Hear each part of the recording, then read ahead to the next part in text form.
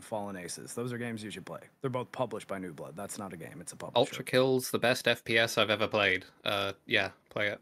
Is it no? I think so. Cheap too. Not an It's not finished game. yet, so hold off if Yeah, that's a problem. But What's uh, what's so Aces. cool about it? Hmm. um, it's taking everything that's like neat about Devil May Cry and everything that makes like fast-paced arena shooter gameplay fun, and sort of putting them together into this environment that is extremely rewarding to experiment with and has extremely strong presentation. Well, all right. ULTRAKILL. Does it have a fun Well, if it was announcer that like, says uh, Ultra Kill? Um, no, Oh, Oh, count me out. I'm sorry. ooh. I was considering. It was it. like uh, Ain't considering one it of the feels like an example of what is becoming more prominent, which is the that uh, in the same way that pixel art has kind of been embraced. Well, not even kind of, as as absolutely been embraced as a uh, as a as an art style that um sort Mm-hmm. of like the early you know nineties. 3D graphics, like the PlayStation graphics. Does that, that, sort of thing even feel like a novel thought style. there, Fringy? I feel like I heard you say that two years ago. I have, I have said it, but I You're just allowed to wanted say like- things. it. You're allowed to say things every two years. All right. I'm actually. Yeah. See you in I'm two working on- years. It's the Gwimbly likes, you know. It mm-hmm. is. I'm working. I'm working on some categories for a game award show, and in every draft of my categories, I have both a 2D art and 3D art award. Because I, I do think they should be In terms of- distinctly honored. The art direction for a particular 2D and 3D game. Yeah, well, like uh, the the art for those games in uh, games nominated against each other in those styles Right, yeah. specifically, as opposed to technical and artistic, which I was always like, eh. You're, they're never talking about performance with technical, which is why I hate it when they call that technical. It's just which one looks the prettiest and is 3D, and Mm-hmm. eh. Uh, I want to be a little more specific, but you know, it's still it's still doing rough. Well, I mean, there's a lot of ways that you would want better categories for the Game Awards in terms of See giving you're winning yeah, best yeah. fighting game. I- No, what, what was it? The best game powered by fueled by Mountain Dew. Uh, that we was, can't get that rid. was We can't get rid of that one. We have to keep that one. independent game fueled by Mountain Dew, yeah. And then I think eventually, because they didn't do Mountain Dew so much with the Game Awards, but wasn't there the the shaving brand? What was it? The, The one where they had like the Schick, yeah, yeah, the Schick that's right, Hydrobot. the robot, It's the, yeah. the famous one. Dude. Hydro. Best That video shit- game to buy many bags of Doritos too. I mean, really, the, the Game Awards has the fundamental problem that um a lot of people are there for trailers. They have expectations that are Mhm. really high. Like the expectation is that you're going to get like E3, you know, uh, like qua- uh, it's like E3 level. Oh, look at these big like game announcements. Whereas like the Academy Awards, I mean, I think they show trailers there, but like people are there generally to see who won. like it's Mhm. uh, it feels like a fundamental problem that the Game Awards is always going to struggle to uh, overcome because for as much flack as they got, and I think it's fair that they had to please wrap it up after like 30 seconds. Like, oh yeah, Yeah. sorry guy, you want to talk for a minute about this game that you made and you poured your life into? Like, as much as that's really um, embarrassing that they were telling people to wrap it up that quickly, they do have the problem that a lot of people are there just to see what games are going to get announced for like next year and the year after. hmm yeah. People it's want uh, trailers. Stuttering Craig who runs Side Scrollers. John and I have both been on that show a couple times now, and um, yeah, he's uh, he's doing a different model with it that doesn't involve Good, ads. good so- job. But yeah, so check that out if you want. But uh, my goal though is to make the categories not shit. Is your microphone any What weaker than usual there, Marc? He's a little Uh, quieter. He's a little quieter. sitting quietly. How's yeah. this? That better? I don't know, because you said based, two off, words. based off of the words of two words that you give us. Oh, Why I do mean, people I do did- that? I don't know, Rex. I I- don't know. I don't Well, know. but People well- always do it. Uh, I, I I did have a reason for doing that because if I was too loud, I didn't want to keep talking. That's right. your It'll blow your eardrums out. Well, that and then you yell. would say, "Why did yell." you say less, Marc?" That's what you'd be saying. Yeah, you should have said no words, and there would have been and no risk at all. yeah. Oh my Yeah, I mean, true. But no no profit either. There's the power of moderation on it. All right, sounds sounds good. I think I'll keep an eye on chat for uh, how people feel about ups and downs. But to address three enormous controversies. Number one, where is Three. Glidus? Well, I invited him, and I tried to make it work because he couldn't make it to today for a few days, either before or after, or some other week. But um, I'm afraid he said he was maximized on busyness, the work he's doing. He did did give me a fair explanation of all the stuff he's up to because he's he's com- he's on his like 150% workload because this is his whole channel is Game of Thrones, House of the Dragon, Shleems. He's doing a lot of stuff with Alt Shift now X. So. is yeah, now is the We wanted the him. time, right? but we couldn't get him. I'm so sorry. But I, I said to him, "Is it possible we can get him for the end of the season?" And he said "You'll do everything you can to make it to that. So hopefully we'll grab him then. All right, Second he's made a promise that he has to meet. You heard it here. Second enormous controversy. Uh, where's Ryan? He's a House of the Dragon fan. Well, one not available on Saturdays specifically, which I think is hilarious. Mm-hmm. Um, sure. All right. I, know, I was gonna yeah, say, all all right, okay. Yeah, okay, okay. Jiminy Willikers, all right. Okay. But secondly, um, I do a weekly show with him and Gary about House of the Dragon, so it, it feels weird to double up, I suppose, on a lot of the conversations that he and I would have already had. Uh, this is a whole new set here, uh, excluding sometimes Fringy if uh, if he if he graces that uh, that stream with his presence. But um, yeah, it, I think it makes most sense. And then the third enormous controversy: why is this stream happening now? when we could be doing a boogie cringe stream. Well, you know what? Maybe next week. we can't let him take House over the Dragon celebrate House is of the no Dragon. match for Boogie Cringe. There's so many posts in like every forum. Like, you guys got to be covering what's happened with him recently, right? It's like, ooh, well, it's very tempting because, uh, yeah, his his Dude. latest blunder might be the worst of his entire career. I think it's actually safe to say it it is. might actually be. I, I think it is. well, what would compare? I don't think there's anything that can.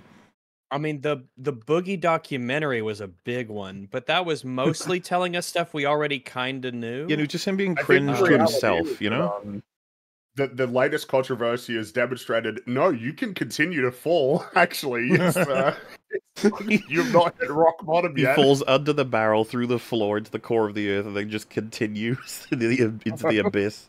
He- There's that- there's a portal. Yeah, Yeah, there's a portal There's something dimension. past the core of the earth that he's fell fallen into. God is like, you actually passed the abyss. Nobody is supposed to be able to do that. You're, you're further down. How'd you do You're that? clogging up the abyss. God's like fr- frantically trying to code something. that Yeah, he can I don't next. have anything down there, man. oh god, oh god, oh god. I gotta if get the Boog- beta test for the last universe. Pull dredge those back up. What if Oh, Boogie's God. only he went naked Eldritch live on camera. He did. So that He- cancels well, to be out all the fair. Yeah. he went It naked in order to prove he had cancer. That's, that's uh, that makes sense. It didn't I work thought he out. went naked because he wanted to hop on the whole the Twitch thing with uh, as long as it's censored, right? Didn't he do that? well, the thing is, I feel like he doesn't need to get We're naked. confusing the know times he was naked on He, camera. um, This is madness. if not to derail us, but, but like he goes naked, and then Mr. Metokur is like, "Go the whole way, show your cock," and then he says, "Well, no, I'm not going to do that because I could get these guys in trouble." Meaning he knew that he could get naked and there'd be no trouble because you can't see anything because of the folds. Like it covers up everything. It's like a little safety shield. He knew that. That's why he A did little it. Safety. When you're so shield. fat, you cannot be nude. Yeah, he cannot be. he can only It's like be Pe- Peter with- Griffin whenever he has a nude Yeah. scene. Yeah. Uh, um, and you know, maybe in a week's time we'll have an ending to the story that we can talk about on the stream as well. Because uh, I don't know what the fuck's happening in these next few days. People, because you know, the whole thing is like, when does he come back? And everyone's probably putting bets on it. Uh, you would have thought one day would be already too much, but uh, maybe it'll be, maybe it'll be two, maybe three. So he's he's gone radio silent. I think he or deleted his? Twitter, and the last I heard was Oh, the. really? Uh, I don't know if he get like Keemstar said he's getting another test to prove he has cancer, which the whole point was that he was supposed to have proof already. like, I, I, I, don't think know he- how he's you actually. Can be. So he's getting a biopsy, which which will be Yes. like an actual definitive. With his test. size, he's Eh, gonna need a triopsy. I think it. that's. At, at this point, though, I believe he's on, the only positive quote quote that he has is blood markers, which are more like potential for cancer rather than. You Oh well, we're not going to go over the full cancer. story now because we'll do it next week. But um, the yes, there's there's a lot of things to it. But the the broad statement is Boogie lied about his cancer and it enabled him to scam his audience with crypto coins. I- I- It's in a weird way that funny even if he does have cancer, he still did lie about it. Well, no, so That's th- this is why it's sentence you'd get in uniquely tragic now because he may he may have cancer and it won't help him in this because that wouldn't Yeah, like, change that's- anything. that's what I mean. Yeah. So y- Yeah, everyone just- believes that he's lying. He's already set himself up. He's put himself in a position where everyone thinks that he's lying with how he's behaved about it. Oh, I guess what I'm saying, Rags, to be absolutely clear, is he could have cancer, and we'd all say, "Yep, he definitely has cancer," and he'd still be a liar because that would be post uh, Yeah. him claiming he, He has it it when he didn't we have did. Yeah, enough yeah, proof yeah. for it. Yeah, Mhm. Uh huh. Yeah, absolutely. so he's like he's He's the- already fucked. You couldn't have rolled worse. like he's got the he got he the, the thing is he got no he he got all of the uh, how, how to phrase it he got none of the benefits of having cancer if he got cancer you know He, but my God, Rags, he tried to get all the benefits of having cancer. boy he sure did I swear to what kills me is he's the kind of guy who's gonna live to like 95. I swear. He'll be like baron harkonnen in his little mud his Yeah. little black school Not even like- pulling like a Randy Mr. Marsh is going to save him at this point, where doorway. he sticks his head in a microwave trying to. That's all the give memes have been, cancer. people have been saying. He's probably spending the weekend putting his balls in a microwave. Yeah. oh that's funny Also, like yeah, sorry, we sh- we should be discussing, but what he said his doctor might have made up the diagnosis for clout, that is now that's internet Risking brain your rot. medical license for boogie clout. Blo- boogie about that. clout yeah man what could be sweeter than boogie clout it's like a sweet son. yellow tangerine you know the doctor's like vlogging on YouTube, he's trying to get his clout. It's Such a stupid. Oh, and then there were the was the, doctor, I'd be uh, like, a little clout man the, the the conversation with CoffeeZilla where he's screaming "you liar" at him like you're an You liar! I- If you know It's anything about medicine, you'd know he's lying in that interview because basically what he says, he's like, "So my kind of cancer, it's it's made a lot worse when you're overweight. So basically, to not have cancer, I have to get pills that help me lose weight." And I'm just like, "Oh, he's just trying to get a prescription for Ozempic and Probably. saying it's cancer." I thought he did start Ozempic. I remember him tweeting about it, but you can't keep track. The, the amount of lies that Well, man uh, tells. maybe he's trying to pay for it rather. So The yeah, maybe of he got the prescription, and these are the meds he's talking about. He's just talking about meds that prevent him from being fat, which uh, seems seems like they're working. Well, there's going to be a lot of the use of the word only joy in life next week, I think. Uh, in the Hmm. comment section in chat, but we'll see. I imagine that might be a 10 man EFAP. So many people are going to want to guest on that one because this, and you know, we're bringing ER back. Boogie's my favorite House of the Dragon character. he would fit right in. Could you imagine faction Daemon would he be a meeting? Oh, dude, if, if Boogie Lord- were yeah uh, like the the, Lord of shitty Harrenhal Vagar. And, um, and, The Lord and of David, David met him. he cannot control his bowels no one respects him his cock doesn't work How is it you reach this size? Like, oh, it's a, it's a lot of it's a lot of Vagar by- illnesses. It's a lot of uh, genetic illnesses. i've got a thyroid uh thing I have I have all the As you do. thyroids. i have many thyroids swells me up like a balloon it does well, we should probably get started because we got around four hours to talk about. So think of it as a very long movie. Um, but uh, plenty, plenty of fun, fun scenes to discuss. Um, I was considering going with the whole like, oh, what did everyone think? But I, I assume that'll become very clear the more we talk about it in detail, and that everyone here thought it was pretty good. Is is that different for It's- anybody? well it's no boogie cringe but No. pretty good That's true. It is very, very interesting. I guess a lot of us are probably thinking it here and then in the audience, but it's very strange to be watching this show alongside the Acolyte every week. But in the same sense, a- it's not strange because last time around it was uh, against Rings of Power. Rings of every Power, time. yeah, you're right. It was Oh, yeah, arguably- you're right. Because that was like a one. I say that's one to one. I guess in a way, you, there's comparisons to be made of the. Like we said, there's there's weird connections down to the episode numbers of events that Um, take place. I think the interesting thing more so is that House of the Dragon was um essentially in season one it was fighting to establish itself. It was kind of it was you know before they both came out, even though obviously people were a lot more negative in terms of their expectations for Rings of Power. It was a case of two shows essentially competing to establish which one was the premier fantasy TV show. That's Yeah. the Dragon One. Now it's like the reigning champion coming in, and then the acolytes coming to challenge it and failing. Can you imagine that? The balls of the Acolyte being like, well, first off, Yeah, a I little guess bit. With both, there, there's um, there's a, there was a lot of comparison between House of the Dragon and uh, the first season and Rings of Power because they're both like they're both fantasy shows with some magic in there, some mythological creatures. We got our swords and our armor, and that's fun. and they're also sort of um, in the way that House of the Dragon is showing up also, uh, after Game of Thrones. You have Rings of Power coming out trying to be like Lord of the Rings. Yeah. Uh, so there's another parallel there. So the two were very much easy to sort of juxtapose to against yeah, one and, another. and you could argue. I know this sounds ridiculous, but it was like almost a fair fight in terms of they were both given a huge budget, all the potential they needed, Great and- IP. Yeah. yeah. um, and and one of them comes from a beloved series of films that that we all like had people sus on the show, but you know it's not the same as House of Dragon where we had to fight actual sentiment of "fuck you." You're the one that came after season eight of Game of Thrones. Yeah. Yeah. I, and I actually think that that might have worked in both of their favors inversely. Because I think the people making Rings of Power are just like, we're Lord of the Rings. It doesn't matter. We can do whatever we want and it's going to be great and loved. Whereas House of the Dragon's like, look, we got to take this real seriously, okay?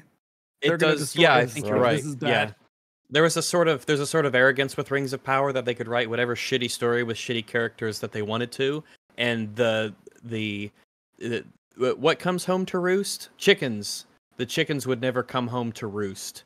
Um, Yeah. Whereas I think you are right. These uh these Wings of Power guys, they were like, guys, we we can't fuck up. We got to really make this work. Because yeah, you are fighting the season eight Game of Thrones uh, hatred, quite frankly, that has lingered to this day, uh, as ultimately and unfortunately, but understandably, the defining element of that entire long series of television. Well- the idea that show like the acolyte poses a challenge to something like House of the Dragon is just embarrassing. Quite Like funny. they're Well, so they both look They're not You almost wanna do such high away- contrast. You want to do away with the pretense with the people who make this stuff. If you had them in the same room, like the you know Ryan Condal and uh, uh, Leslie Headland, you might you might want to be like you like you understand the difference between you two's shows, right? Both of you, and then he'd be like, no, no, no yeah, they're they're both really great exploration. And it was like, no, right, stop, stop. You understand, right? The the difference. Like hers is a fucking laughable mess, and yours you've worked extremely hard. To like, you know, I have my criticisms, but at the same time, it's just you understand it's completely different leagues, and I just I really want them to be shot with the honest ray, so they can both say, you know, like there's no way someone who makes this can't recognize watching the acolyte. Like, ugh, ooh, they really cut corners on this, huh? Just the difference in care for the craft or like passion for it on display. Well, It's an element of um. It's like what we talk about with um, a, a, a great way to contrast, you know, the acolyte and uh, uh, House of the Dragon. Not to make this like this versus this as an episode, but it's really tough to not draw comparisons for a number of reasons. But we talk about opportunities in terms of what kinds of stuff you can do with the time that you have and with every interaction. And whereas House of the Dragon seems to be just completely filled with stuff going on in terms of subtext and what this means in this conversation, that conversation, establishing relationships, learning more about the world. Um, the Acolyte is kind of the opposite, where we spend huge swaths of time learning absolutely nothing, and half of the things we learn are just being reminded of stuff we've been told before. correct. Uh, to get started, unless there's anything people want to say, just sort of opening and in general about House of the Dragon, we can get to more specifics. I think it's a Any- really cool television show. I really pretty like neat. it. I am looking Um, forward to seeing the episodes every week, and I'm excited when they come out. I suppose um what we have here for covering episodes one through four feels like a I mean obviously it's a it's a good package because the first three episodes of the season are definitely more like slow paced. They're trying to build things up. It's an interesting contrast between season one and two because season one is jumping between different points in time that are like sort of flashpoints for important events happening. And so in that sense, all of those ones have a a greater significance compared to now in season two. This is much more conventional of of just seeing the story play out at a um and more of a regular pace. And so the first three episodes are definitely, you know, building things up, establishing important plot elements going forward, developing the characters, and then it all came to a head in episode four, which is um one of the best episodes of the show. Like it's competing with episode eight from season one as the uh the best episode of the show. It was a really fantastic episode. yes, it was. And we'll talk all about Um, it. Mhm. Um, well, yeah, it's a pretty big uh, bit of praise. I would say that after seeing the fourth, it brings the first three into view as like a. I see one, two, three, four now as a pretty solid little uh, package, a nice hearty meal. I think so. Yeah, And uh, they yeah, really do a great job establishing stuff. Yeah, it's Um, gonna be fun looking it- back and being like, oh, that, that, that thing, and that, do that, that. Even though there's plenty of things we don't know yet, because the season is only half done. Some people are like, Oh why aren't you waiting for the full season to be done? Well, because that would mean we'd talk have about. we'd have eight hours, and that but at that point is is uh, Rings of Power coming out at that at that time then as well. Uh, it's coming out, isn't it? Coming out in August. It's, it'll be close, and then we've got uh, we're, we're behind on a lot of things, and then we come to our anniversary stream too. Basically, we're gonna try and get this done uh, half of it now. we'll do half later, and that'll be a little bit more easier. But uh, hey, it's coming out. In, yeah, it's coming out at the end of August. Damn. we can have some fun with maybe some speculation along the way. You know, oh Agatha, Yeah, is Agatha out soon? No, I think it's September. Oh, What the God. fuck is an Agatha? I know. Oh, wait, wait. An Agatha? I keep- one? I keep hearing about it. What? Well, I don't. I I'm not saying we're have to. definitely covering it. I'm not saying that. I'm just saying. Yeah, Good. 'cause Don't- I'm- don't I say that. Don't say that. Yeah, don't. Yeah, I'm not saying it's definite. good. So- You I think that's the one that good. went through a number of different title changes. Yeah, which Uh, was yeah, like really you out, cringe. uh, you Agatha.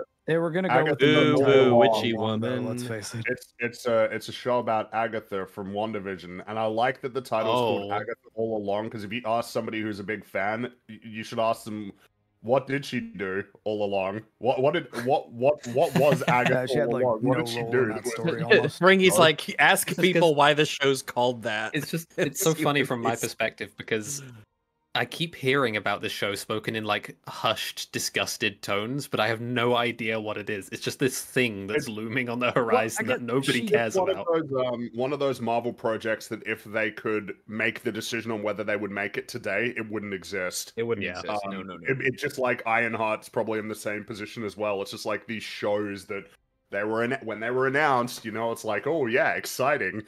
Um, but now, now that Marvel is uh in a bad place, it's like, oh shit, all right, yeah, Agatha, woohoo, yay! Agatha, she conjured the uh, the speedster dude by just putting a necklace on a guy. Just gave him full blown Quicksilver powers. That's I guess something. They're not going to remember that, and it will never Mhm. pop up. Yeah. You saying that probably jump started many people's memories into ultimately what came down to a, what was it like a pun, a penis joke or something? Are we are we Oh, sullying House of the remember it that Dragon well. by you spending I- any I time only on remember it in the context of. Oh yeah, Yeah, sorry, probably. Probably a little bit. Well, uh, first question on the docket. Here we are. Is what everyone think of the new intro?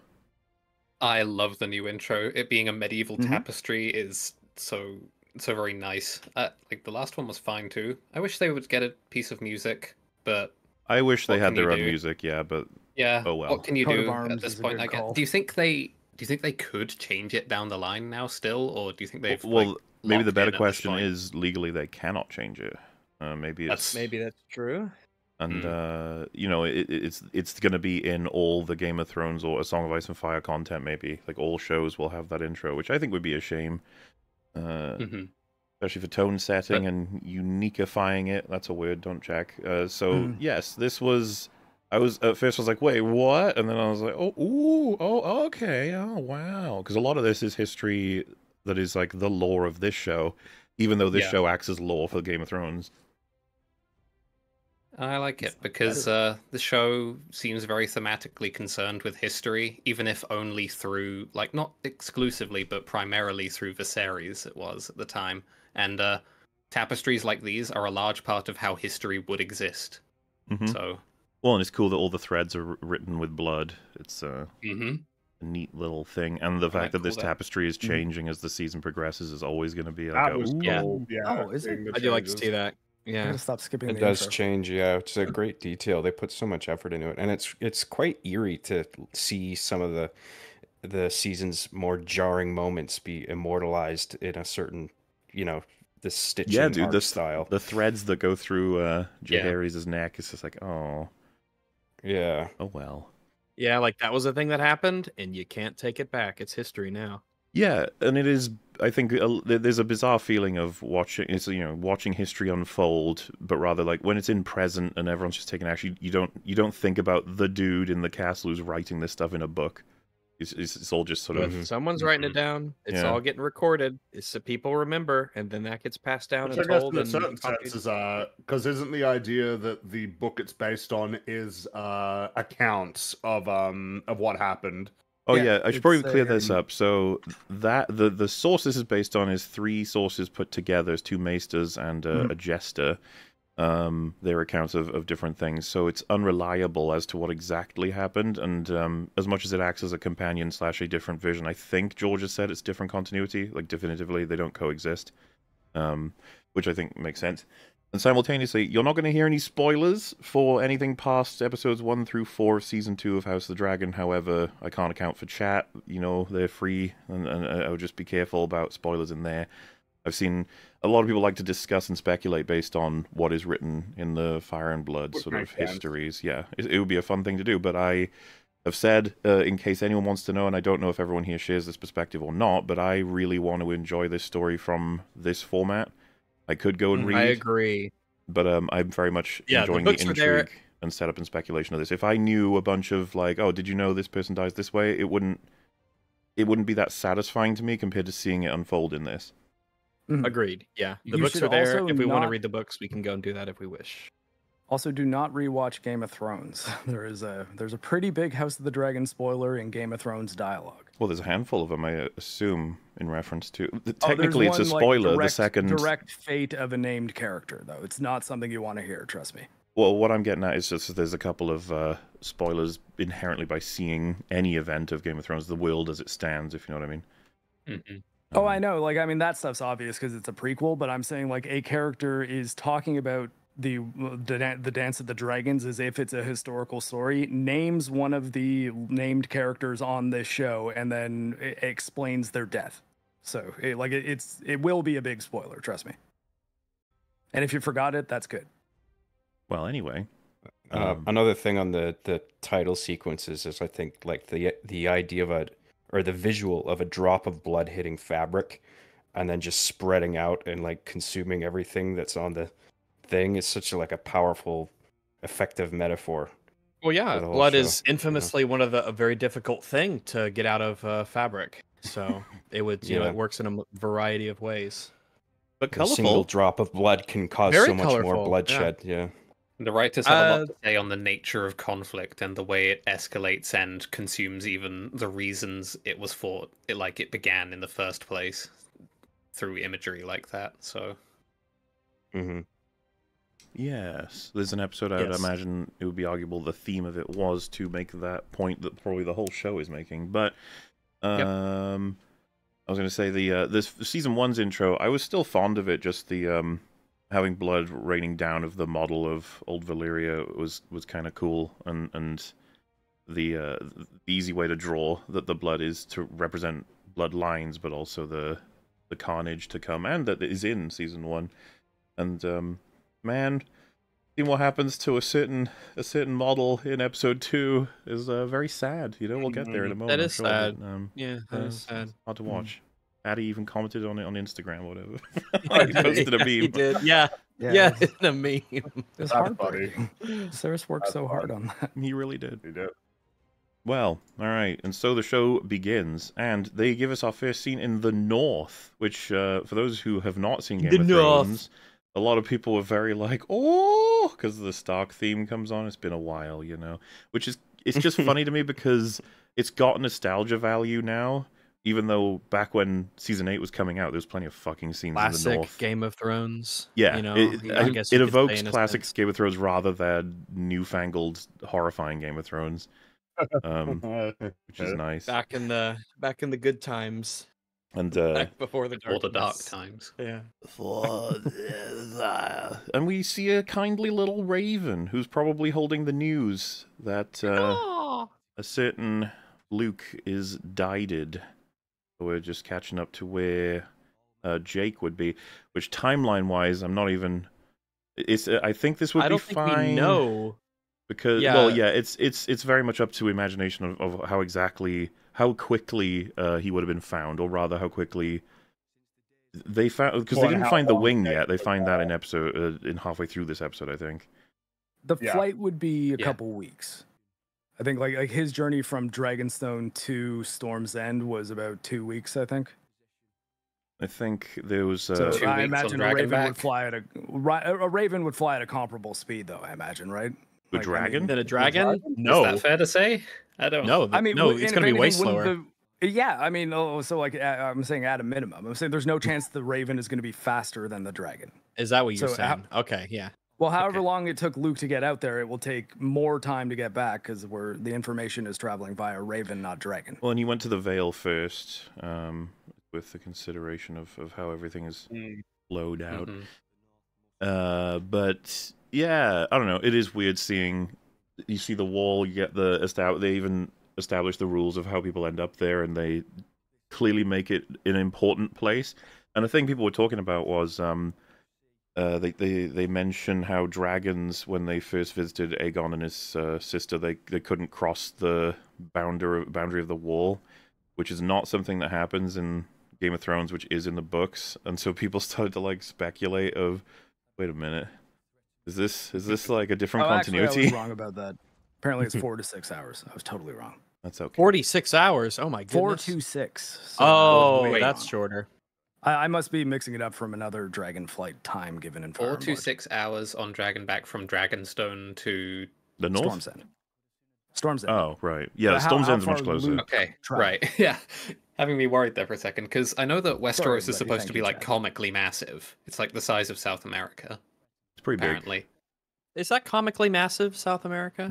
Uh, in terms of To the in English, if you went to the if you went to the to all the South Americans in chat, Theo didn't mean that. All right, you're Hey, fine people. I mean, in terms you live on a lovely continent. in terms of a medieval domain, okay. Well, how big Yeah, is I uh how he's big's Middle. Earth? Oh, Is you that know. Europe, right? About That's Europe like size, England, isn't it? isn't it? Isn't it supposed to be Great Britain? I think it's Like the- Europe-sized. The landmass. What Middle Earth? Landmass? Yeah, Middle Earth's Yeah. supposed to be like Europe size. don't know about- Is it? right? I don't know about that. Um, but Middle Earth also I- isn't unified in the same way. yeah, Eh, Didn't he Um, want it to be English mythology though? Wasn't that the whole deal? I don't know that that means he wanted it to be exactly the size and length of. Yeah, um, I want to give myself okay, some room to work with here. Yeah. Anyway, uh, he talks about how important the wall is, and he says it keeps out death. Which uh, there's just so many. Th- they are correct references and important foundational building for what will be Game of Thrones, but it's just it's always sad to hear the references every time. because you remember what it became. You're like, oh man. Uh, Oh, it's like thinking. It's like thinking about a dead relative. These are the sort of call forwards that should be appreciated and like should work if they hadn't fumbled so very hard towards Yeah. the tail end. it's almost it's so respectful of them to do it, even though all the audience is like, hmm. I mean, I totally. Yeah, props to him for treating it with respect and dignity. Um, Yeah. I I think that, I, especially if you're in the position of you're writing a a prequel to something that has a sort of reputation, it's like, well, you know, what do you do? It's probably just the high road to treat it reverently that you should just generally just default to doing. I mean, even if you were going to make a prequel to the sequel trilogy, you you know what I mean when I say that. Um, but you would maybe want to, you know, at least treat it seriously. And so, I wouldn't even uh, characterize the uh, the eighth season as a fumble.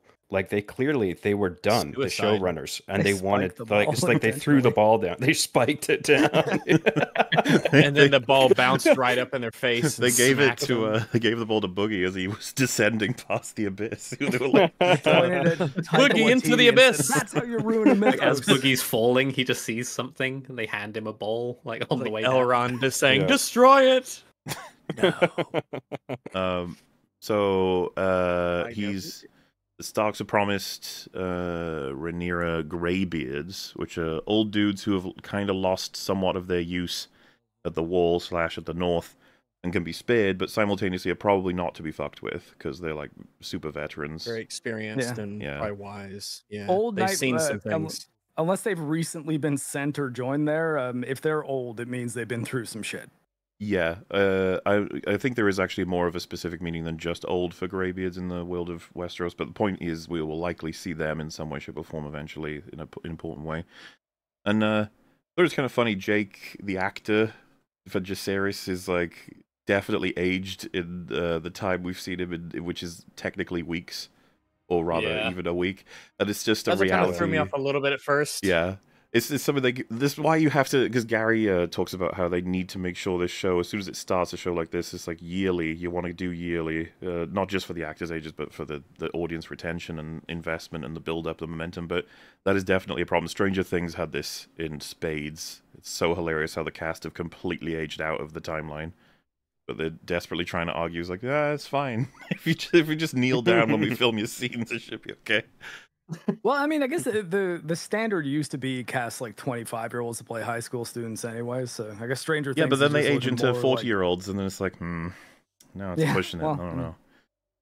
Ah, Buffy was smart enough to have them like not be in high school for the whole show. No, the the trick is to hire like s- super young and then destroy their whole lives, and then documentaries get made later Yeah. on that you can make money from. Um. Yeah, the drugs will keep them youthful. So, with that news arriving, we go back to Dragonstone. Meleys and Rhaenys are arriving because they've been. The job they said they were doing was uh, patrolling the Gullet, which is still just trying to cut off trade to King's Landing. All stuff that, as much as it might seem kind of just busy information, it's super important that I hope they maintain because part of what destroyed Game of Thrones was not respecting its world building. This uh, analysis we're doing, by the way, is all assuming you've seen season one and, you know, kind of enjoyed it, I guess, because we're not going to be like picking up every little detail from the past stuff. Uh, Mhm. What was enjoyable about this scene, though, is the uh, Daemon gives her a bit of kick in the ass for the whole, you know, again, not taking Yeah. the chance that she had to end the war where she did, which will play an important role in these four episodes, but also lost opportunity to uh The fact that she didn't reply is endlessly frustrating. Well, um, it's definitely something the show recognizes and works with going forward. Except uh, for some reason, they went with the whole ignoring the many people that she killed thing, even though the whole audience has not. Uh, I was talking to Fringy about this, but I, a comparison was made between Rhaenys and Catelyn Stark as to their, uh, I don't know, ethical systems, and which one, like Rhaenys is clearly better, and it frustrates the hell out of me because Catelyn never did what Rhaenys did. And what's funny is some people compare Lady Stoneheart. Like, we never got that shit. I would have been happy to get it, but we never Yeah. did, so don't bring it up.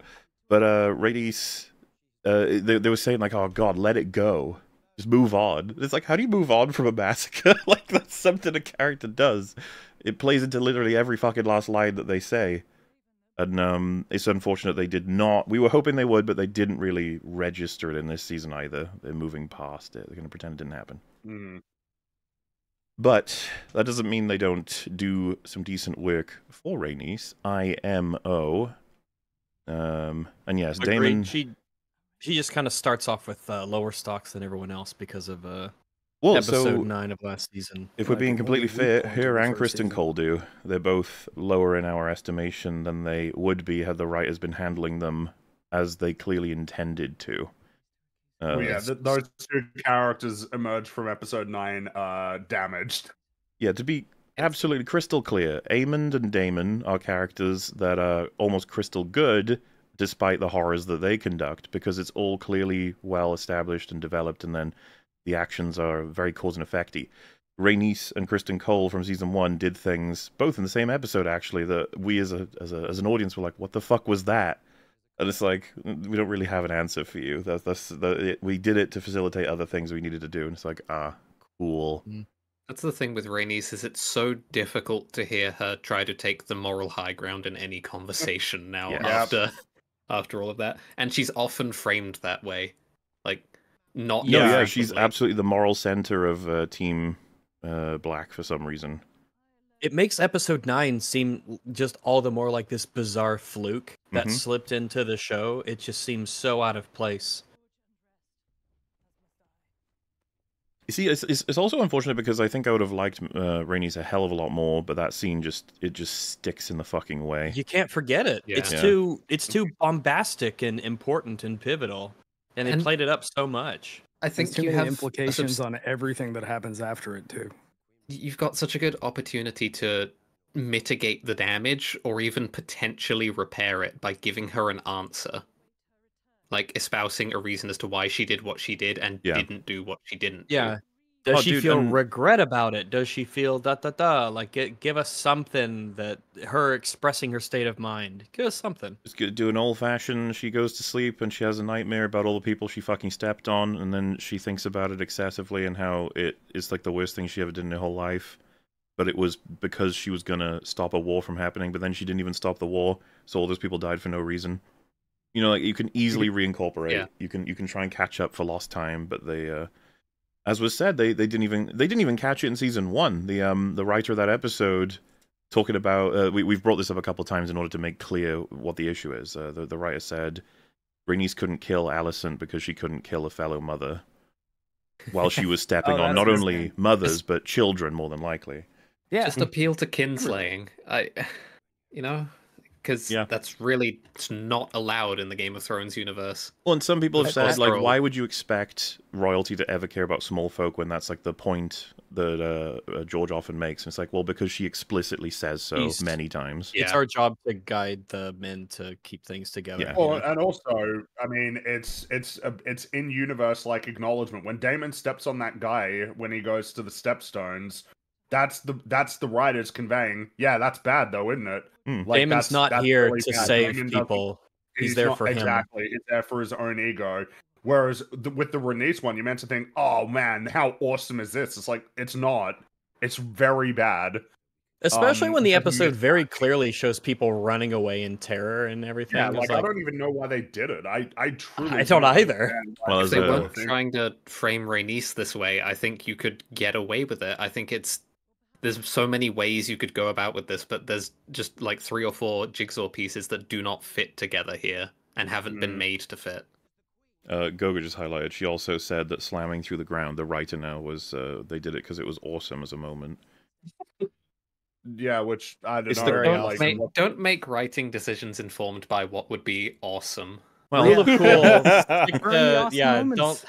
This Just- is too just- rich of a production to stick to rule. if there are, if there are like four things you could do that all work really well and two of them are awesome i'd be like all right go with the two awesome ones then i guess or rather one of the two awesome ones but if you like we can have three things happen only one of them is awesome and that one is kind of the stupidest one let's just do it anyway it's like uh, oh god or how you don't. the, the sad part is you can still it's a it, it frustrates me that bursting through the ground is like that's that's all we could do for awesome shit with a dragon You know how dragons just burst through the ground like star destroyers? like what Star a- Destroyers. What a comparison. It honestly You know, probably these- would have been. It would have been a better call if she just got got uh, Meleys out of there more quietly and then just burned the roof, because then that would force everybody to leave and stop the coronation. Well, if you, Yeah, if you 'cause- heard the banging on the big front doors and then you see two dragon claws reach into the crevice in between So- and pull it open, like that To would be- have been like, that's an option. shit. The door was open from memory, so you have her exit the usual way from the dragon pit. You hear the screeching of a fucking dragon. It can interrupt Aegon's speech, right? And everyone can be like, "Wait, what? What the fuck? Who's that?" Then we get the shadow. Yep. Yeah. Yeah. Oh And yeah, that shadow comes up.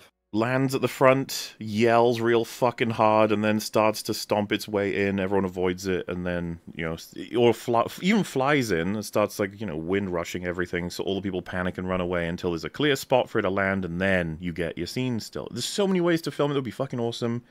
And simultaneously, she doesn't have to kill everybody. Yeah, and the guards are like, "What the fuck do we do? What can we do? What What, should do, we do?" I don't know, man. I oh man, it's my lunch break. I thought the little uh, staircase for the dragon at this this point, this little uh, I don't know what to call it, but the the get on get off The station. side passage. Yeah, it's like it's Oh, like I like that. Yeah. yeah, where all the dragon riders would get onto their dragons with a, a lot of ease, well built. It's just like oh, Which, nice. by the way, I really appreciate because we we actually do see it in this season, but we didn't see it in the previous season. No, you never really see anyone getting on or off the dragon Because logistically, it ha- you have to do it a special way because of the shape of a dragon and how big it is. But they do they they do actually show Rhaenyra uh, getting off a dragon later on. yeah, you go In a way that you're like, it's believable, and it shows that you know it takes a little bit of dexterity and finesse to do. the bigger they are, like when you have Vhagar levels, you have a whole net that goes all the way down the body. You have to climb up the whole thing. It's like, yeah, that's how it would be done, I guess. So, yeah, how else would you do it? I mean, that- that's It's not super easy up. to get on a horse if you don't know how to do it properly. Never mind a dragon. Yeah, well, they've uh, they figured it out, and yeah, they seem to be not shying away from showing more of it because uh, they had to be sneaky in season one most of the time. Uh, but yes, Daemon suggests that he and Rhaenys take Caraxes and Meleys to go and kill Vhagar, which is pretty rash. You you wonder like, oh, we, that's just something we're doing now, are we? Um, that's what he wants to do. He's a, little bit mad, and she says, you know, you ain't you ain't the king, bro. So uh, you ain't ordering shit, and it's because Yeah, because uh, Rhaenyra's not here. yes, Rhaenyra has been absent, and I did kind of appreciate the line. You know, she deserves time to grieve the loss of her son, and then he says the uh, the mother grieves, the queen shirks her duties. I guess two roles she does have to run, whether or not uh, any particular thing has happened, because they are basically at the. It's not quite war, but it is. It's it's it, It's you know, like right on the Cold War. doorstep of it. It's I ready to- to. yeah. I have Yeah. to imagine it is so frustrating to try and run a Targaryen monarchy when they have these giant sky lizards that they can clamber onto and disappear on whenever they want, seemingly. yes. It's got to be such a headache for all of the magnates and all of the people helping them run their faction. Also, yeah, to clarify, he is the king consort, but it means he doesn't have ultimate authority. Just, uh, but Yeah. he does have the most authority when she's not there. So, Which is why I thought it was a bit strange that he seemed to be anxious to get running off to Harrenhal because it's like, isn't that kind of what he wants? Is to just be be in charge for a bit? That is Well, something we can his discuss. reasons going there, we'll get there. Yeah, because it's uh, I think it's complicated. As is a lot of stuff in this show. They they this is part of why I like it so much. There's a hell of a lot of layers running at the same time for a lot of characters. In fact, uh, maybe it's too early to say, but I wouldn't mind asking everybody who's uh, let's let's let's see who's everyone's favorite character. Just if you had to pick a number Ooh. one, and if can we is everyone got the same Number Discord one? lineup? Actually, let me just. Uh, I think so. I think it's alphabetical, right? Well, Yeah, I believe whether so. or not it is, I'll Oh, just man, post gotta the image I have on stream so that you guys know. If we go left to right, favorite character, and you don't have to justify, you can just say their name. Uh, Otto. Wait, Viserys. no, Sorry, uh, we'll was- say we'll say living. Okay, Otto. Spoilers. That actually makes it easier. I'm caught between Otto and Daemon. I just I like Daemon's attitude towards things. Mhm. I like Daemon a lot, but I think I got to give it to Aemond. Mine's Otto, but uh, second place is drawn between David and David. Yeah. You know, I was about to say the same thing, where it's kind of like Otto or uh, Otto or Daemon for me, but I think I'm gonna go with I'm gonna go with Daemon this time. All right. I guess I get to be kind of the wild card because it might be Criston right now. Ooh. Yeah, I mean, yeah. Ooh. Spicy, good. Spicy good. take. We Criston will talk followed about by that. Aegon, I think. Ooh. Ooh, but fair, That's- Well, fair guess fine with me. answers.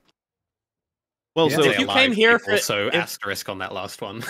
If anyone in here, if they're like, oh, they're gonna shit on Criston, you might be Mm. disappointed. just to be clear, Criston has, uh, from what the memes great. and stuff I've been seeing, Yeah. Criston is a great character. He's unfairly maligned. we will get to it. But uh, the reason I brought this up is because um, is uh, there's other shows that have this quote unquote issue. But if I were to list, I don't know when I would say Rhaenyra, and it's not really because I think she's a bad character in any way, shape, or form. I just don't find her as interesting as many of the other characters. I I think I'm more interested when Corlys is in a scene than when she is. Um, and he's had very little screen time by comparison. And you're like, so what's the problem? It's like not really a problem. I think it's just that No. um. I think Alicent's more interesting than Rhaenyra right now. Yeah. Well, that I mean, Is that? I think, think that that might makes be a bit of an Alicent's had a lot of- of screen time. You know, like that would make some sense. Yeah, she has. I don't know how fair this is to say, but it almost feels like Rhaenyra doesn't have much to do right now.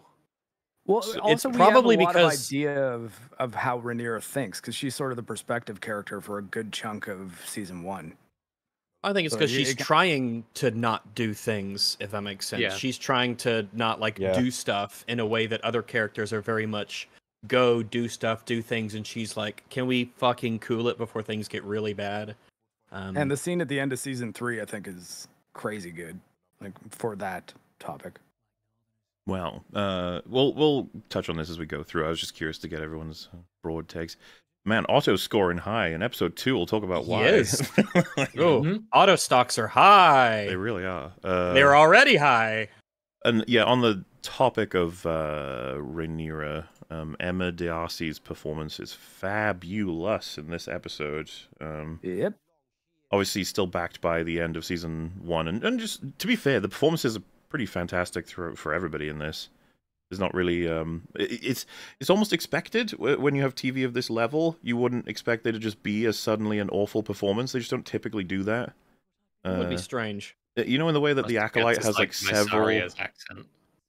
Oh, it may be, but I was just going to say, you know, like how uh, main character in Acolyte of Stenberg, right? Amandla Stenberg, she's um notably flat Amanda Stenberg. Flat and Mhm. boring. And like just not being pushed to do anything. While they will tell us over and over again, she is fantastic. She is genius, which is uh, it's like okay, if you, if you It's say just a loose application of the word genius. She does shout. They Sometimes. they say those uh they say all the we should call them paycheck phrases. Yeah, a 'cause little boy, bit. they say them. So, uh, moving forward, If I can, sorry, if I can just say one thing about performances, I think that is one of the key things missing from the acolyte is there there is Mhm. no Subtlety. Yeah. layer of subtlety to any of the performances, and it's just so uninteresting to watch. Whereas with this show, like often characters are saying things that runs in contrast with what they're doing with their face in subtle ways or their body language or their actions in the scene or a scene later or a scene prior like They're there's an extra layer there to consider Mindset. yeah the acolyte is completely devoid of that Yeah, it's like tell me, tell me about, tell us, uh, acolyte actor, actress, uh, tell us about your character. Feel free to go into as much detail as possible. It's like you, you can't, you just can't. why are you doing this to me? You can't Stop say it. much. So if you don't even know that, then how do you expect that person to do a really good job acting out that person if they don't even really know who they are? right Exactly. Uh, so and that that's not even like regarding the quality of the writing it's just just like the performances alone having that extra layer Well, it's where it's just day. like okay i'm saying this but i'm thinking i'm really thinking this or i'm doing this which reflects what i'm actually thinking about this matter anyway sorry hold It's all good. Uh, we got. Corlys is uh, healing up. He's getting better and better. And uh, this scene is kind of funny for those who maybe it m- was smoother for those who know about the source material, but for those who do not, it was it was like uh, you're the person who pulled me out of the water, yes. And he was like, yes. And uh, the the one thing about it that I think that ties it more so as a, a story scene that we would get anyway is the uh, the knife. A knife was also found, and he says he had it made for his heir, which would be uh, Luke, unfortunately like you know that works IMO you know normally, but this guy wasn't in season one nor mentioned, and he's getting a lot of focus, and then uh you know there's there's future stuff, but anyway, th- there's like this guy's gonna be important. Talking about? Well, I wasn't gonna go that far, but yeah, it's, my my point is that he is this guy, but he's gotten enough screen time that it would be like, wait a minute, what's uh, what's the dealio there, TV show? Because Yeah, we all know how TV on? shows work. Like, what you doing? I don't even think this is the worst instance of it because at least this one has, I would argue, more context than not. Uh, it's hard, It I is- suppose, to be completely subtle when you've got a limited amount of time. When you set up something as big as this world, I understand it, but at the same time, it's just like, so he's going to be important. Yeah, we're spending time here, so Exactly. Uh, yeah, and then because uh, reestablishing the way everything works as well. We when we go back to King's Landing, is showing that they've got their defenses up and running now with the Scorpions and good old uh, Eric.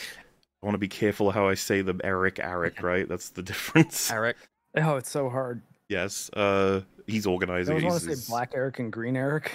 You could, but I think that might confuse people even more, maybe, if they're not familiar enough with the teams. Eric of the Black Blacks, Eric. Eric. of the Greens. Um, now Vhagar is generally patrolling uh, King's Landing, so I, I do find this part a little bit funny that they're like, "Oh my god, it's a dragon!" They're like, "Oh, set it up about it." They're like, "Oh, thank goodness it's Vhagar." And I was like, "You guys It's- need to have It's people funny, but who can tell who Vhagar is at a distance. That's important. Like, and and Vhagar's not exactly hard to spot with the the wings, as in like super the damage big. to the wings. Yeah. yeah. They must And have also, some like- someone who can spot from a distance what the difference between dragons. Do spyglasses exist in this universe? That's a good they question. should, right? I would think I don't they think they probably do. I'm trying to think if we've ever seen a spyglass in Game of Thrones. Because it's one of those. Because a spyglass is one of those things where it can be in fantasy or it, can't, and it's believable both ways. Um, so I, I didn't actually. I have no clue if it is or isn't. Um, but the thing I do like about the scene is that it shows like everyone's on edge about dragons. Though you are right that they should be able to spot. You're like, oh no, that's that's that's a good one. We're we're all set, guys. Good to go. Um, instead of like being like every time Yeah, they I'm see not- a dragon, it's like, holy shit! Because on one hand, it's like you can't you can't blame them for not necessarily like they should always be prepared. And I'm like, no, what I'm saying is you probably need someone who's good at that because of the fact that you will need to tell the difference between the good dragons and the bad dragons. That's going to be super and the important. sooner Yeah, sooner you especially know, if they the get into fights and Yeah. there's two in the air at one time. You got to make sure everyone's on the same page. It's just IFF, you know, basic stuff. Mhm. time is not your friend if it's an antagonistic dragon. You want to know that right away. But uh, I still appreciate the scene for just being like this. This is the the day to day now. Everyone's on edge. Yes. So we get uh, our first scene with Aegon for this season, and he's already feeling a little different, uh, not in a way that was any way breaking anything. Because uh, the last time we saw him, at least I think the last time we saw him, was the big standing ovation, or rather, just just the whole audience appreciating him as he's inaugurated as Yep. uh, the next king, and it clearly And had a like, profound "Hey." effect on him. Yeah. Yeah. Hey, this is, you know, huh? And so, specifically, what effect we shall find out. But he does seem chiller. Does seem, and he and he's invested in getting his son for court because he wants to uh, make sure his heir understands the role he will be taking, and and that alone was already like, okay, Oh, all right. all right, yeah, that's different. I can believe this. I can believe this change based off of how we saw him at the end of the last season and how taking on these new duties and responsibilities and the kind of reverence he gets now. It can I think that can absolutely kind of change a person's general outlook on a bunch of things. yes, It's and pushed him in a better direction in a way, almost. does seem like it. Um, and he seems genuinely Ironically, more power seems to have made Aegon slightly more of a chiller, better person kind of. he seems genuinely kind of happy about it. He's not like aggressive uh, or doing it in a, some kind of seemingly selfish way. He just seems sort of chill. They even have a bit of levity at this scene where uh, Helaena says she's afraid, and Aegon's like, "We've got Vhagar. It's fine. They're not going to send their dragons here." And she says, "No, not of the dragons, of the rats." And they have this like wide shot of everyone in the room looking around the floor, like what's? Yeah. and he's the like, rats. She's uh, she's got a strange mind, the queen. And that is, it's it's fine. Don't worry about it. Uh, which yes, she's always been characterized that way. She's getting more this season Yeah. than season one, which I appreciate as well. I always want to. Be nice to learn more about all these these people. But Yeah, um, in the last season she was super minor. Um, so now we're But the thing is, with a show like this and a character like that, whenever she says weird shit, you gotta try and think in the abstract of what she Mm. might be referring to because dreamers are often going to be sources of uh, a bit of foreshadowing. As she, Mhm. and she- she's not a very articulate one. So. No, she's uh, she often has no idea what she's to do with the information she's saying. So, uh, it happens. And then we get confirmation of something that a Oh. lot of us thought was happening anyway. Alicent and Cole are doing the nasty. They're getting up Oh to my no goodness good. gracious. My. My goodness. People have speculated 'cause there's no confirmation as to when they may have started doing this. Some people wonder if she did it while Viserys was still alive or not. Um, the bigger piece of speculation for that was from episode, I want to say, is it six where Aemond loses his eye? Or is it seven? Uh, I think it's episode seven. Well, if it is seven, um, the the assumption is that Cole, because he was supposed to be on watch that night and he wasn't uh, available. Remember, his, his excuse is I wouldn't have expected, uh, you know, family to be killing each other. But the assumption might be that he might have been with Alicent as well that night. Um, Possibly. possibly. possibly I could see it both ways because you like legitimately don't think that we need to protect the kids from the other kids. No, like, I- I that's get not even that. a thing that even yeah. Uh, but at the same doesn't say time, he was asleep. He says he was abed. well, uh, you talking about what do you season think? one or two? Well, I mean, like, like if he might have just wanted to not be literally lying and said a bed because he was in a bed, but he wasn't asleep. Oh, I see what you're saying. Uh, I, I'm just saying that I don't know. We don't know for sure when this would have started, but uh, going by Alicent's character, I could believe that she would have started doing it after Viserys died and seen it as much less of an issue. Uh, had she been doing I it agree. while he was alive, it's like uh, that would surprise me She wouldn't have bit. cheated on her husband. Yeah, I don't think she would have cheated on her husband with the way that she had she was at that time. Um, I think that that would surprise me if she was. Yeah, it would surprise me as well, but uh, not impossible, I suppose. Yeah, not impossible. Um, and yeah, there's just a moment that I quite like in that scene where he asks her to pin his cloak back on, which, of course, is a symbolic reminder of just how much both of them are not at Are all forward. following. Yeah, like they're, They're not who they present themselves to be. nor nor who they judge others And- uh, for failing the standards of, right? Like they'll they'll judge the shit out of everyone else, both of them, but simultaneously, like they are the hypocrites of the show They're for a lot of people. Yeah, yeah, yeah. and they, they, have know a it. public costume too. They are very aware of that fact. Yeah, and it torments both of them. Yes. Um, oh, and she says, uh, "We can't do this again." He's like, "Yes," and everyone who watched that's like, "Hmm." Yeah. Right. Yep, sure. okay. definitely. But uh, yeah, it's uh, it's a nice sort of continued detail that the that cloak is very representative of to Cole specifically as well as the audience of the the supposed purity of the King's Guard that he's just sullying several times. Um, also, throughout the episode, is really neat. You keep seeing that rat catcher. Uh, they have him like three different times in the Yeah. background or, or even in the foreground. Of just like there he is doing his job. You're like, hmm, Mm, Nice he's out there catching rats. yeah. Which I don't know if I approve of. I suppose so. It's not their fault, but you know, I guess Yeah, it's, couldn't it's a just rough ask world out there. I guess And just say, hey, That's what I would do. Yeah, that'd be my first move. Is like, hey, I could y'all, uh, you know, off you go. I love the alternative they use, which we'll get to a few episodes later. Oh, no you mean in the book? They But don't no, no, do it it's in... the show. It, this is in the show for sure. All right, if, you- if you're it? sure. I don't Don't think they- so. Oh shit! Wait, I know it might have been, but I mean, it already would have happened. So do you want to know something then that was in the book that wasn't on the show? Go ahead, Marc. sorry, I think I know what you're talking about. Um, Otto decides to get a bunch of cats. He does. And the they thing is, like 150 cats. to put in the man. it's a miss for three reasons. One, it would be really cool to have Otto engage in throwing in a hundred cats into the castle to kill all the rats. Like that's just a funny thing. Imagine of- the memes of Otto and cats. exactly. There's so much you oh, can use that that'd be for. glorious. Uh, two, Yeah. Could be a great everyone likes cats. There's those you can do with having cats. People just like Well, cat. You could have had cats. It's a practical thing that seems very Otto-like. We have a bunch of rats. Well, then buy some Yeah, like- cats. And it's like, then- oh What yeah, that, you know. Let's just get some cats in here. They're fine. And then three, But then we'll have to find a cat catcher to it's like, oh, it's just uh, just bumping it down the road.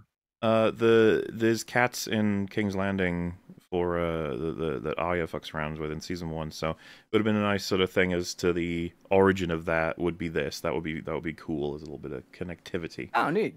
Okay. But uh, hey, you know what? It's fine if they didn't want to. I mean, ultimately they can just say that happened at any episode, so um, we'll be fine. Anyway, this is the I first scene where apologize if that Otto is back. Look at him go. Otto's back. He's got a Look map. He's saying things. That's, What he's just in his the map? element, you know. Um, and yeah, what's uh, kind of fun about this is Aegon brings his son in, and while everyone's talking strategy, he's sort of just looking at him and smiling. And and you just get this distinct like, what uh, what what are you up to, show? you trying to make me like Aegon? What's up? What's uh, what's happening? here? Interesting. Trying to humanize Uh, him? challenge accepted. Yeah. Good Yeah. luck. I mean, uh, not against trying, but you know.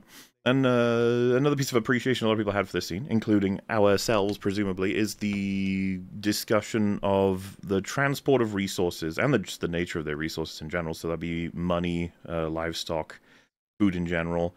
General logistics. Yes, yeah. they're facing. The day-to-day lives of the world. This is something that I wish way more um, stories would talk about because it's really important and it governs a great deal of the decisions that people make. And it's also just interesting and it invests you into things when you learn how this world works. I Yeah, think it, it also puts you in touch with a lot of the the other people in the show that you're not seeing in a way that I think um, is is a lot more effective than trying to have all those people represented as characters on the show actively doing stuff. Like if there was always a poor Right? person, Just little had to see people the doing their perspective of- jobs. yeah, but but like what I mean is giving being given that in the context of them overseeing it and just being able to infer that all that stuff is very important doesn't it, it- like it doesn't really need to. We don't need to have a whole set of characters that are in Flea Bottom, you know, and because it, keeps it more focused on what's actually important on the show. For sure. But by referencing yeah their jobs Mhm. and what those people do, it's like yeah, Yeah. rem- a reminder that Acknowledging this this kingdom is full of many many many thousands of people who just keep things running.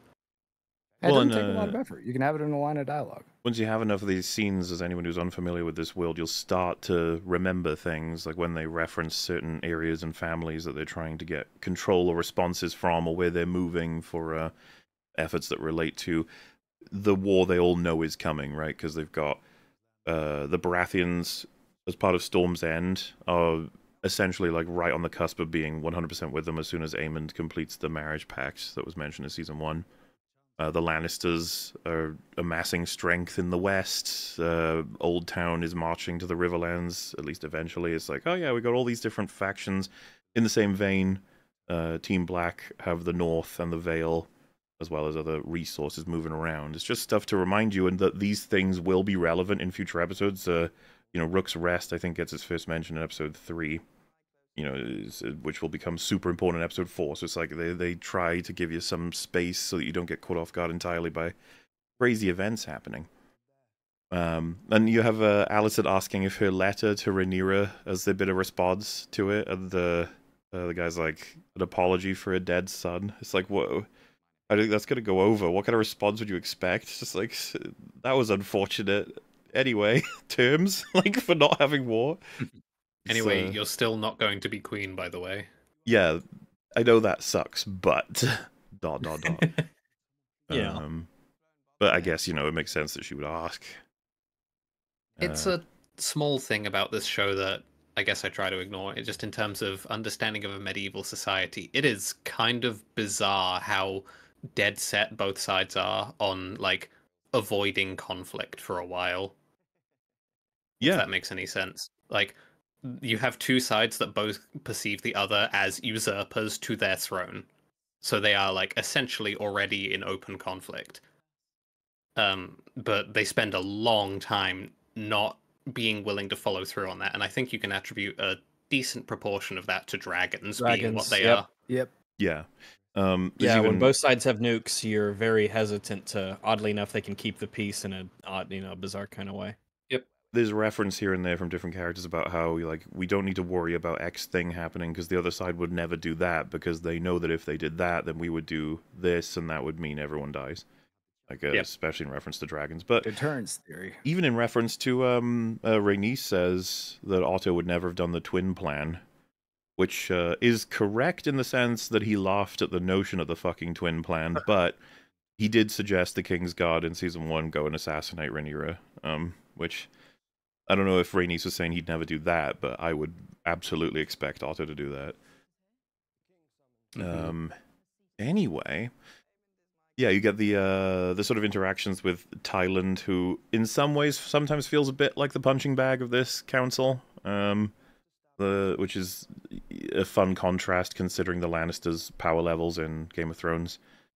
For here, it's the Lannisters just simply aren't as important as any other family right now, at least in this story. I mean, and um, yeah, he's getting like humiliated by Aegon and his son, and uh, I think this was a fun contrast of Alicent basically says, "Stop fucking around," and um, Aegon sort of accepts. He's like, "All right, fine. Let's uh, actually talk about you know making sure we know what we're doing here," which stands to me in complete contrast with characters that would connect to him previously, namely Joffrey, right from uh, Baratheon, from good old. Yeah. oh, I, I guess I should say Joffrey Lannister. What's correct there, Theo?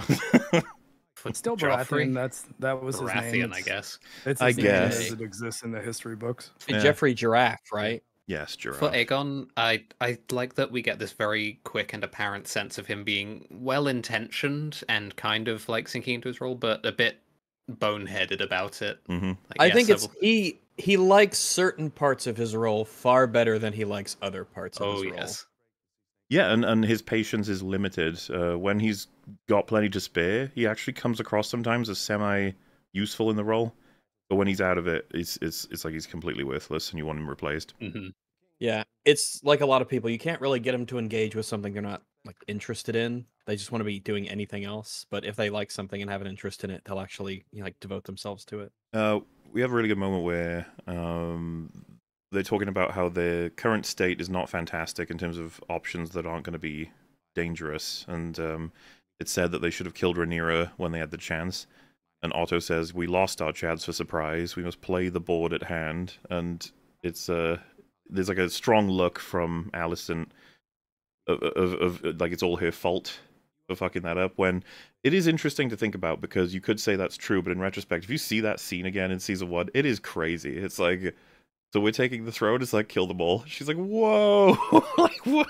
When did we decide?" Viserys this died last night. Kill everyone. Yes, it's Yeah. you know.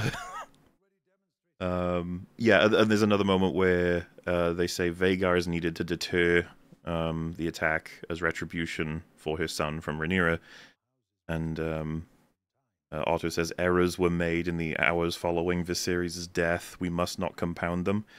And so, like the interactions, even though they're non-direct between Otto and Alicent, are basically him undermining her by reminding everybody of who fucked up uh, this whole operation. Because the thing that I think isn't, I don't think I, I don't think I blame the show for this, but a lot of people don't recognize this is essentially like a week since Viserys has died. It's a very short amount It's of time. very close. Yeah. Yeah.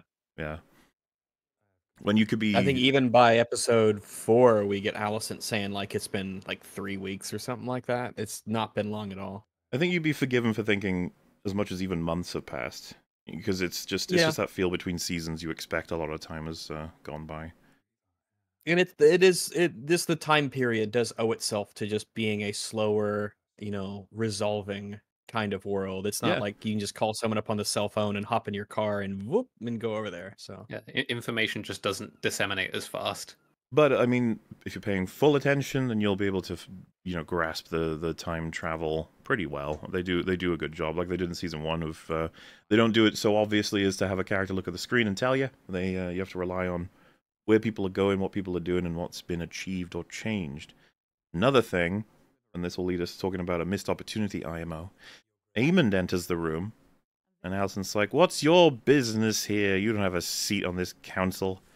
And it's quite aggressive. Uh, and you'd be like, "Wait, why is she so being so mean?" It's like, "Oh well, of course, because Oh well, yeah. Aemond killed, uh, uh, arguably started the war." Uh, as it will, that, that that's probably a pretty good starting point, is in terms of you could put it at different places. Definitely but- ramped it up. Yeah. That's that's Mhm. very clearly like an ignition point. And so, um, something that I think everyone would have wanted to see was his return and what he said to Otto and Alicent. Uh, Yes. because it would be really interesting to see their reaction to that. Oh, his Vhagar's mouth all bloody. About that. Um, the, uh, so the- funny story. You're gonna hate me for this. turbulence. you'll never believe this. Just wait, just wait till the end. Wait till the end. Don't the judge me interesting until the end. uh, what did what did he tell them about what Mhm. happened? Obviously, he would have said what happened, but did he tell them that it was not the reason why. intentional? That he lost control of uh, um, Vhagar? Yeah, we get Hmm. we get the broad strokes of what probably happened, but we miss out on the performances. I would say, which yeah, is a shame. and the specifics. I want to. Yeah, but the, what Fringy said is right. What did what what would Aemond say about what happened? I think What is what in we're to character? conclude, what we're to conclude, I think at this point, with uh further references and and Alicent's stated opinion on him, uh, I think his conversation with that he Otto. Didn't- I, I, I well, it's just I think I think we're to assume that he uh he he didn't tell them that he lost control. Agreed. Mhm. That was something that he kept from them. Huh. I for two reasons I think he would say that. One, he doesn't want to come across as if he can't control his own dragon, which he would Yeah. he would not want anyone to think or know about him. Yeah, But also, if he lets them know that I couldn't control my dragon at a very pivotal moment when it saw another dragon, they might like ground me.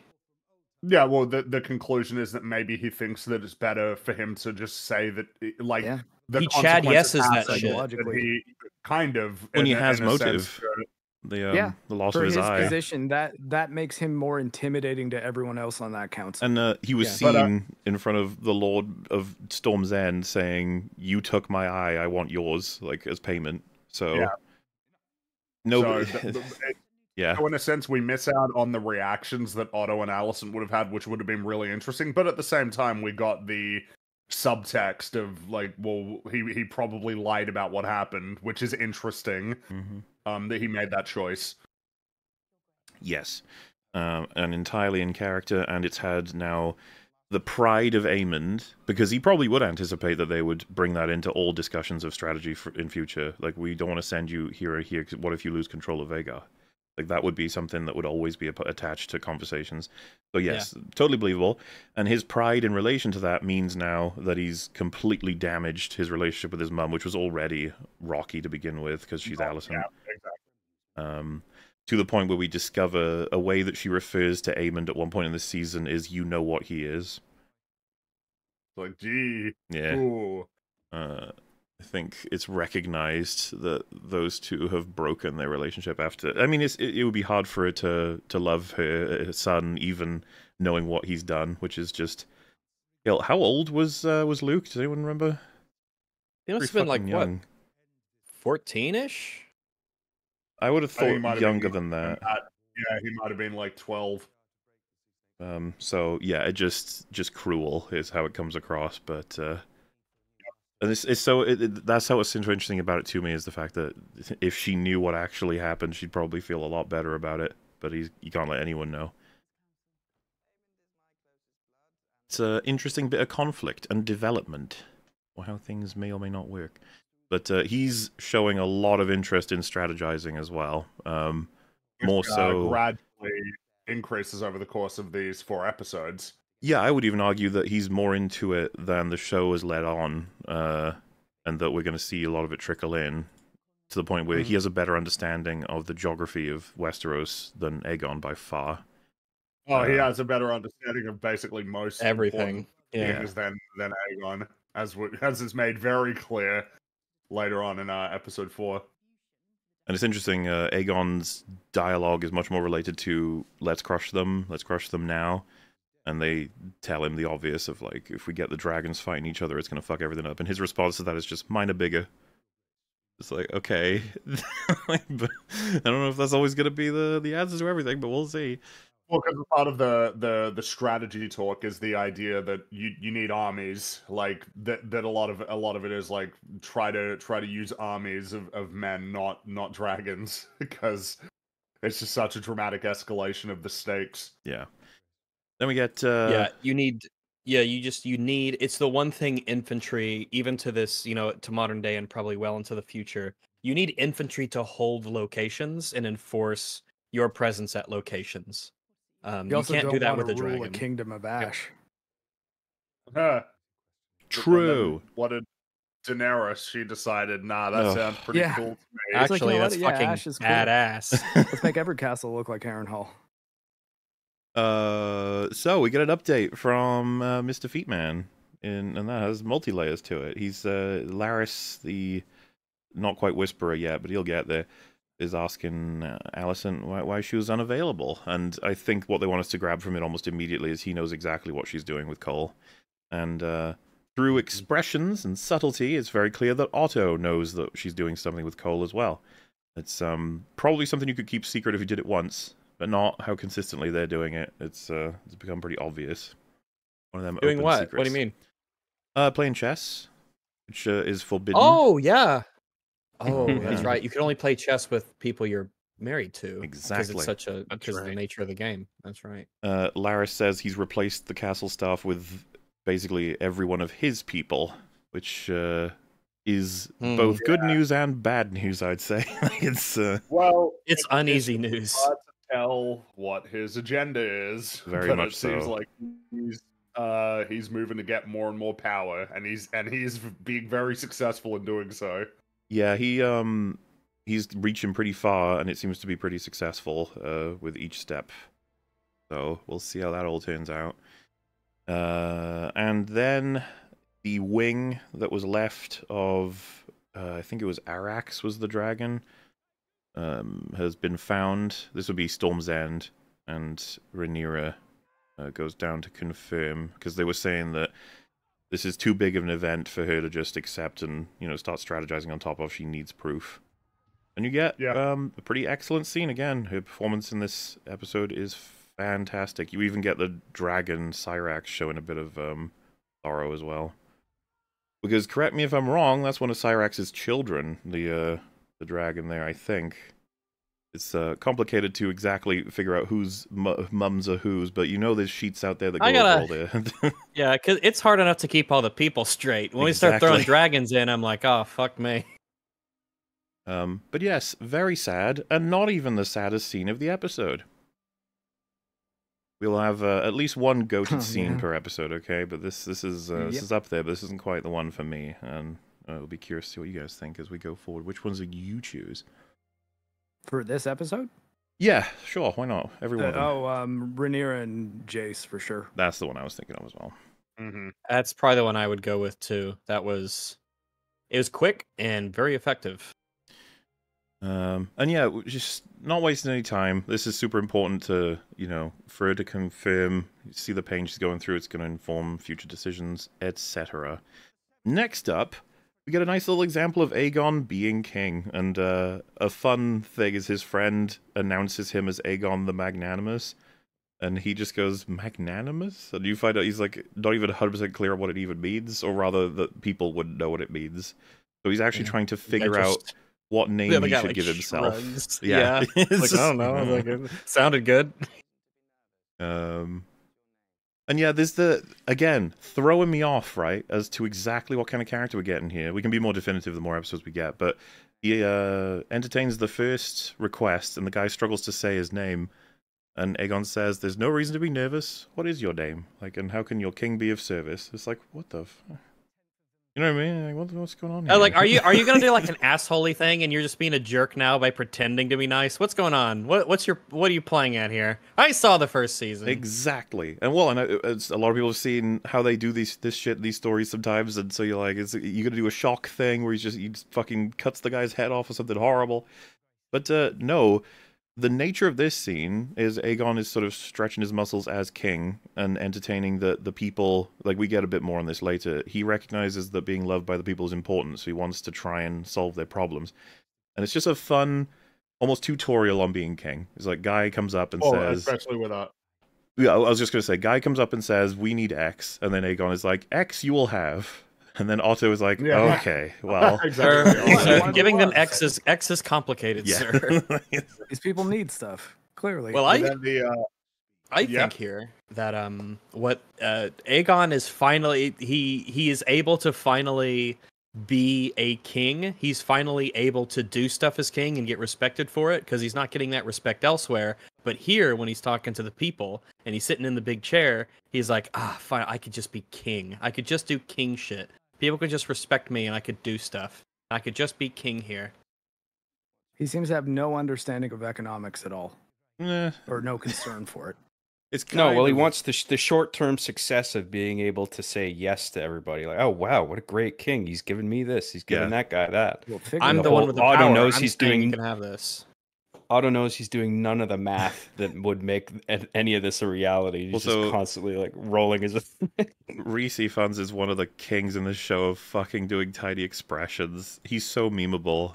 The amount of little like when Aegon agrees to give the guy the, the first thing he asks for, it just cuts to Otto and he looks so in pain. Like He's oh, like, ah, really? yeah. Okay, here we go. makes his way up the I have to stairs. explain. yeah, I have to explain why this is dumb.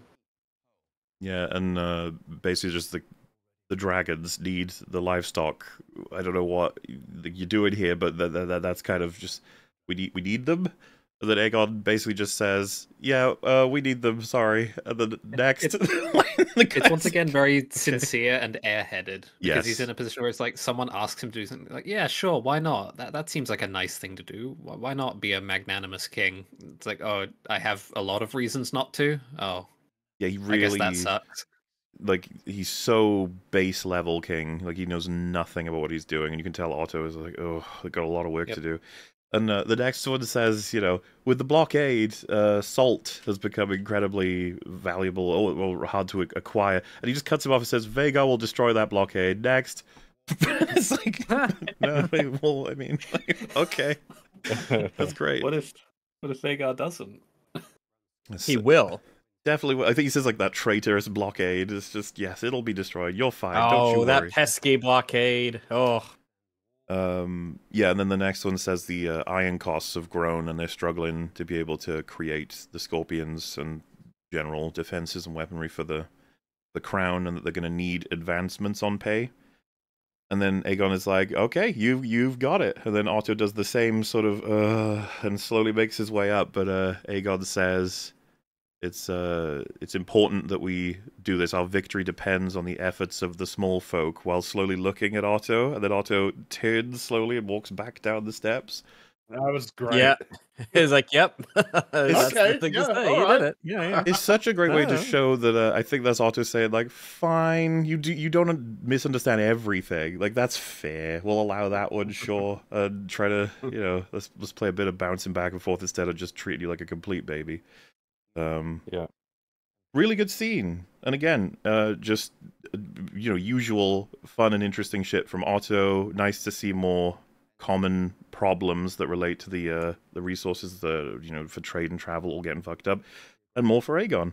Which I think a lot of people's takeaway from episode one was just like, man, they've definitely changed their approach with Aegon, or rather, they really want to make sure we understand that something profound happened at the end of the season one.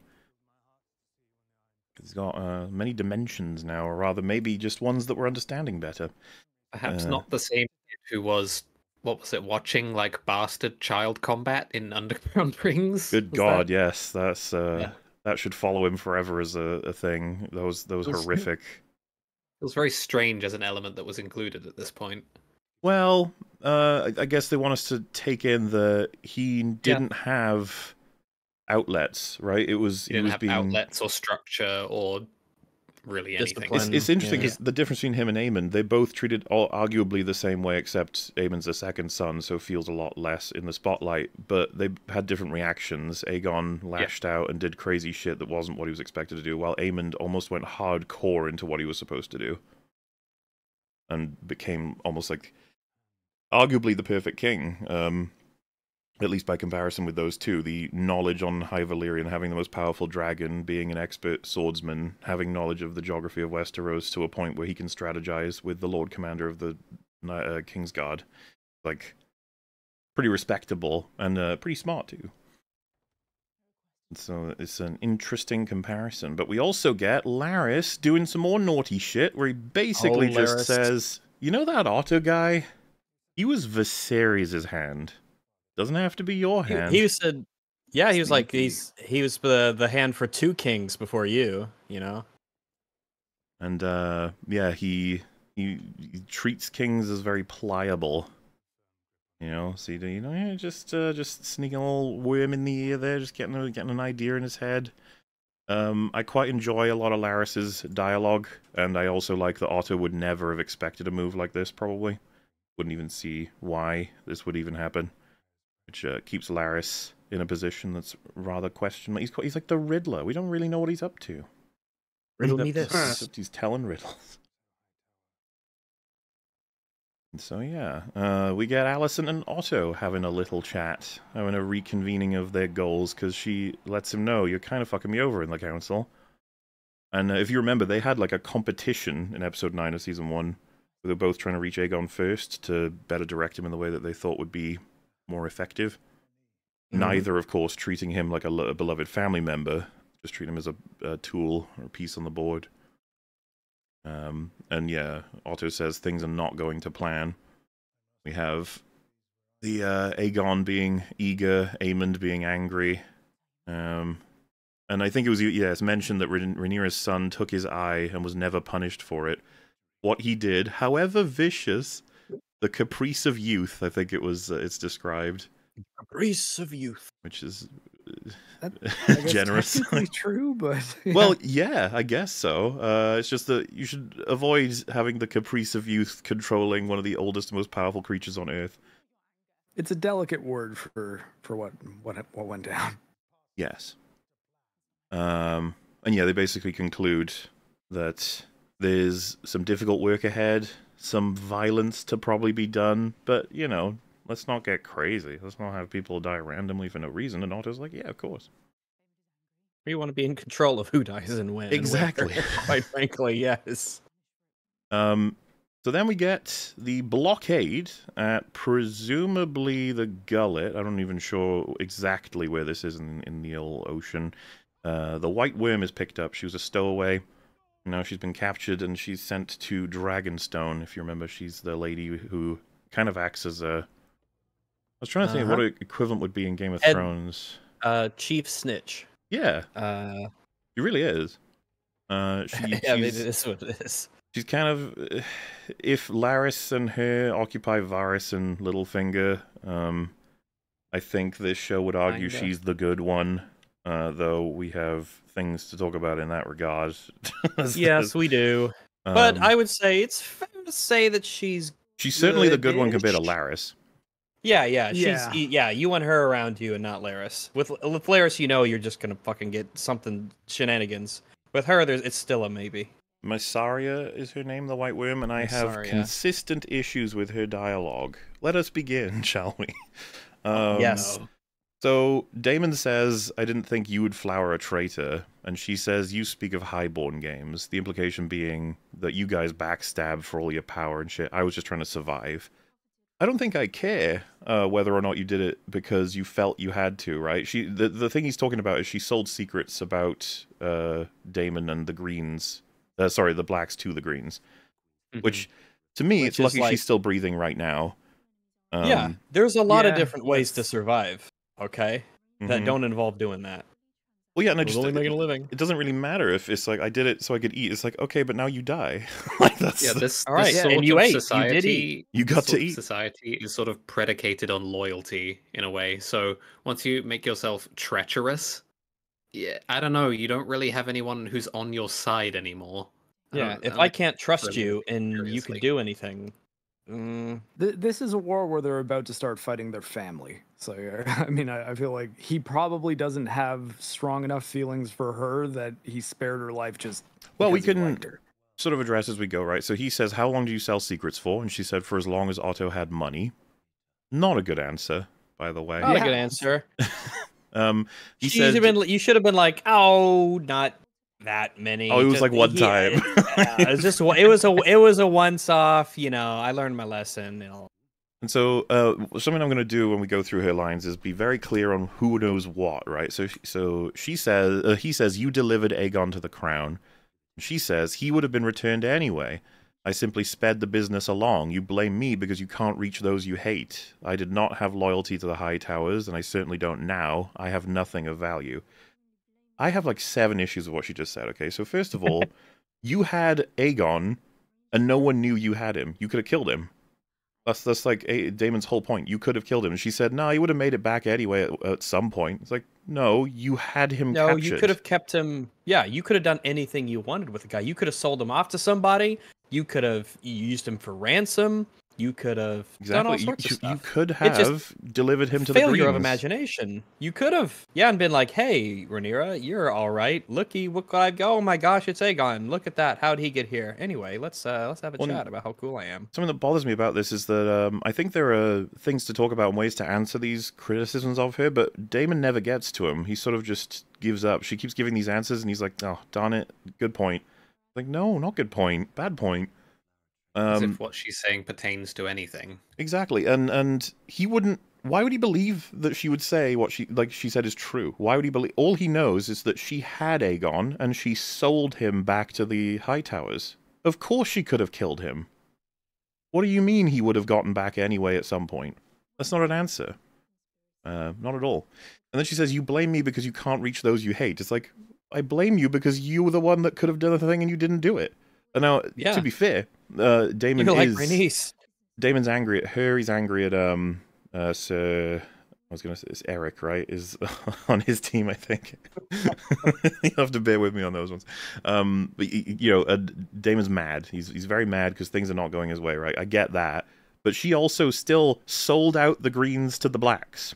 Sorry, vice versa. Um, the Yeah. the thing that frustrates me about it is like she keeps slithering away for arguments that are valid in different contexts. So I was just like, no, that's not right.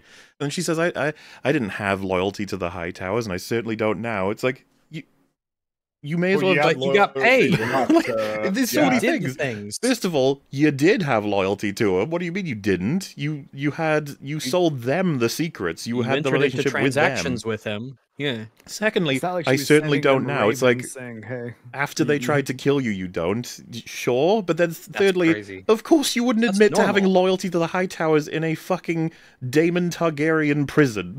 Why would you? Well, it's like, yeah, obviously. Daemon, you know those guys you don't like? Boy, I sure don't like them. I'm not loyal There's to those some- there's guys. some- oh boy, if I could, I'd just oh, and I'd kick her, sir.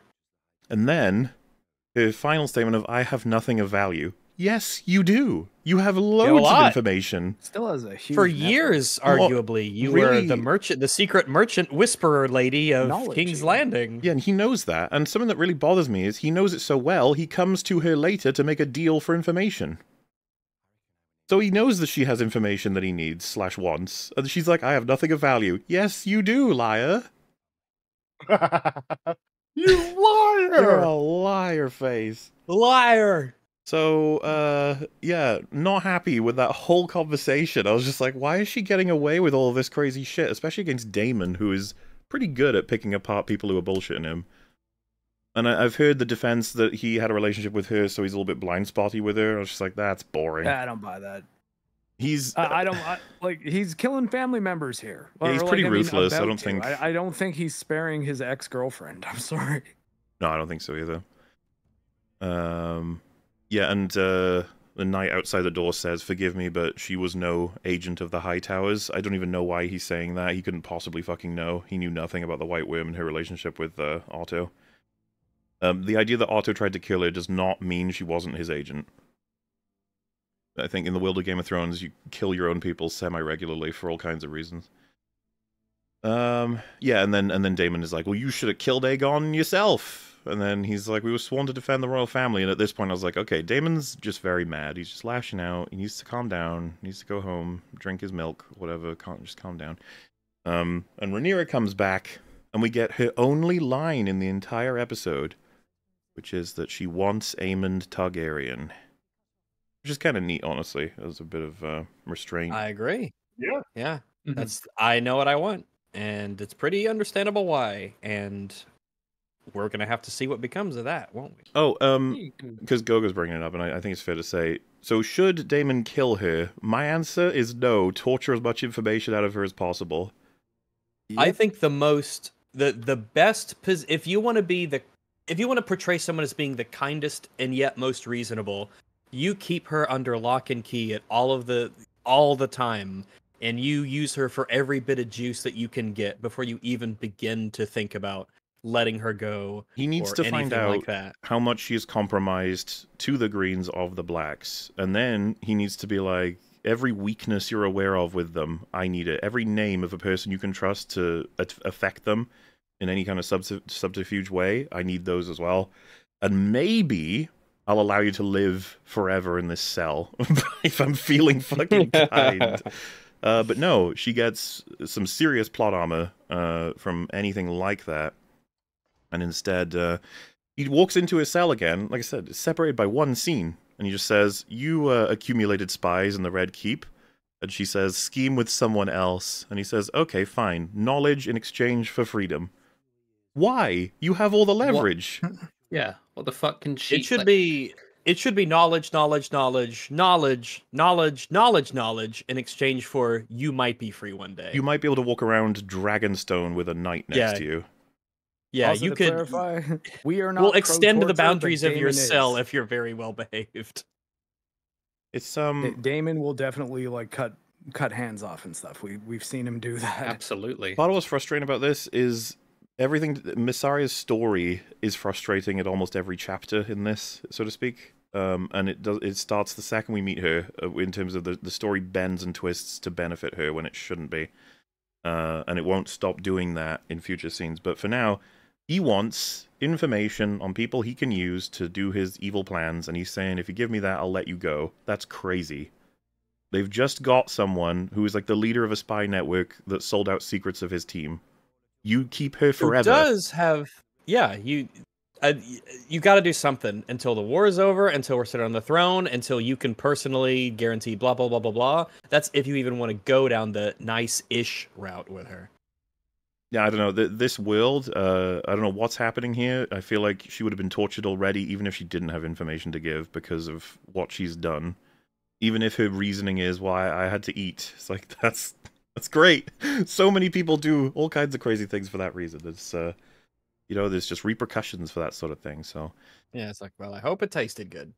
but yes, he promises her freedom in exchange for the information that she earlier said she absolutely does not have, and then she says, "Okay, fine, here it is." So, um, Which would have been a fun little bluff thingy by Daemon to be Yes.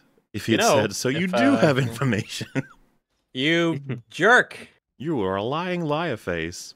liar." Uh, then we come to the the goated scene where uh, Rhaenyra's son returns with information regarding the Vale and the North. And halfway through explaining it, his uh, his voice breaks, and they both share a hug because of the death of Luke, which is very sad. Can't really say was much in terms of analysis. I- the was acting, yeah. Um, yeah, I, I think that it helps to sort of com. It's kind of like um Daemon's words to Rhaenys earlier in the episode when he says, "While the mother weeps, the queen shirks her duties." There is this uh this parallel that's being drawn between your official capacities and your you know your personal concerns, and you know him coming into the room and uh, you know giving his report to his mom when you know obviously the unspoken thing is like, oh shit, you know our son slash brother's dead is you know it, it's it's always there so it's that duality of their you know their, their their their personalities and their concerns i think is really uh you know really really well expressed here He was Really he good was performances really, and uh, great uh, writing. Because I mean, the the writers know that there are things that these characters need to discuss, but they also know they're both just torn up by this loss, and they both they just need to take a beat to hug it out. Like, yeah. They both they have to write play their in. roles. They both recognize that, but ultimately they're both alone in the room, the mother and son, and so the, it breaks the uh, you know official duties into personal Yeah. ones. he was trying Mhm. he was trying so hard to prioritize being a knight telling information about the war to a queen and he just couldn't do it ultimately yeah, and you know you get to watch, uh, not like in a really thorough way, but you, you, we've known his life, so to speak, up to this point, and uh, you got some scenes with him. Uh, and and Luke in the previous season, and it's just like, yeah, there's there's enough here to make it hit quite hard. It's just a sort of, oh, that that's that's rough, but uh, done very well. absolutely So then we get his uh, funeral intercut with Alicent praying in the. Uh, I think that is that the Sept of Baelor, correct? Theo, you'd know, right? Or Mark? I'm not a huge Game of Hey, Thrones. what about me? it, it would it likely would be i mean she's in I assume King's it is. Landing. Yeah. That'd be the guess. unless it's just like an altar inside of the red keep Trying to. It's, it's funny. I've just been opening up old uh, memory storage for the world of Westeros, thanks to this show. Uh, a previous show kind of sealed it all oh up. okay apparently it wasn't built yet The dragon show. about that Apparently wasn't what? Wait hold on where did they find um aegon in season one in the, in the episode we don't like Where did they find? Oh, that's where they are right like it's I thought that was the Sept of Baelor, was it not? Oh, Baelor, Apparently not, Baelor 'cause, isn't uh, even born yet. telling me it's Okay, there you go. yeah I mean, Oh well. that's why i thought it was weird how he was just like under that little altar in the middle i was like what happens if he like doesn't want to be there anymore and he like what? what this is where you hit him here Oh, that's a good suggestion. It might be the Sept of Gaylor. I'm not sure. It might until Cape comes along. So that sounds yeah. about right. yeah you said sept uh, twist there was another man under there with aegon So uh, he's burned along with. I saw someone post this. I don't have it unfortunately, but I think I did send it to at least Fringy. So you can confirm it's real. But uh, they burned him along with two like cloths that he was uh, like used when he was a baby back in the actual episode he was born. It's, it's just like some continuity shit that's really fucking cool. they Yeah. kept his clothes like they kept kalnaka's rags Ugh. they, uh... How dare you reference such a show? Um, and the other really strong bit of this scene is Alicent's prayers reflect. Uh, she's got she mentions her mother Viserys and uh, Lucerys Targaryen, which yeah, you can't do anything but appreciate. Alicent I think that they do- that. Yeah, and, and I think as as the episodes go on, you'll see it uh, more so. But between both Allison and her father, this appreciation of Viserys and how he held shit together, and now that things are going on the way that they're going on, there's you know it's, it's very very clear in their minds. Oh, the good old days. The other last month. Oh, the good old days. Yeah. So, Daemon uses his influence with the Gold Cloaks to organize, along with the information Massario would have given him, two guys, a rat catcher and uh, one of the Gold Cloaks, to assassinate Aemond Targaryen. Bold scheme, but it's obviously uh, him expressing his utter frustration at not being able to do anything necessarily, and also thinking, if I get this done, it's going to really make Rhaenyra like me. And it, it's a pretty good move because Aemond as we will come to learn over the next few episodes, is something of a thorn in Daemon's side. Uh, his psyche, I'd have to imagine it connects to the fact that he controls Vhagar somewhat, which Uh, yeah, I mean, tactically speaking, if a a someone who can ride a dragon is obviously someone that is a is a prime target for assassination. You want to get them while they're obviously Well, not on their dragon. thinking about it, if Meleys and Caraxes are on the same team, the only dragon that can threaten Daemon that is currently being ridden is Vhagar, right? I think in a one to one. Because Caraxes is one of the most threatening dragons alive, um, but kind Probably. of dwarfed in size by Vhagar. So yes, Vhagar's got an instant advantage in that regard. Yeah. definitely on Daemon's mind, and so uh, organizes this to happen. Offers a whole bunch of money. It's, uh, you get half, uh, you know, now and half later, and uh, it's left ambiguous as to his order of what happens if they can't find Aemond. Um, I also he has a line where he says, um, "I understand Aemond's quite good in a fight. You might want to take caution," which feels to me like the most he would ever compliment Aemond. He's quite good in a fight. Yeah. Yeah, you know what I mean? It's like he wants to make sure they understand this guy is a fucking demon to deal with, but I don't want to appear like I think he's actually threatening. So you know, I don't he's- want to make it sound like he Yeah. scares me. yeah, exactly. Um, and then we get a scene that I never thought we would get. It's uh, it's Cole and Aemond strategizing. It's like, wait a minute, that's how involved he's getting, which is kind of neat to be honest with you. It is. talking about moving different people different places using their power to the best of their ability and uh Aemond makes it clear that uh, Alicent is kind of soft and that this council they've got with Aegon in charge is not doing what they should be doing which um if you've seen all four episodes is kind of like ah what were they planning if not the very thing that we see? Kind of neat. And uh Aemond says Alicent's love for the enemy makes her a fool which I can't imagine isn't inspired somewhat as a feeling by their recent relationship issues. Same with Cole, to be honest with you. Him and Alicent don't seem happy. They are, but but but like he'll stand up for her somewhat. And then we get Seems more like a coping mechanism than anything else. yeah, and then we get a scene that we all have wanted but never thought we'd actually get: Otto and Aemond together. Yeah, because like- once they are together, you realize they actually have not had a conversation with each other ever. Yeah. Uh, up until this Hmm. point. Not that we've seen anyway. Yeah. Well, not that we've seen, because the only thing that we got in terms of like a much more direct interaction between them, and even that's it's funny to say it's direct, was um the looks that Otto gave when uh Aemond said, you know, I may have lost an eye, but I got a dragon. They're kind of like, hmm, that was actually Mhm. very impressive and astute. Yeah, um, and the broad point of the conversation he wants to have with Aemond is maybe chill out a little bit. This is probably um, because of the conversation he had with Alicent. He's like, "You'll get all the vengeance you want. You are essentially the most powerful person in the entire world. Uh, so maybe chill out a little bit, get a grip, and uh, especially help me with Aegon because he's even worse for impulses. Which uh, I could go for you know ten hours of these two talking to each other, but that's about all you get, unfortunately. Mhm. Mhm. You gotta take what you can Exactly, get. take what you with, can. Uh, the interactions between the best characters in the show.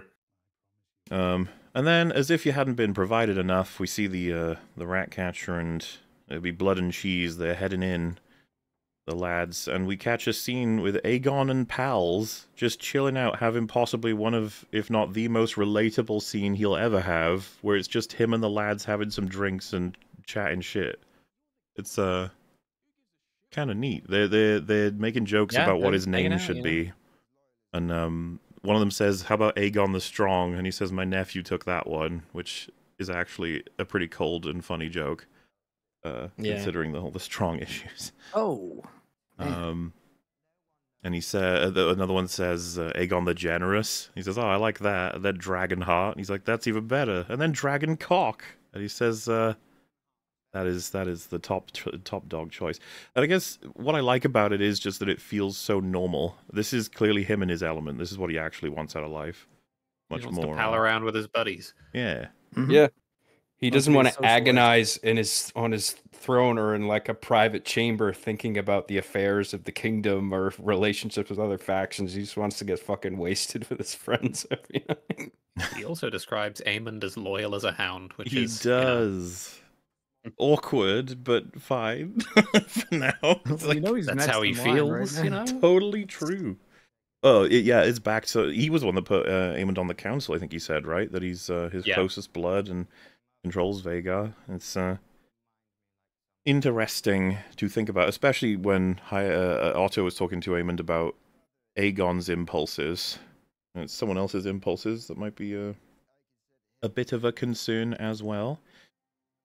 But yes, uh, it'll have to be addressed. There is a dog getting kicked in this scene. I don't know. Whoa! No. it's uh, quite horrible. The I internet don't like that. was set aflame by this disgusting event. I hope Yeah. that fucker dies. you do that? You know what, Yeah. Rags? Wow, you might be in Yeah. luck with that one. Uh, you know, it- it's a, se- a at, at least it wasn't a real dog that got kicked because that would would never happen. Actually, like on a on a production like this, there's a CG doggo. Good God, yeah, they get in so much trouble if So they kick right. the dog these days. Absolutely. Although if it were the Well, seventies, yeah, they would have kicked the shit out of a real dog for sure. If it was the seventies, they would have kicked a real dog. But fortunately, Yeah. we don't live in Oh, a time. man. where The dog would have been on drugs, so he wouldn't the have even. dog No, would have no been dog. cocaine. Dogs cannot suffer here. No suffering for doggos allowed on set. And so Jojo? they access uh, the same room we just saw Aemond in with uh, Cole and Otto. And a little detail I like is they're moving through the room and they're like, oh, no one's here. And it's like, oh, we got to keep looking. And they spot the coins on the table and the uh, blood just starts pocketing them, which I was like, yep, that's absolutely what people would do. Um, I prefer it when you see little things like that instead of just ignoring Yeah. it all. It reminds me of um, yeah, like you're just walking through this royal room, Yeah. and it's just made of money, and you're just a guy. Basically, you're basically a, a slight step up from a guy because you're in the gold cloaks. This is just money. You're putting that in your pocket. Mm-hmm. Um, yeah, and he says, uh, "Gotta get, gotta get ahead. No head, no gold."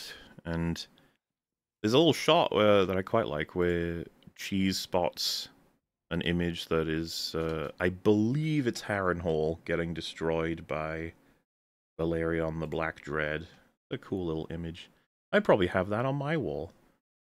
you Yeah, know? it's really tough to stick that in your pocket, but man, you'd want to try. Well, it looks like it's actually on stone. Like, uh, it's not like a tapestry, so you can't even take it down. Oh yeah, you're right. It is kind of yeah. It's like part of the wall, like a like Yeah. a what are they Have called? Like a that? fresco? A fresco, yeah. Hmm. No, no, the fresco's like that's like a that's something.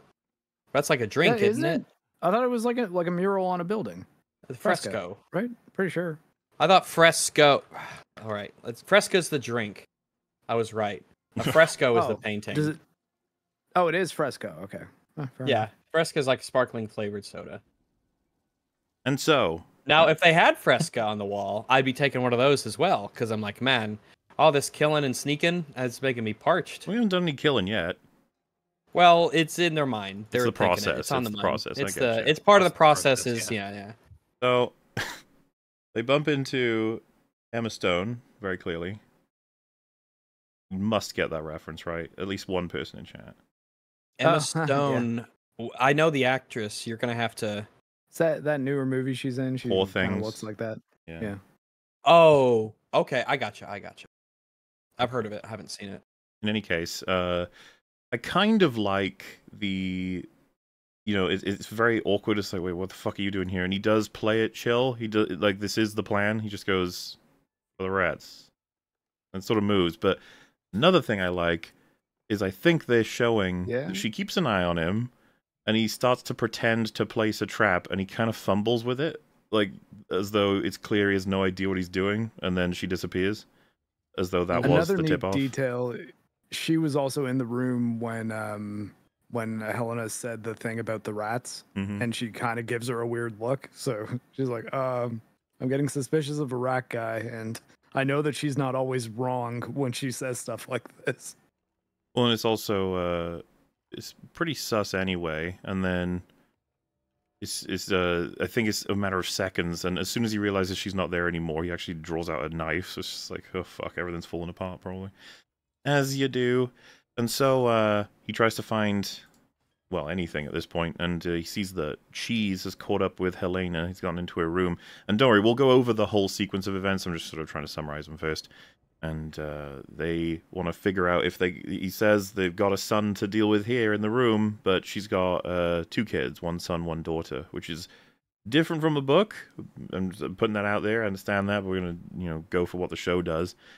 And so the back and forth is essentially which one is your son, and she points, and uh, uh, Cheese is convinced she's actually telling the truth. And so they cut off the boy's head, and the sound effects are pretty grim and she picks up her daughter and moves down into Alicent's room, in which she accidentally stumbles in on Alicent and Cole doing the naughty. And so, Yeah, what an awkward night. yeah, not great. And uh, that's sort of where it ends up. So, what did everyone think of this? Uh, this this final shocking scene. Um. Well, I I think they could have done it a lot better. Um, it's effective in a way, uh, and there's some parts of it that I like, but I feel like logistically, uh, we gotta we gotta do some tightening up here. I think unfortunately, if if I was blood and or cheese, well, or cheese, I wouldn't be both. I could be bloody cheese, I suppose. Hmm. It, I think I have that kind of. I- I think I've got enough drive to be both. But if I was one of those two guys and that was my mission, um, there would be things that were done differently. That's for certain. I Um, might not make the same choices they did. I would make different choices. Um, Yes. I think that the biggest, I think the biggest issue here is probably that they let her leave the room. Well, I was going to say, if we rewind, let's get all the way back to them entering. Uh, I think everyone is fine with the rat catcher having intimate knowledge of, uh, you know, this, that, and the other thing for getting around the castle, Yep. sure.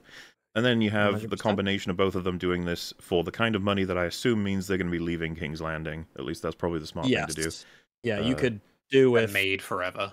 Yeah, you're yes. basically all set. Yeah. Because this, um, this the one thing I was surprised by they didn't have in their dialogue that I think should have been included is a recognition that this is the kind of job that will change your life in terms of the This is money, the but last also the uh, job. yeah, This is this is the one last job that they've that we hear of so much.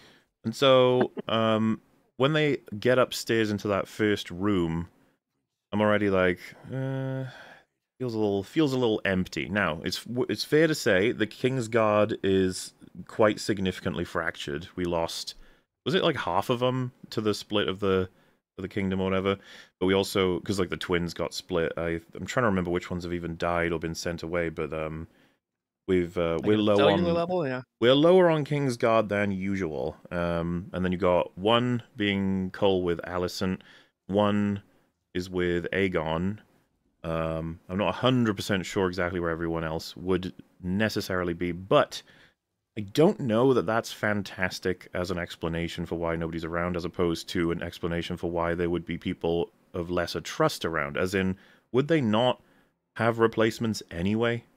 Even if they don't. Well, Larys would have replaced Yeah. the rat catchers, right, with his own So- people, or this is an interesting angle. Um, I was just going to bring up first that I would have thought Cole would make it so that they get, uh, you know, people people in. Uh, anyway, it just seems like something he would do, uh, especially for the security of the royal family. That's the whole point of having the king's guard in the first place. However, Larys allowing, like this rat catcher was working before and after he said he made the switch on the staff. So there's theories running as to whether or not Larys kind of maybe allowed this to happen when he could have stopped it. I guess maybe it's just um maybe the extents uh, maybe the extents of the staff was such that he didn't consider rat catchers to be like even really like worthy of worrying about um or uh, maybe it was just maybe he maybe he was in the clear. Maybe he was like Lara says had no reason to think the rat catcher was anything of importance in terms of being swapped out, so he didn't bother swapping him out. I think it's um if we're supposed to go with that's why there's basically nobody around to prevent them from doing this is, is all that I just I feel like that's kind of weak. Um I think it's worthy of lines saying- or setup if that is the case. You need quite a few people to keep a castle going. not only that you need quite a few people to think okay yeah we just want to have guards for a few days like that's just uh, yes.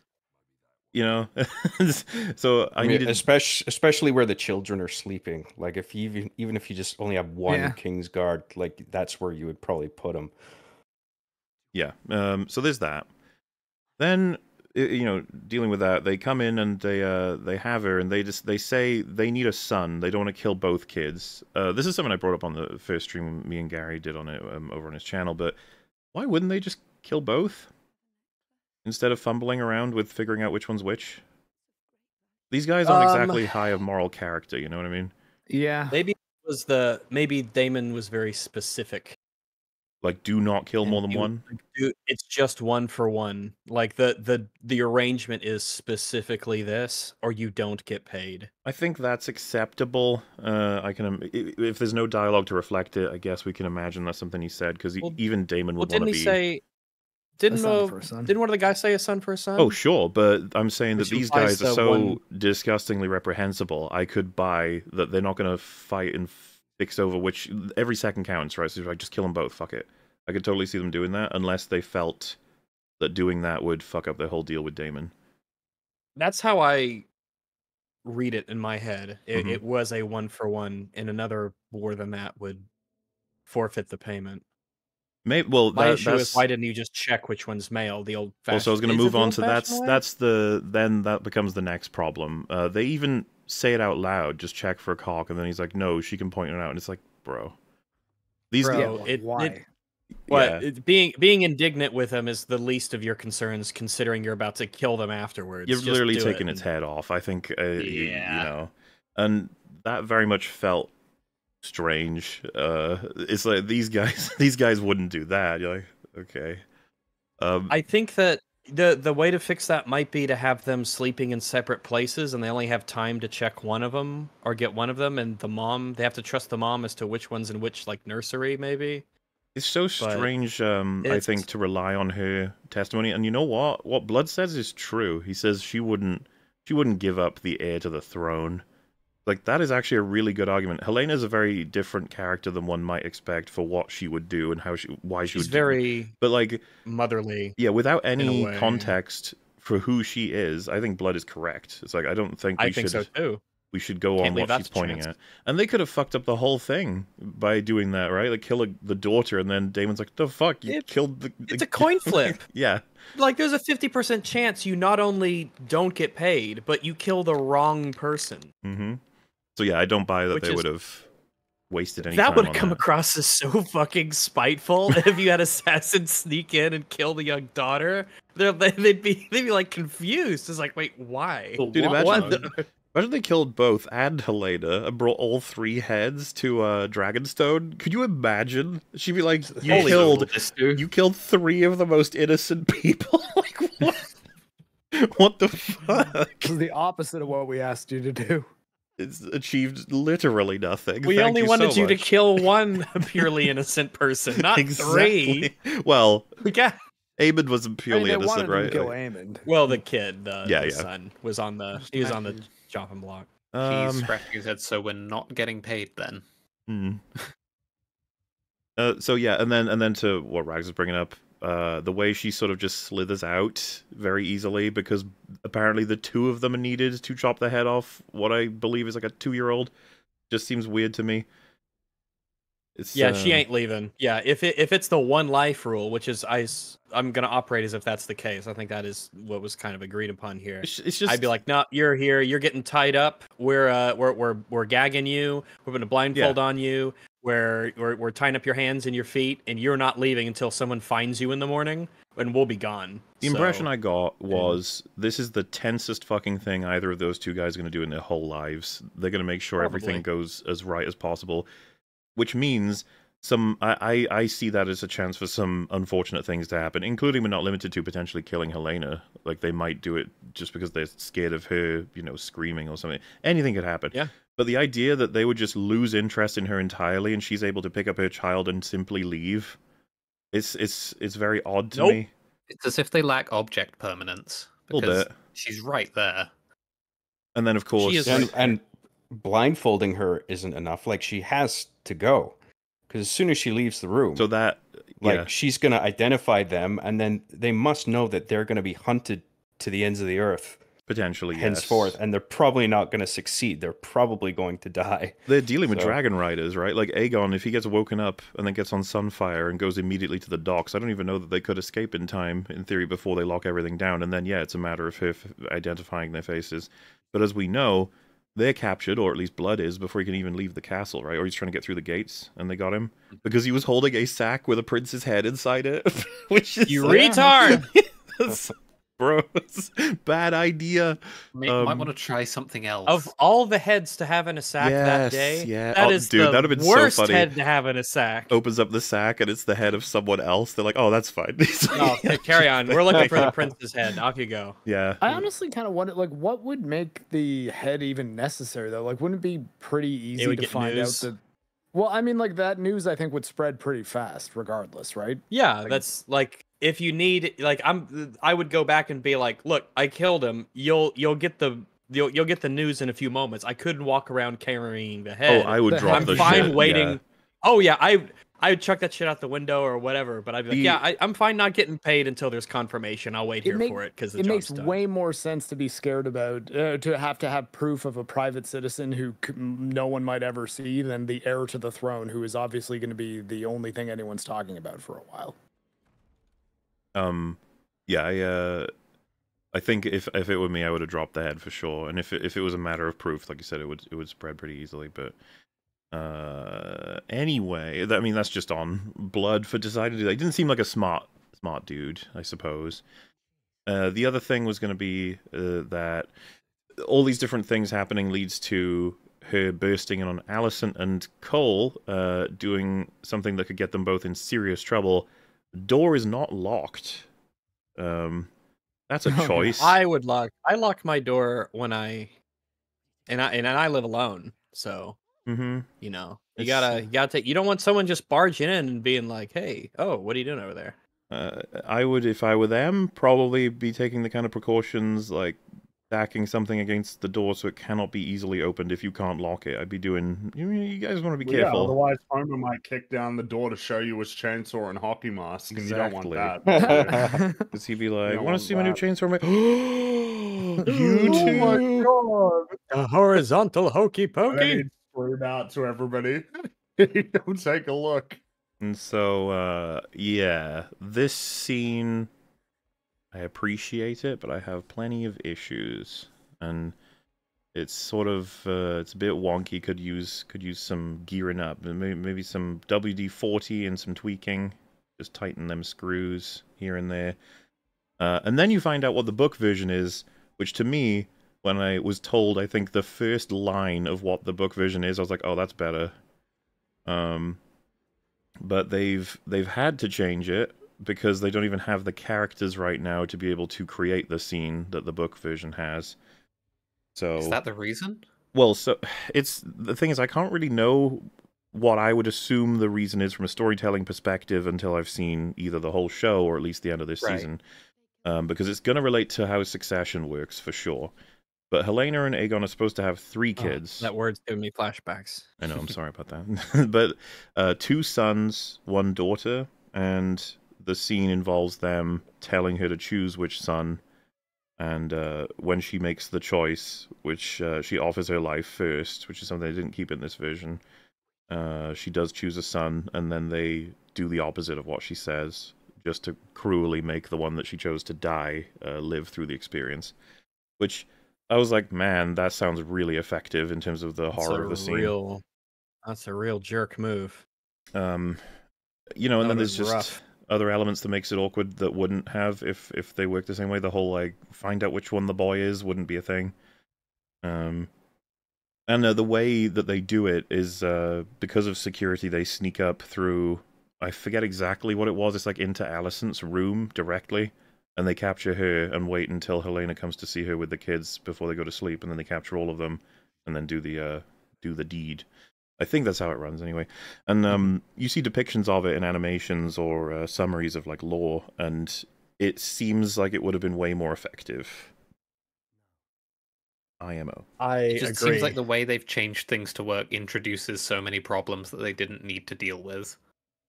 And so, because I'm not even explaining it very well, you can go check it out on uh, YouTube to see the book version. It's I just was struck by how much better I thought it was, and so until I see why we did all these changes for sure, I can't speak to exactly whether or not this was something they had very little choice in. But for now, it feels as though they uh, didn't do as good a job as they could have, uh, especially because it got built up quite a bit, and so the fans were a little disappointed with this. Uh, book fans, anyway.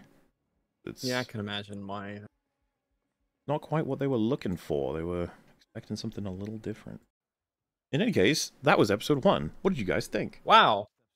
Um, overall, I liked it. I think it was a good start. Uh, obviously, the, the the assassination stuff at the end, pretty weak. Uh, I think the Mysaria stuff also weak, and I think we need to get a a bit more on uh, Rhaenys.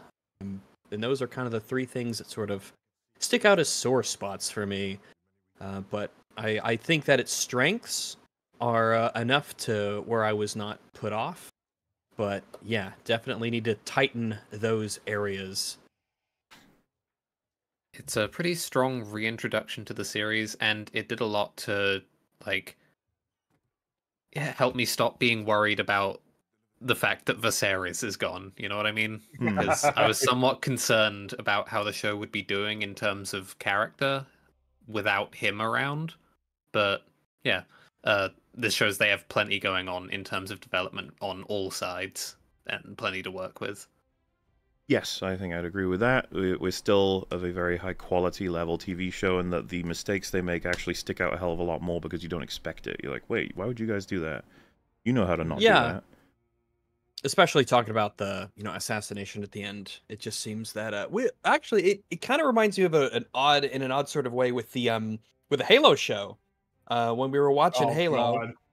and um it, it's that Oh, element of you have something that you can use as a blueprint, which makes it extra strange that you deviated from it in a way that was just decidedly worse. Um, Mhm. It makes you wonder, kind of like, why did you want to feel like you didn't want to be beholden to the books on every detail? Did you want to, like, what what was the reasoning behind that? And I don't know. I don't know. I can't say. But uh, yeah, from what I hear, the book version sounds way better and more interesting. But I only know that because the show version wasn't good. I I imagine if the show version was really good, I might not have n- ever heard of or been told about. Well, in the book version, da da da da da. So Yeah, actually, I actually am inclined to agree. I feel like they not only could have done the book version, but they could have done their own version better. So we're kind of losing both yeah, it- aspects there. Yeah, if the core concept, because they kept the element of the mother making a choice, but we need more than that to make it a meaningfully effective choice in terms of the logistics and how characters would actually behave. Um, so Hmm. Yeah, because it's not as if this is causing problems because it is like asynchronous with some causal chain that is being adapted one to one from the books. This is this has got problems because of the way it was constructed in isolation, Yeah. right? So this isn't some adaptation problem. Well then, on to episode two. Unless uh, anyone else wanted to say anything. Well, it's yeah, it's a strong start to the season. I liked that uh, uh, Rhaenyra was MIA at the start, and you totally understand why, because she wants to find what was whatever might have been left of her son, and just to have that moment of grief, and then she comes back, and that was all good. And uh, I, f- I think a forgivably weak ending with the thing. I mean, to be charitable to it, like I guess you could argue that they're not the brightest bulbs in the drawer, and it was such an intense situation that they weren't really thinking. And you know, I imagine like the two of them doing the thing at the bed, and then one of them sees the woman leave, and he's probably like, "Uh, sh- should we let this happen, and it's just like what whatever. Let's just get this done, and then we'll figure it out. We'll figure it out.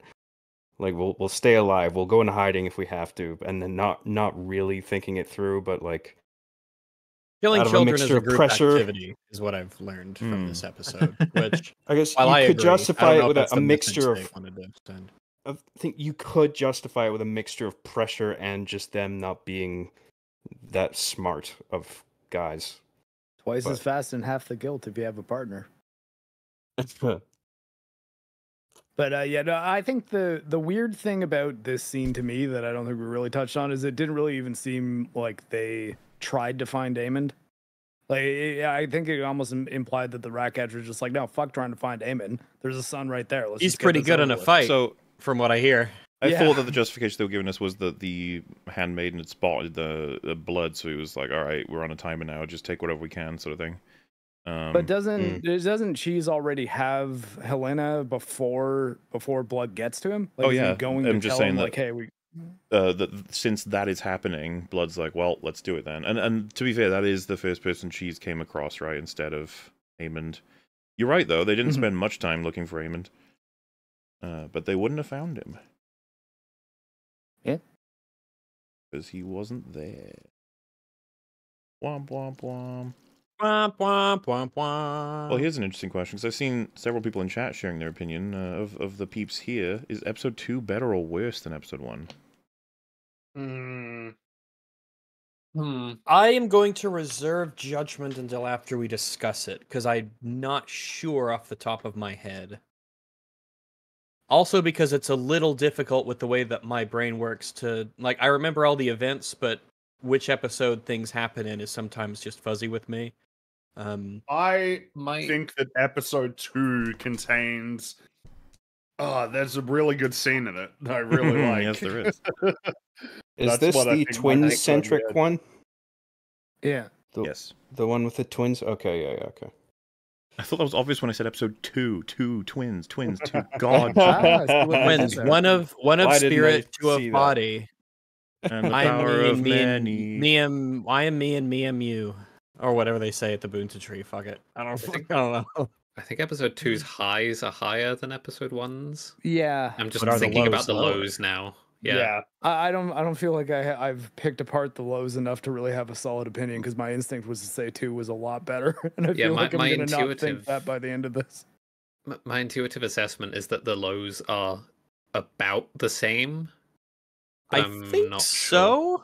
Off, I think so.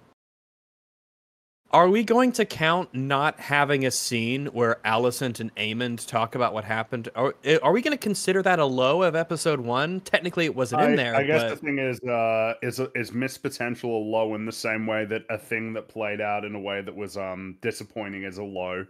I'm not I don't sure. think so. I, I don't think, think so. I think it. I think it is fair to hold missed opportunities against the writing to a lower degree. Yeah, I agree with that. I think that's fair. Yeah. Well, it's then. just episode two has a scene that I, because I think my the best scene in episode one is uh Rhaenyra and Jace. Um, that's probably the best scene. Uh, but the best scene in episode two features your boy Otto. Your boy.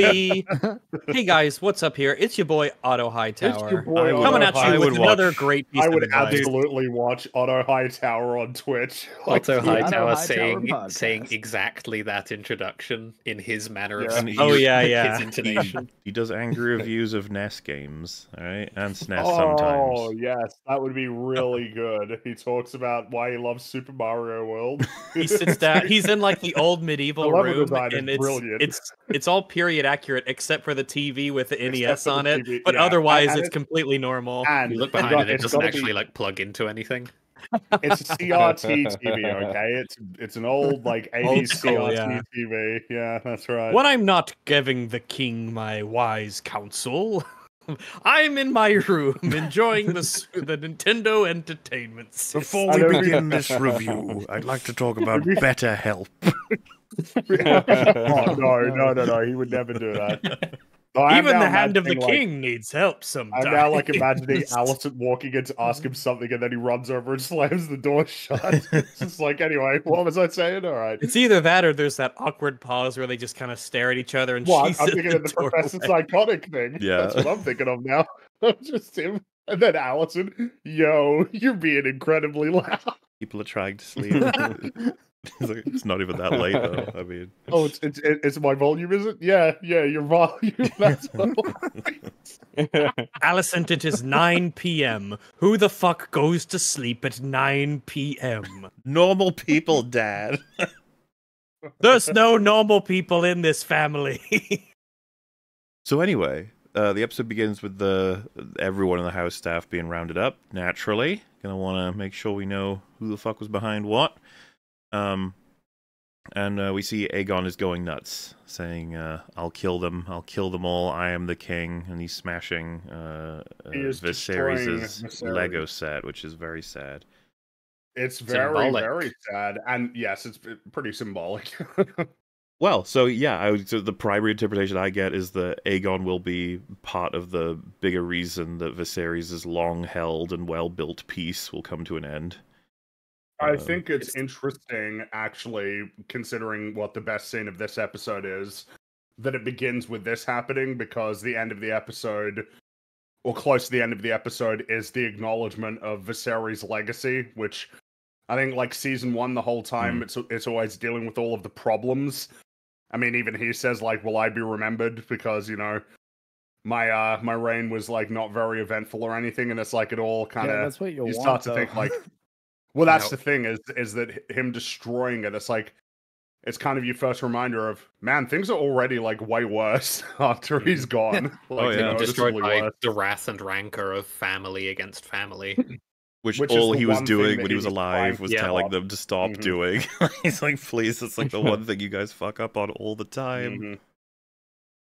There's Do you know how much your gold that. Lego set was? It's I like a hundred thousand piece set. It's a good one. Very, very sad. But uh, It's like a hundred Lego Death Stars. it's also uh, being it's um old Only the Valyria, king right? could the afford set? such a treasure. I believe it's old Valyria, yeah. and so destroying it feels very symbolic of the destruction of House Targaryen in general, rather than just Yep. uh, specifically the family who he belongs to with the series, which also happens to be Targaryen. But you know, it's it's good shit. It's multi-layered. I like it a lot. Um, yeah, and Aemond notices that the uh, the entryway and exit was through the study that he was actually in as well. A little bit.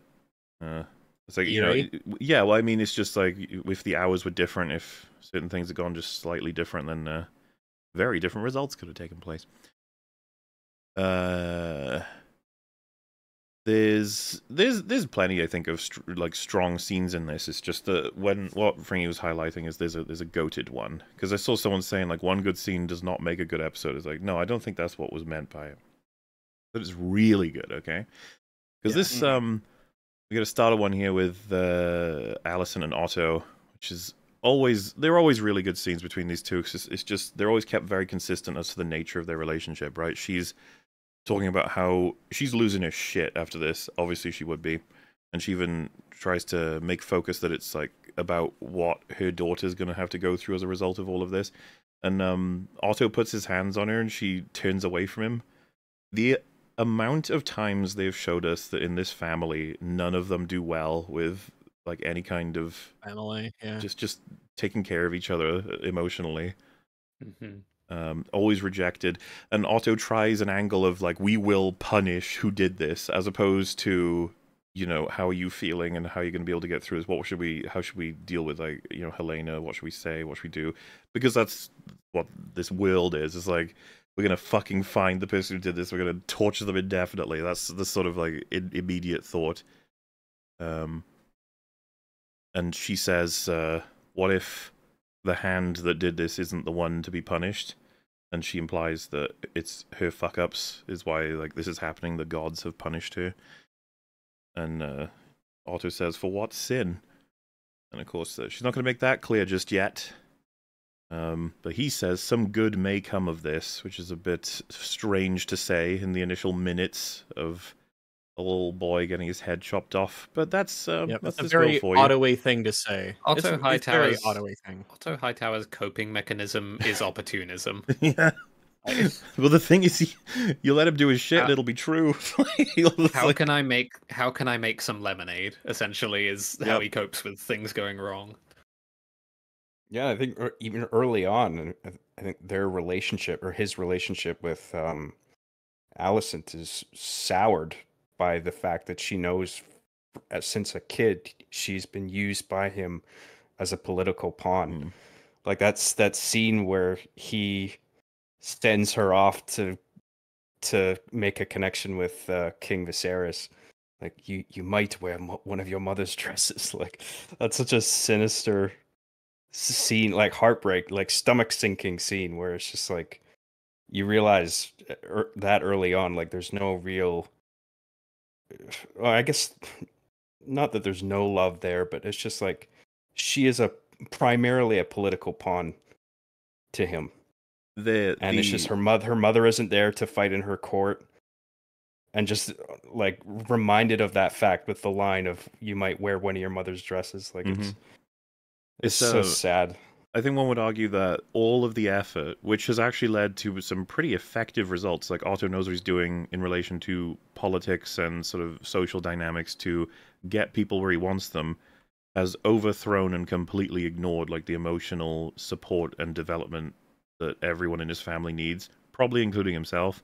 Uh, and it's had drastic repercussions that we've seen. Almost all of them are complete fuck ups. None of them know how to handle anything emotional that happens to them. They've all, in one way or another, essentially been abused uh, in that format, and now they project it onto other people, or they force other people into that sort of upbringing through not having any of the tools taught to them of how to deal with any of it.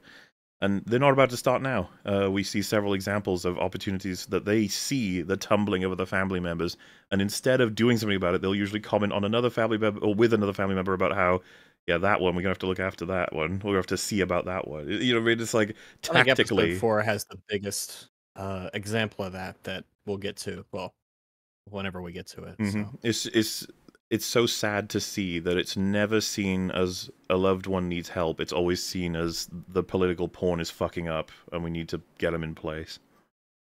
yeah Um, but you do see glimmers. Like I, I do think that in that scene with Otto and Alicent, he he sees she's in immense pain, and he does try to put a hand on her back, and she like backs off from it, which just goes to show that it's not something they do. She's not used to that. She doesn't want it. And it's like, well, that's that, I suppose. Um, yeah so we get the Green Council, and they're trying to figure out what to do about this horrible event. Uh, Cole makes it clear he was abed, having ordered the King's Guard. Which, to be honest with you, I'd probably be more furious at, at him for that than usual because of the fact that they have so few King's Guard active. You know, it probably should be everyone's on duty until you get replacements.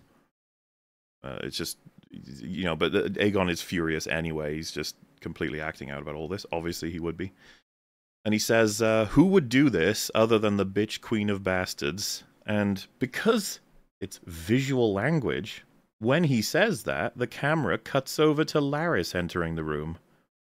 That's pretty interesting, is it not? Hmm.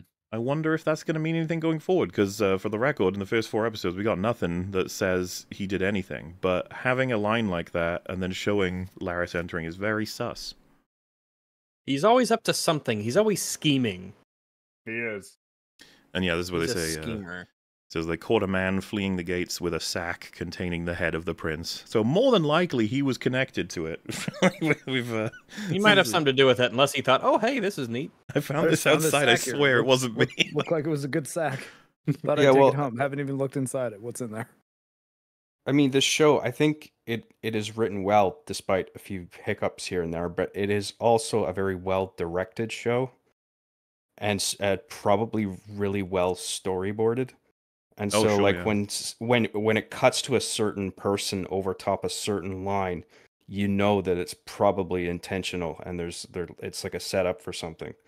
It's another thing the acolyte utterly fails at, where No it's just like there's no discipline in the direction and the blocking. Like, yeah. hmm So uh, they warn Aegon he's not going to want to kill the guy straight away because they can get information as to whether or not it was Rhaenyra or if it was, as they describe, a serpent nestled closer to our bosom. And um, Otto says, in a way, it doesn't even matter because they're going to be blaming Rhaenyra whether or not it was her. Um, and Aegon's actually against this because he said it'll make me seem weak. Then Otto's like, "You're already seen as weak, Aegon," which is like, hmm, bit aggressive there. You know, it's, it's, Yeah, it's probably not going to have the best results. to Say that. for- yeah, well, we'll still see where that leads his attitude on his uh, thoughts on Aegon. But I Um, think it just goes to show a lot of people just don't like they don't like they don't fear him as king. no. But which is is just kind of weird because people took the shit Viserys said very seriously. Viserys would put his foot down, and you knew not to fuck with him when he did. But when it comes to Aegon, it's like you know, for all the bluster and his you know attitude, people don't really take him. They just don't take him seriously. Yeah, and he has a line where he says, um, "I'm not going to let my little son's body be dragged through the streets," which uh, is another like, oh, because even though he's kind of a, a horrible dick in a lot of ways, you, you're going to give him some room on this one since his son just got his head chopped off. You know, a lot of people will probably be pretty Yep, mad. one hundred about that. percent. Um, It's probably mhm. all we get of him caring about the kids, like in both seasons. Well, that's what I was saying about the the the work has been done to add other layers to this character, Yeah. and uh, it's it's struck quite a few people. There's a great, interesting. I don't know if it's irony, but it's it's certainly an interesting look at how the world seems to hate Criston Cole. There's all kinds of memes and posts about how he's the worst person ever, needs to die. Aegon, on the other hand, gets several posts being like, you know, I kind of like him. And when you compare the things those two have done, you'd be Yeah, like, how no, the hell did this happen? ain't even close. How's how's Criston not winning you know, like I said, we'll go over it the more Criston content we get to. But uh yeah, Otto says not dragged through the streets, honored to be burned in the dragon pit as a Targaryen prince, and obviously it's very tactical as a, an advantage. And there's this little moment where Aegon sort of reaches out to Alicent and says, "Mother, like like like as a, what are we doing here?" And she basically just says, "Yeah, Otto is right," and uh he uh, he he suggests as well that it would be the queen and the queen dowager with the body to best express to the gentle souls the sorrow that the the kingdom has to face that sort of thing. Very um morbid but uh i mean what would you guys say if you're on this council? I feel like i probably especially in this world would be like yeah that's probably a good move i guess. Um, I It's I pretty feel like cynical and gross, but he's right. Mhm. there is an element of you can spin this into a good thing and there is an element of earnest sympathy gathering here in a way if those three words could be t- together but um yeah i probably would too especially when you need as much support as you possibly can with the political tensions that are happening can't blame them It's um, it's interesting how it works, right? Because you'd be like, well, there's reason to do it in a caring and loving way, and it's like, uh, yeah, yeah, yes, yes, we could do it for that reason too. but I'm mainly talking about the practical reasons, all right? Because that's, I guess, Otto's job, which again helps explain like his his practicality and how good he is at that side of the job explains why he's so shit at the other side of the job of being a father, a, fa- a familial leader as well. But yeah, um, Alicent explains to Helaena that they need to do this, and um, she says uh, she doesn't want to, and uh, it's uh, it's interesting. As Alicent said, it, it it draws the public closer to us to do something like that. And she says, "I don't want them closer. I don't even know them," which um, is probably some of the most realistic and genuinely innocent. That's that's why people feel pretty bad Mhm. for this character. She doesn't belong here.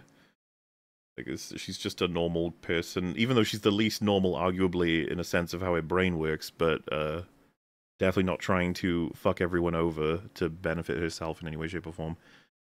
His very simple values. Yeah. very normal just person Oh, and um, the sort of funeral um, material she's sewing for Jaehaerys, uh, as people have pointed out, she started sewing it in episode one before the event even took place, uh, presumably to do with her uh, broken up foresight somewhat. She um, kind of it's kind of spooky and scary that that's something that you could just do almost automatically without even realizing it. But Mhm. um, One thing I was going to ask Yeah, everybody is, what do you think of? I forget her name, but the actress playing um, Helaena and the choices they've made with her for expressing emotion. she I like it because I think um it kind of sets her apart from the rest in this kind of earnestness um that she expresses. Her she uh, she's distant in this odd kind of way, like there's something else that's constantly preoccupying her, but you can still but she's still a person who's present in the sense that, you know, when one of her kids is killed, it clearly affects her and she has opinions on it. But she's a little bit I don't want to say scatterbrained, but it feels like almost like her thoughts are preoccupied with something else constantly.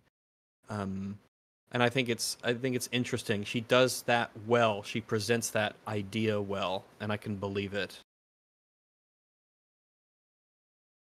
Yeah, I, have, I haven't looked at the performance closely enough, but it didn't stick out to me as bad at all. Like it's It was something of a good. discussion that was happening. My impression was essentially the same as uh, Rags. I got from what she was choosing to do slash directed to do that they were telling me she is not conventional in terms of how her mind deals with almost everything, not just grief. And so it was expected that we'd see her deliver something of a complicated performance in terms of how she's going to accept and process this all of these events. And I do think she's doing a great job. I feel she's very consistent on that sort of impression. I don't. A lot of people felt that she was just underplaying everything and not bringing in more emotion, but I, I do think it's a uh, she's trying to portray a particular uh, yeah, I- variable. I mean that's obviously deliberate.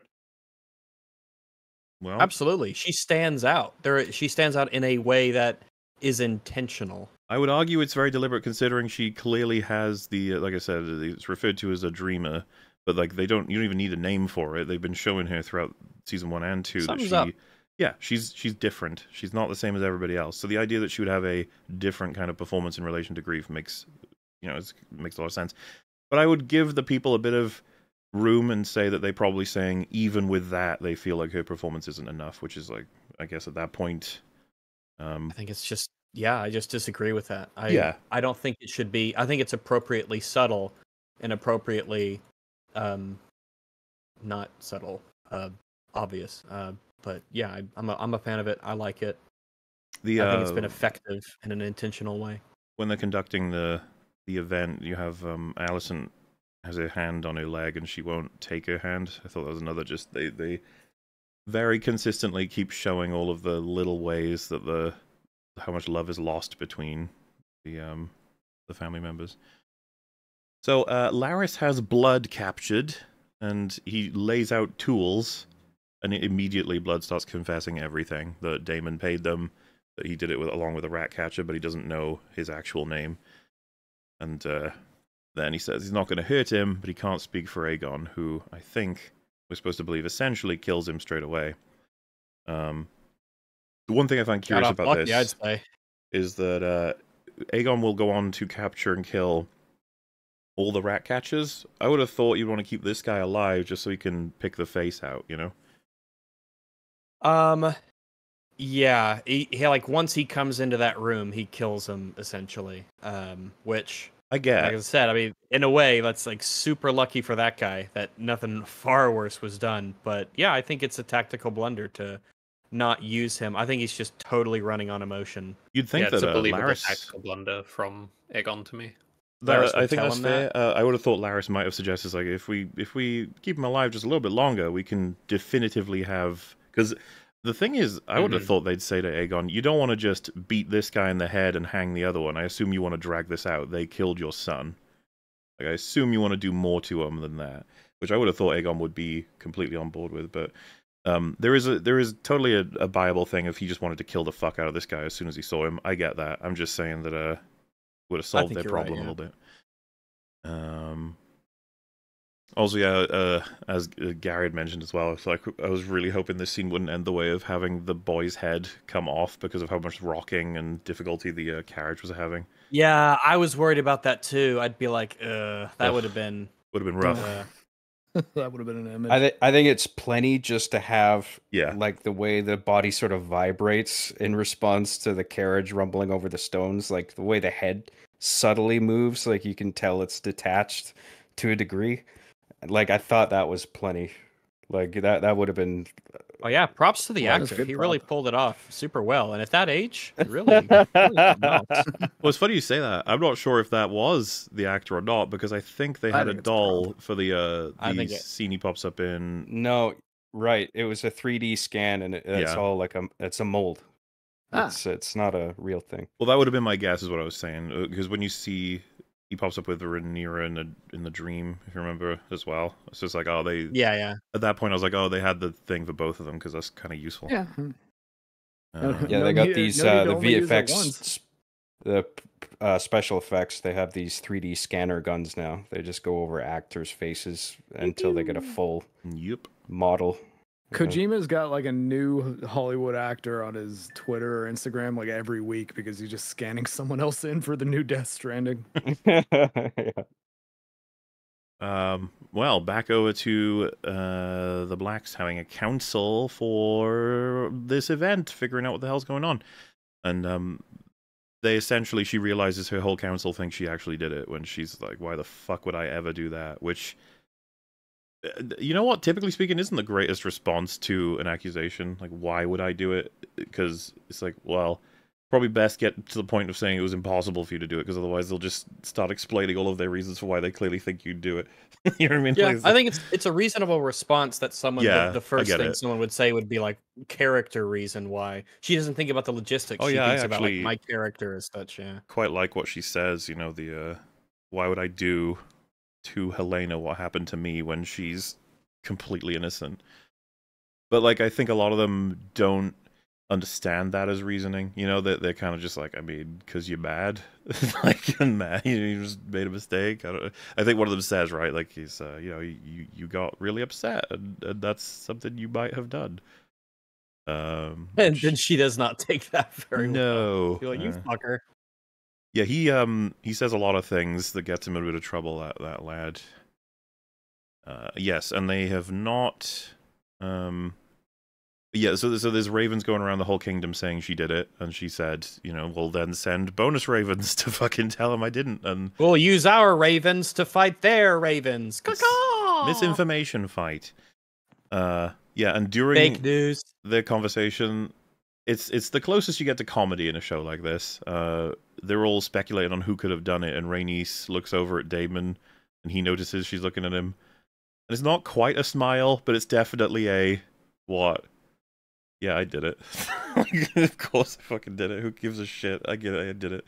And then uh Ra- Rhaenyra realizes that too.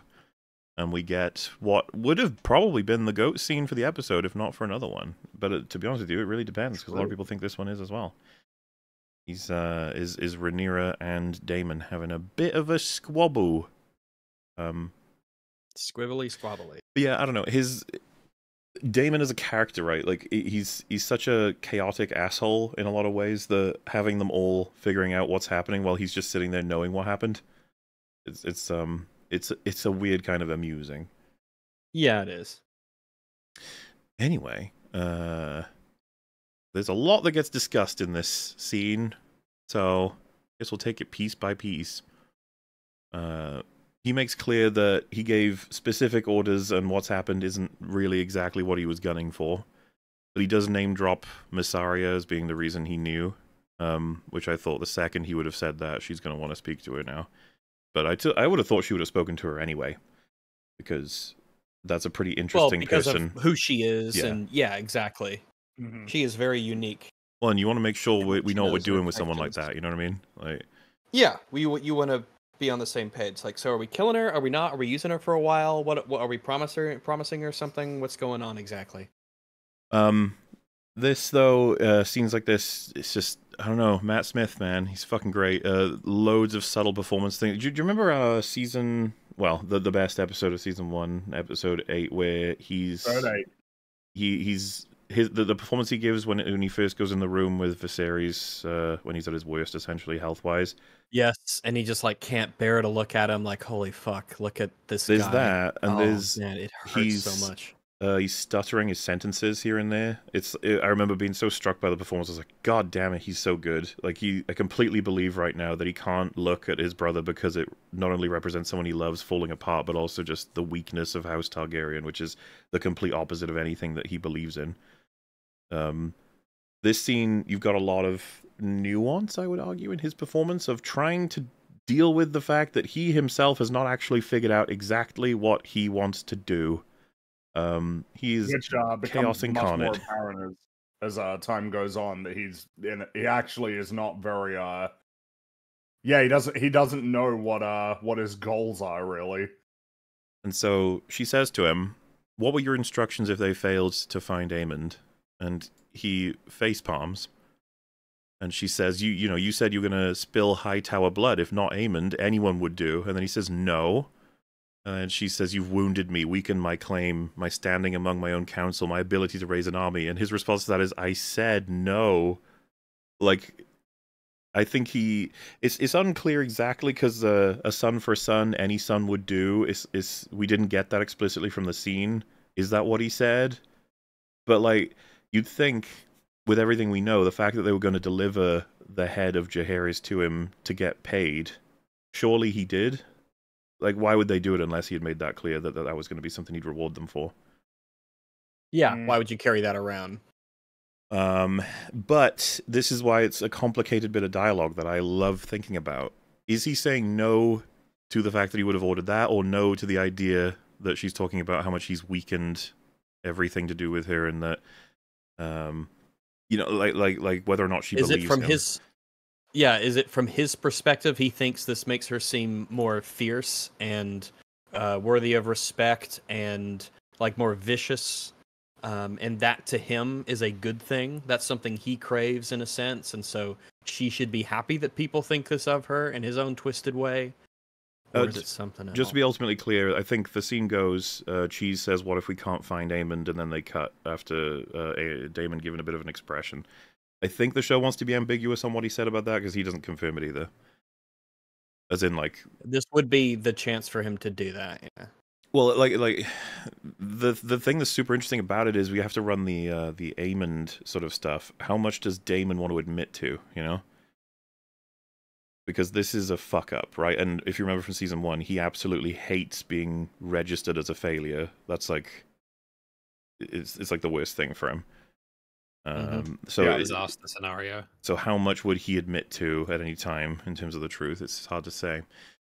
Um, but she makes a pretty big statement that's been a long time coming, saying she basically can't trust him and she never really could, and that she always wanted to, but that he's always kind of just been out for himself. And he says he's faithfully served her. And then she says, Yeah, that, or you've used me as a tool to try and grasp at your stolen inheritance, which makes him very fucking mad. And it's kind of fun for us because this is something that they've never really talked about properly, despite always being there. Yep. If you know he, she is, she got the, she got in front of him in the line because of Viserys. hmm Uh, and he says, like, you know, I put the crown on your head. And then she says, yeah, and what were you doing when I was essentially, like, you know, laboring in, a, uh, in episode 10 of season one? He was essentially trying to organize the war. Which you can argue, this is why this is complicated. That doesn't mean he's like traitoring her or anything. He's just trying to move the war forward. But on the other hand, maybe he is kind of just like, listen, I'm in charge, okay? Just let me let me be the king. This, uh, which I think is actually the the reality. He's not even hundred percent sure of exactly what it all means. Um, and he says, you know, the reason he was doing it because he didn't want to give up his brother's throne to the traitorous lies of Otto, Otto Hightower. And what what's great about the line, like the complaint, she says, "My throne, my throne, Daemon." It's like, oh shit, yeah, like like referring to it as Viserys's, which you know at the time you could say is more accurate than it is right now. It's just that it's not necessarily something he's fully accepted that the Iron Throne belongs to Rhaenyra, which I think is uh, supported in his future hallucinations slash visions slash whatever is happening at Well, just the choice he even made, you know, the choices that he made of going there in the first place. And uh yeah, she says she thinks he likes to indulge the darkness you sheathe within you like a blade, which is You get some fun, flowery language in the lines in this. I always like it. The, uh, uh, for lack of a better term, old speak, where they they they have poetry in the way that they talk to each other. Fun, fun on the there are no skibbity words. I don't know what they mean. Yeah, and, and and and you know you love a bit of skibbity to be thrown in, but you know what? Maybe it's maybe it's for the best that we don't have that. Maybe it's for the best It's we don't that- have people saying the Jedi take some L's. Oh god. Power is powerful metaphorical visual language that makes the point clear. Like there's actual utility in it, you know, to convey a certain idea from one character to another. It's not just flowery, you know, um, uh, visually heavy for no reason, you know. Mm-hmm. comes across as just communicate something. educated and meaningful. Yeah, the way that you speak is what we talked talked about in terms of like opportunities. It's not just what people say; it's how they say it, how they express themselves, and it's a way to contrast people who speak very well and who appear to be very learned to people who are maybe they got other things to do in their lives. Maybe people who are like commoners and whatnot. They're not going to have the same kind of way of speaking as someone who's kind of trained to speak and who's more educated and well read. I want to So I want to reassure people before we start getting fucking mass suicides. No, there wasn't an actual line in in Acolyte where they said the Jedi took some L's. It was in an interview. Uh, Leslie Hennigan. Could you imagine? Mother Aniseya, I want to be part of the Jedi. You can't. The Jedi have taken some big L's lately. Yeah, we saw haven't seen Sol explaining the thing to the council. I took a big L that day. I took a big L. Ugh. They're gonna take some L's, no cap, for real, for real. no. No more L's on my watch. No cap for real. So, uh, anyway, Daemon says, uh, "Do you think me a monster?" And, and she says, uh, "I know not what you are or who you serve." And he's genuinely upset by this shit, and I find it super interesting. He says, "Am I not on my way even now to raise an army at Harrenhal in your name?" Um, like I do believe that he thinks that in his in himself he's got the conflict of whether or not he actually wants her to be queen, but his actions on the surface do match someone that was supporting her, and he's not being treated that way. Mm-hmm. And so it's like this really interesting bit of conflict where he's arguing for a position that I don't know that he's fully on board with, but des- thinks he deserves to be seen as. He can Um, meaningfully raise down in someone who doesn't believe him based on his track record. Yes. And so she says, Do you accept me as your queen and ruler, or do you cling even now to what you think you've lost? Which is a pretty big question. And you you see in Matt Smith's face the frustration seep in when she uses the specific word and he repeats it back. He says, What I think I've lost? It's like, yeah, if you oh. if you look at him from season one to two, it's like he thinks it was fucking ripped from him. Thinks he lost. That's an interesting way to put it.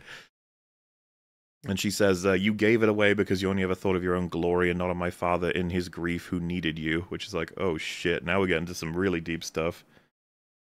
Um, these guys have issues. They've not properly sorted them out. Family, No, you they have not. And there is It's a not lot. a. Uh, that's It's been a long time since they actually assessed where they stand with respect to one another. It seems. Yes. Uh, yeah, and he says, Your father was a coward who knew I was the stronger son and he was afraid to be seen in my shadow. Which, Ooh. as someone who's seen the events unfold, Daemon, bro. No, you need to. You need to. You need to take a. this is a big L for you, Daemon. That's It's what such you a- would it's because because Daemon's taking some big L's this episode. It's a unique POV that we have. Uh, I got I got nothing but love for Viserys. I would happily admit if he had flaws in certain ways, but like he was not afraid of you. Uh, the sad thing is when you watch over the episodes, he loved the shit out of Daemon. He just wanted him to be normal. That's- He that was, it. disappointed in Daemon. He's like, why can't you just be normal? Yeah, Why can't you be what I- I know you can be? Why can't you harness all of this aggression and everything to something that's productive and good? I've given you so many chances. I've set you up for success in so many places, and you just keep being yourself. Yeah, literally, just like just help me out here, dude. Kind of. You know? Throw The- me a fucking bone. the one that kills me the most is um, I want to say it's episode seven or it could be six. It's just it's whenever the um Viserys is on like a seat and Daemon is just too far away to speak to, and he keeps looking over at him, and they both recognize clearly that Viserys keeps looking at him, but he won't come to him. And then I think it's like 20 minutes into the episode, he has to walk over to him himself and be like, "How are things?" It's like, oh, the poor fucking guy. He just wants to be happy with you, man. I think he even says, um, uh, "The gods have been kind to you," or something. And Daemon says, "They've not been kind to you." And it's just a, a moment of just like, "Yep." That, that that was something you needed to say. Anyway, like, let's talk about something else. Thanks, bro. I think he knows. Um, and uh, yeah, uh, he eventually says to. Uh, sh- sorry, she says, "Is that what you understand of your own brother?"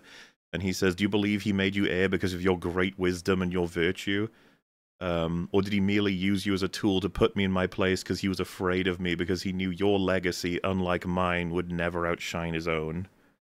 Which is like, damn, dude. Ultra harsh. It's so harsh because that's not at all what Viserys even cared about. I think if Viserys found out that ultimately Rhaenyra's reputation would be far beyond his own, he'd be happy about that probably. Like, good for you. I don't think you would care as much as Daemon believes he would about like, you know. I He- wonder how much Damon even believes that. Yeah, it could be said to just in anger and also to uh He's very frustrated right now. Like if you asked him honestly in a more, you know, in a calmer and- moment. Like, repeating the whole fear thing uh, is is why it's it's a little great moment for Rhaenyra because she sort of gets pretty mad about it and says he was not afraid of you, he couldn't trust you, and it's like that's it, that's the one, Yeah. that's the one you were looking for. Uh, and she says any more than I can trust you. Um, to which Daemon says he was a fool who sought greatness but shrank from spilling blood to achieve it, and I see you will suffer the same fate. And it's a really strong line because there's a lot of truth to a lot of the things that it would apply to, but she responds pretty quick with you killed a kid. Like is is that is that in the Kinda. fucking requirements of being great like killing children? And um it hits so hard he just all he says back is it was a mistake. Which uh, I really love as a line because I keep thinking about whether or not he's saying the whole operation was a mistake, or it was a mistake that Jaehaerys died, or it was a mistake to not be more specific. Like, or the, what? Where exactly does that start and end? And you can clearly tell it's affecting him, even though he tries to play it cool. That killing that kid was obviously fucked Yeah. up. Um, yeah, and she says you're pathetic, which you know, not a great, Mm. uh, I not a great conversation for them to two. Him. Well, the thing- and not even he knows where the line is drawn. Like Yeah. he doesn't even know how to answer that question. It's just like I don't like the way it turned out, but I don't know where ex- what I should have done different exactly. I mean, a lot of shit's getting discussed here that's super complicated and has an insane amount of history. I think uh, both actors did a phenomenal job, and I find it kind of fascinating to think about because um, I don't know where Daemon's brain sits right now. It's part of what's making him such an interesting character to see literally speak in any scene. Just see what he gets up to. Um, yes, not in a great position, either of them. Certainly not with each other. No. And uh, yeah, I think, like I said, that would probably go for the top tier goated scene, but it'll have um, it'll have some competition coming up. competition, yeah. So moving on from there, we have um, a By the way, moment. just- Oh, go ahead. just because it's it's kind of just occur- occurring to me if if people haven't noticed already um a lot of stuff happens in these episodes. This is an hour that is jam packed with things happening conversations taking place pieces being moved around. These episodes are thick with stuff occurring. There's never a dull moment really. Something's always getting done uh, in contrast to other shows we've been watching lately i won't name names Mm-hmm, but uh, it's really no, nice yeah, to get you're right. There's several angles to consider, lots of history, and then lots of nuanced subtext and little micro expressions that can tell you It's- everything. It's vaguely theatrical this scene and its setup. Like I love the way they sort of chase each other around the room as like Yes, befits yeah. the tempo of the conversation. Like who is Oh, he um like- he outright resists choking her at one point. Yep. Yeah. Uh, Well, it's like that old Hollywood thing where like the distance and dynamic in terms of blocking between the actors is telling its own story. Yeah, exactly. Like if this was if this was muted, you could almost get a sense of what's what the dynamic of the argument is, like who's winning, who's losing Mm-hmm. in any given moment. Well, and uh, it feels like it's come across probably the best time because this would be something of a deal breaker to go and assassinate a baby, essentially. Um, and so, yeah, you need to figure out exactly how this happened because uh, it's just been mentioned in chat. I just spotted it said someone said that uh, it's it's kind of proving the point though that um we can't handle the realities of war and that some plenty of kids will ultimately die. And I would argue that you can go that direction with it, but I also think the opposite is being being proven. That the need for action to take place has its uh, downfall compared to not taking action, which is you get innocent kids killed, or rather, uh, people killed who shouldn't be killed that are going to cause loads more people to be killed. Like this Yeah, was a huge spiral blunder. out of control. As Well, we get this in tactically episode- this was a mistake not just for the fact that an innocent person died but all the repercussions that will come from this Yeah, we'll get, um, as is mentioned very specifically later on by the Lord of Harrenhal, this element of like, yeah, this can't even remember where it started, but just blood happens, blood happens, killing, killing. It just keeps going and going, and it just might never end because it got out of hand once long ago. yes and they show um daemon doesn't give any time to Baela here there's a little scene for it uh that'll be one of his daughters i'm not sure if that's going to go somewhere specific but it feels like they don't show us anything that's not going to go somewhere so we'll see um Mhm. Rhaenyra tells Baela that she's going to need her to essentially keep an eye on King's Landing, make sure uh, things are nothing surprising's happening. Have a look around, see if anyone's moving around, armies and such. That'll be uh, important for later. And then Daemon and Caraxes leave for Harrenhal, which we'll see more next episode. Uh, another sad scene coming up that is uh, just compounding the problem of the Greens and family life. Uh, Aegon crosses paths with Helaena, and it's really sad to see them both see each other and stop for a moment, recognizing there's probably something they should do, and then Aegon leaves. Yep. And so it doesn't, Doesn't have do anything. Pretty rough. I have no fucking idea how to handle it. Yeah, and she just runs off, and you feel nothing but sadness for this entire tragic family uh, who have no idea how to support each other. But hey, Yeah. what happens, I suppose. And then another Well, I sad mean, it scene. Contrasts pretty. It contrasts pretty sharply with uh, Rhaenyra and Jace, where Hmm. he's attempting to conduct his uh, duties stoically while breaking down because he's obviously very upset. And then Rhaenyra actually comforts him like a real person would. It's uh, yeah. There is a big difference in terms of the, the nature of the interpersonal relationships uh, between these two families. Yeah. And so we get a scene of Criston Cole watching them dismantle uh, Jaehaerys' bed, uh, complete with a mattress filled with blood, and uh, he's not looking happy. Probably because he blames himself for this one, which would be fair.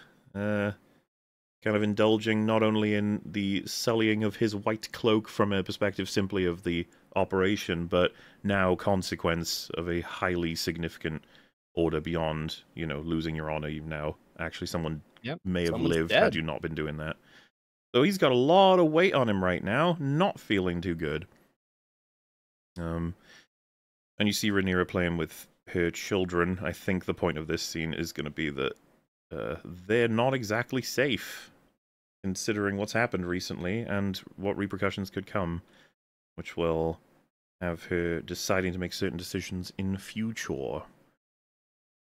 Uh, but over to Cole again with good old Alicent, who's having herself a nice bath. Uh, she says something that, at first, when I heard it, uh, watching this episode, I was like, what a dumb question. Then I thought about it. So she's about to close her door and she sees Cole and she says, Have you told anyone? Probably in reference to any of what they're trying to keep secret, right? Like, that's essentially what she's referring to. And he says, What do you take me for? And then she says, One who seeks absolution, which is you'll catch a lot of this throughout the whole show, but that is projection. She's uh, she is so close to telling someone what she's done. She's now worried that Cole would be too, because that would come Mm. across as a natural thing to her now. And um, what a Criston Cole response to her saying seeking absolution. He says there is none for what Thank you, I've done. yeah, he uh, he knows he knows who he is. He just like as far as he's Yep. my soul is fucked. Like there's nothing I can do. It's over. Um, it's it's really like I don't know. uh, To me, it's really engaging. Both of them, they're both just fucking spiraling. Like uh, as far as they're both concerned, they've failed completely in all of their duties, and they don't know what to do. Definitely. It's the recognition of it that really seals what makes them such interesting as a pair. Because in a lot of other shows that are poorly written, they wouldn't even recognize it in themselves. But being able to recognize that they are what they are and having the projection elements and having them be aware of what's happening, it makes it far more interesting. Because there's that spark inside of them that you see that where like, hey, if they're recognizing what they've become and they're ashamed of it and they hate it about themselves, they're not in a way like truly monstrous to the bone. There's that recognition Mhm. that can only come from is- someone who understands what they've done. In the case of uh, Alicent, the impression you get is it's starting to catch up with her. Um, like it's her, she is lagging behind her recognition of who she is. You know, Yes. Mhm. so it's like it manifests in subconscious ways, like when she was, you know, brushing herself harder to, you know, to clean herself, right? yeah, metaphorically. kind of. Mhm. Yeah, it's it's Mhm. very much like that comes across to me much more as um subconsciously you are you're like closer to recognizing who you are than consciously. Um, if it feels like she's always a little bit further behind where she uh needs to be in a sense in terms of understanding who she is. It's almost interesting to me with Criston because it's like once the cloak is sullied, he's sort of given up on it and the idea it Oh, represents, yeah, even though he still affirms it. Like he still affirms it, but he's given up on it for himself. So you have to wonder, like he hasn't, th- he's not trying to reconcile that within himself. I guess. No, whereas she It is. feels like he can't be No. forgiven. Yeah. Well, it's certainly I an interesting it- element of his like, character. that He his, said uh, he essentially he can't be saved from his own perspective. yeah. Yep. Which somehow means then the principle that he was trying to uphold is not worth his time to try and continue to uphold. I think that's that's the reason like why it Boogie is- did the crypto scam. It just, yeah, I'm already a Um, villain, so what the hell? in a, in a sense, like it's the Criston Cole. He, it, it, it's not like a slippery slope. He just sort of like jumps off like next to the water slide as soon as he. It's like it was already over for him in his Yep. view because his uh, it's got like a very clear and rigid system of honor, um, that he had that had a very obvious breach, and it's like, well, kind of like fuck it, right? Like that's his attitude afterward. Fuck it. Yeah, I guess Um, the there- honor system with- doesn't matter anymore, which quite Yeah. me- leaves you to wonder about what it meant to him in the first place. I think it's um I think an element here is that he probably feels like I was trying to be good once and do the right thing, but I was I felt taken advantage of. In the first season when Rhaenyra is on the ship with him and she says, "Hey, I'm going to marry Laenor, but you know, we could still like fucking everything. We've got an understanding. He's gay." Um and Yeah, he's and, and he wanted he wanted her to let's run away, let's be together, let's be Mhm. happy, let's leave leave all of this behind and then he's indignant that Rhaenyra said, yeah, he, uh, from his perspective, like, you want me to be your your whore. You know, you're just you're you're not like he feels super burned because he wanted to do what he considered at the time the honorable thing. Like, yeah, we you know we did that stuff, we should have done it, but I do have a feeling for you, and we can go out and we can be happy. We can leave all this behind and be normal. Um, and you know she declined that, so I bet that is like that was like his that's his big breaking point in a way I it think was for her him, not doing that. He saw the only way out of uh, or to retain honor by being an oath breaker is if he broke his oath for true love where and then she took that away from him he's like oh so i'm i I'm just fucked, suck yeah. i'm just an asshole I think yeah, I think in a way there yeah, it's that element of well, it's not like there there's different ways to break one's oath and I can be earnest about this and we can go out and we can be happy and is that, you know, that is that so bad of a thing? Yeah, and I, and, But, and Well, there's all these stages of breaking him down, and and uh, ha- Jaehaerys having died because of this. It's it's such a strict causal and effect thing, as in like he sees exactly what the repercussions of breaking all of his honorable vows are. There's nothing. There's no. Uh, there's no interpretations to be made. There's no analysis. That's hence why he just said, "Yeah, I'm just fucked," and uh, having that kind of weight on you is super important to establish, not just for his future actions, but for the interest of analyzing him, which, as you can tell, the, the fact that we spent some time on him, we all, I imagine, find him pretty interesting. Though, as I said... I am very interested in Criston. well, I think we made that clear on any of the streams people would have seen about us with season one that we actually were quite fond of him as an idea. It was just the weird shit they made him do, like killing someone by sitting them down. That was like, what? Don't do that. It's the episode nine bubble. It's like, uh, The- episode nine kind of fucked around with you. What's up with that? well, and that remember plus him. his Um, diplomatic immunity. well, and him threatening Harrold Westerling was cringe as well. yeah. It's like, nah, I, I I don't like him threatening his own Lord Commander. That's like that goes against, I think, the way you've characterized him. He would never hold a sword up to his fucking boss in that way. And you didn't need to have that happen for that scene. It was completely unnecessary. We have issues with episode nine. I don't know if you guys have picked that up.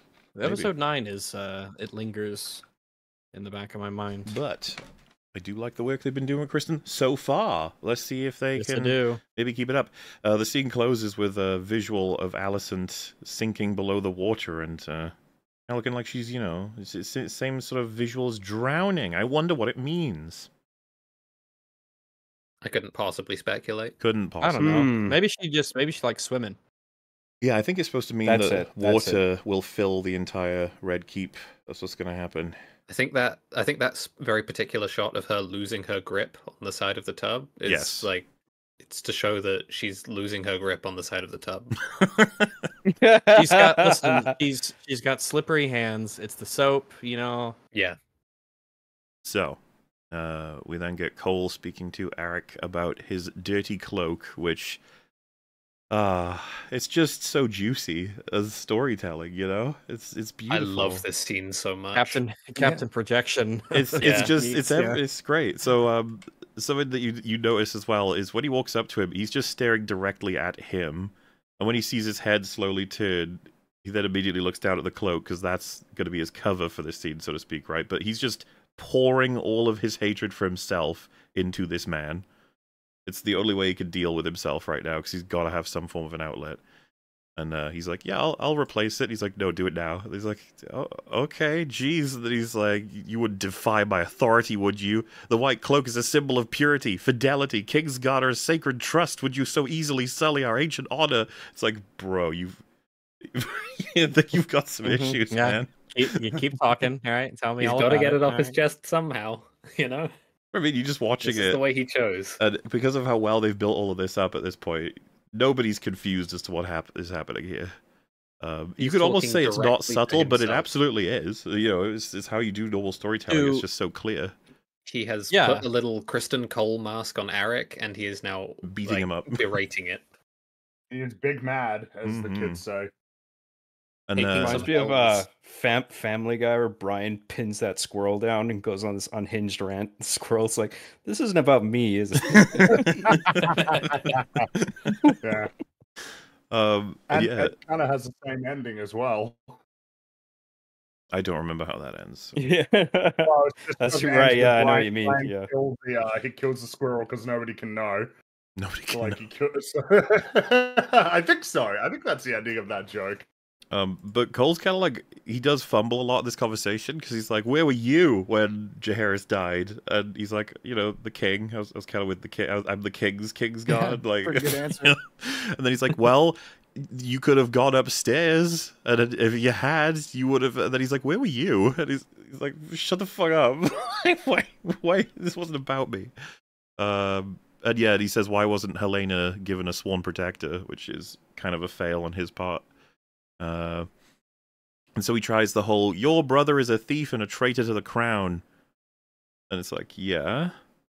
And he says, "How do we know that you aren't one of those things? How do we know that you don't share that perspective? How do we know that you aren't secretly planning to completely fuck us over?" And of course, he says he denounced him. And he doesn't. He, he pains him that he would share twinhood with such a being. However, you know all, all the usual You're stuff. twins. How different can you be? And he says, you hey, know, don't let the acolyte riders hear you. says you've brought disgrace upon our ranks and you must restore it and he says how and he's like gonna go to dragonstone assassinate rhaenyra it's gonna be great you'll pretend to be the twin it's, it's so it's, it's, it's just yeah let's do it And he says, That sounds insane. He's like, uh, He says, You'd send me to my death. And he's like, Or to triumph and glory. Or must I Ooh. question your loyalty to the king? And then he says, Okie dokie, I'll do it. Which, uh, man, what a bad day. You just get put Yeah, on a you- suicide mission, you know? It's like, oh, great. Rough. Yeah, of the jobs he could get, that was probably the bottom of the list that he was hoping for. Mm-hmm. Ruin my day. It is funny, though. The. The, the evil twin just shit from acolyte and then the twin storyline in this It's- Yeah. it's Uh, they real. kinda- Bizarre, yeah. Did they both kind of use the two souls in one body line? um i think something like that is said in this show Very, point. I think it's very near the end. Yeah. Uh, no, I think it's actually. Isn't it in this scene that he says it? He, Might he says it to Chrissy. He's like, "We're- "We're two I souls thought he in says one it body." to his yes, other but twin. I, I thought he uses it as a reason to explain that like we don't agree on the succession. Like that doesn't mean we agree on this, and that sucks. But you know, we we we do what we do.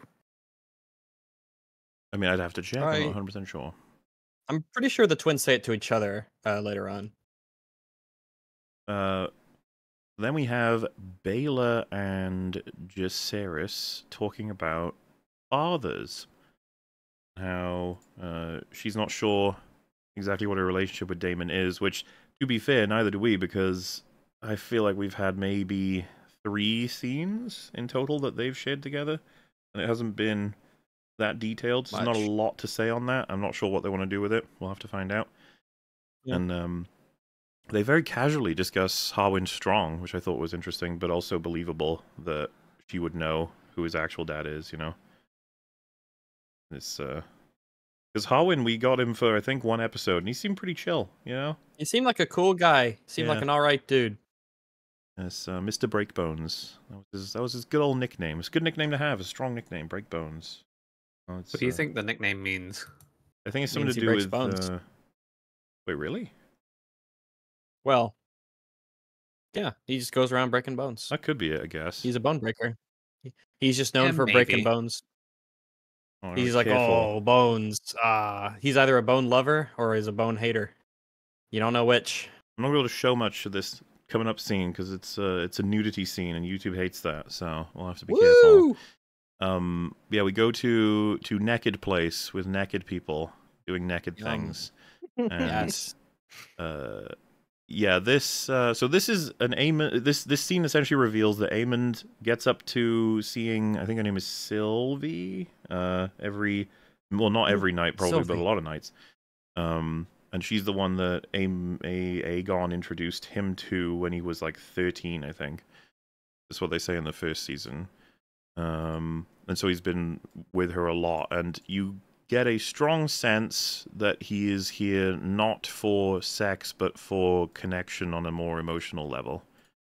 Um, that's something that's pretty well achieved by the scene. However, I was not a fan of the dialogue in this scene. Did anyone else feel the same? Uh, Like it was too on the nose, way too blunt? explicit, They- Way too explicit. they confirm about I- I four think- different things that I think we already knew very well. It it felt like a scene that was there for just just in case you didn't get it. It's like In case no, I the did. dicks are distracting you, here's what's happening here. I, I would have cut Aemond's last line. Um, I would have cut a lot of them. So a lot of I would have cut a lot. Yeah, I think the only value I'm drawing out of it, that, as opposed to because I already knew all this information, was telling me that he is telling this to Sylvie. I like, I appreciate that. That's interesting, but you don't need four different, significantly, you know, substantive lines to get that across. Um, and so instead, what I took from it was it's a little bit of overcompensation from the writers being like, you you understand this is how he feels, and I'm like, yeah, I, I got it. I saw the scenes, Uh-huh. I saw his face, I've seen what he's said since. I I got it. So to be clear, he says, um, Daemon sent them to kill me, but I was out. And she says, You were with me. And he says, In truth, I'm proud that he considers me such a foe, that he seeks to murder me in my bed, that he's afraid of me. Um, and then he says, I do regret that business with Luke, though. I lost my temper that day, and I'm sorry for it. Uh, they used to tease me because I was different. It's it's so very just, yep. It's a bit too Yeah, openly therapy ish. Um, We also kind of I saw like. that. We I saw think- I all think of it's it. just We saw this all show of it. is this show is better than that. You don't need to have Yeah. your characters declare their motivations and the things that upset them in such plain terms. You're better than that. I was You're not acolyte. Particularly surprised that they had him say they used to tease me because I was different. It's like, wow, that's really. Uh, Is, is that his perspective on things? Is that how he honestly feels? Is Or that something how he would ever communicate that He feels. Yeah, that's what I mean. Yeah, it feels like too much. I mean, I can accept it to a degree because it's some it's somebody that he's con- clearly vulnerable with and confiding in. But it's Yeah, it feels I like get an he's kind of exposition opening dump. up, but still, Yeah, like would he? Like there are things I wouldn't probably ever tell my therapist. well, Supposedly. What about your prostitute? it's Oh, specifically aimed well, at yeah. himself. she'd Like I tell her said, anything. I love the angle that he comes to a prostitute not for sex but for connection because he has none of it with his family. No love is there at all, and so he wants to feel it. But you di- you, you had an opportunity to give us all kinds of dialogue, and you chose to tell me a bunch of stuff we already knew. It's it's very odd for you guys, meaning the writers of the show. They don't usually do that. Um, but hey, you know, it's um. Well, so I'll say this now, I guess, because there's no reason not to. I'll probably mention it again when we get there. But there is a second scene of uh, Aemond in wherever that is uh, that I think achieves the thing I thought we got out of this one, uh, making this one almost completely redundant. It, it, it achieves that and more. I think the second scene is way better. Uh, y- I'm talking about the episode three one, if you guys remember. Yes, I agree. I think that's the Yeah. only scene you need because you don't. Yeah. We can conclude from him being there that he goes there to talk to her. Um, I think that's something that you can just conclude with subtext, and then you can wonder. It's like, well, I wonder what things he said. Mhm. Um, so you don't need the scene of him conveying all of the things that he says in the plainest terms possible. Yeah, just seems like it's the optimal choice. Yeah, I'm fine with what they're saying is the case for his character. I just, uh, I just thought that it wasn't. It's not their usual. They usually do better than this. No, Um, so then we get the uh let's see if I could get there safely. Yeah, here we go. This is the most out of place scene in the four episodes, and I think most of you I know already what I know what mean. you're talking about. Yeah. It is a scene where Yep. Hugh, Hugh's, I assume, wife and Hugh's daughter are talking about the state of the city they live in. And you might be thinking, Hugh. well, you'd be like, Hugh, who is Hugh? You'd be like, well, Hugh is Hugh. and, uh, this is the thing. This scene is so weird because most people would have forgotten this is the character that was speaking to Aegon in the previous episode. He, he, he, was there for very briefly. He was talking about how they need um, more money in advance for making uh, things with iron and stuff. Now, even if you do remember, it's just a scene that comes across as a little like, oh, okay, um, uh, sure. And and the information we get is that things are tough right now for the people of King's Landing. They're getting resources, and people are starting to look out for themselves only. It's a stretch on all kind of stuff, which I appreciate. It's just it's just strange. Like, okay, uh, I don't know. I- I'm guessing this is going to come up later. Again, it, it, they do the same with the guy. Um, was it Alyn?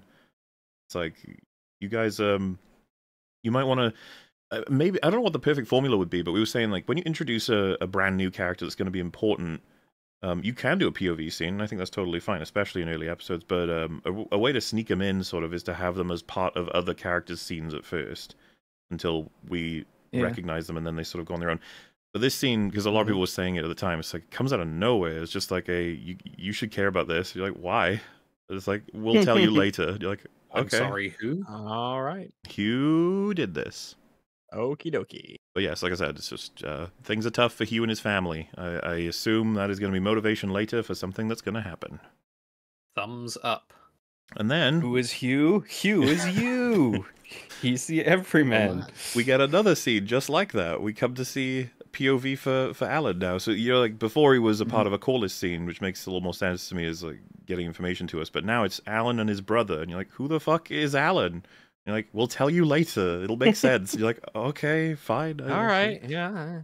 Um, yeah, and, and they're trying to beat around the bush of what gets revealed, I would argue, in episode four, which is that um, Alyn is. I guess I can't say certainly, but. No, I think I can, right? I can say he's he, from the show. He's uh, Corlys's bastard, right? That's that's like the Yeah, that's the Yeah. implication that's given. Yeah.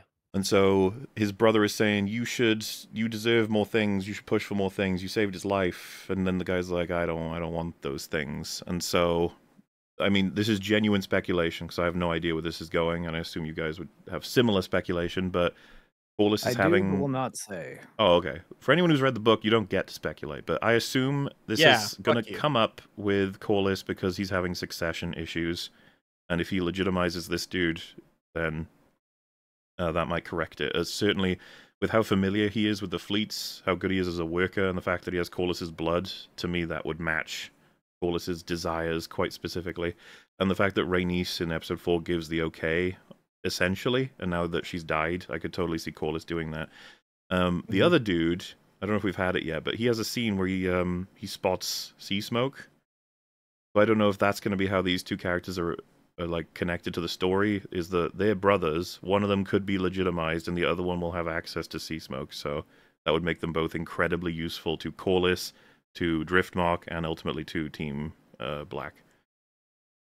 So you know that that that's my assumption. I don't know if there's anything else to gain from it because the scenes themselves don't have much else in them. So I assume that's what we're supposed to take from it. I will neither confirm nor deny. It seems like they're just trying to broaden the scope to introduce more elements. But it's a little bit But, like, ham-handed, perhaps. Do you see what I mean with what I am saying? There's nothing else I can really say with the information they've given us. Yeah, we're still we're on a wait and see kind of thing right now. I don't know what else you would speculate other than I guess they're going to be around. They're going to be doing things. But we'll see. Um, then we have Viz, Viranice and Corlys speculating on what Daemon's up to. Because it could be all kinds of things. He's a chaotic little guy. And they're talking about how, you know, he, he would he uh, take over? And uh, doesn't think so. So um, we'll have to see what happens with Harrenhal. It's it's kind of a, I think, building up them too because they've not got many scenes left. At least together. That's uh, that's called foreshadowing in the business. Oh, and she says, um, uh, uh, Rainey says, in the meantime, um, I'm here, so is Meleys, and we're not going to let the Queen falter.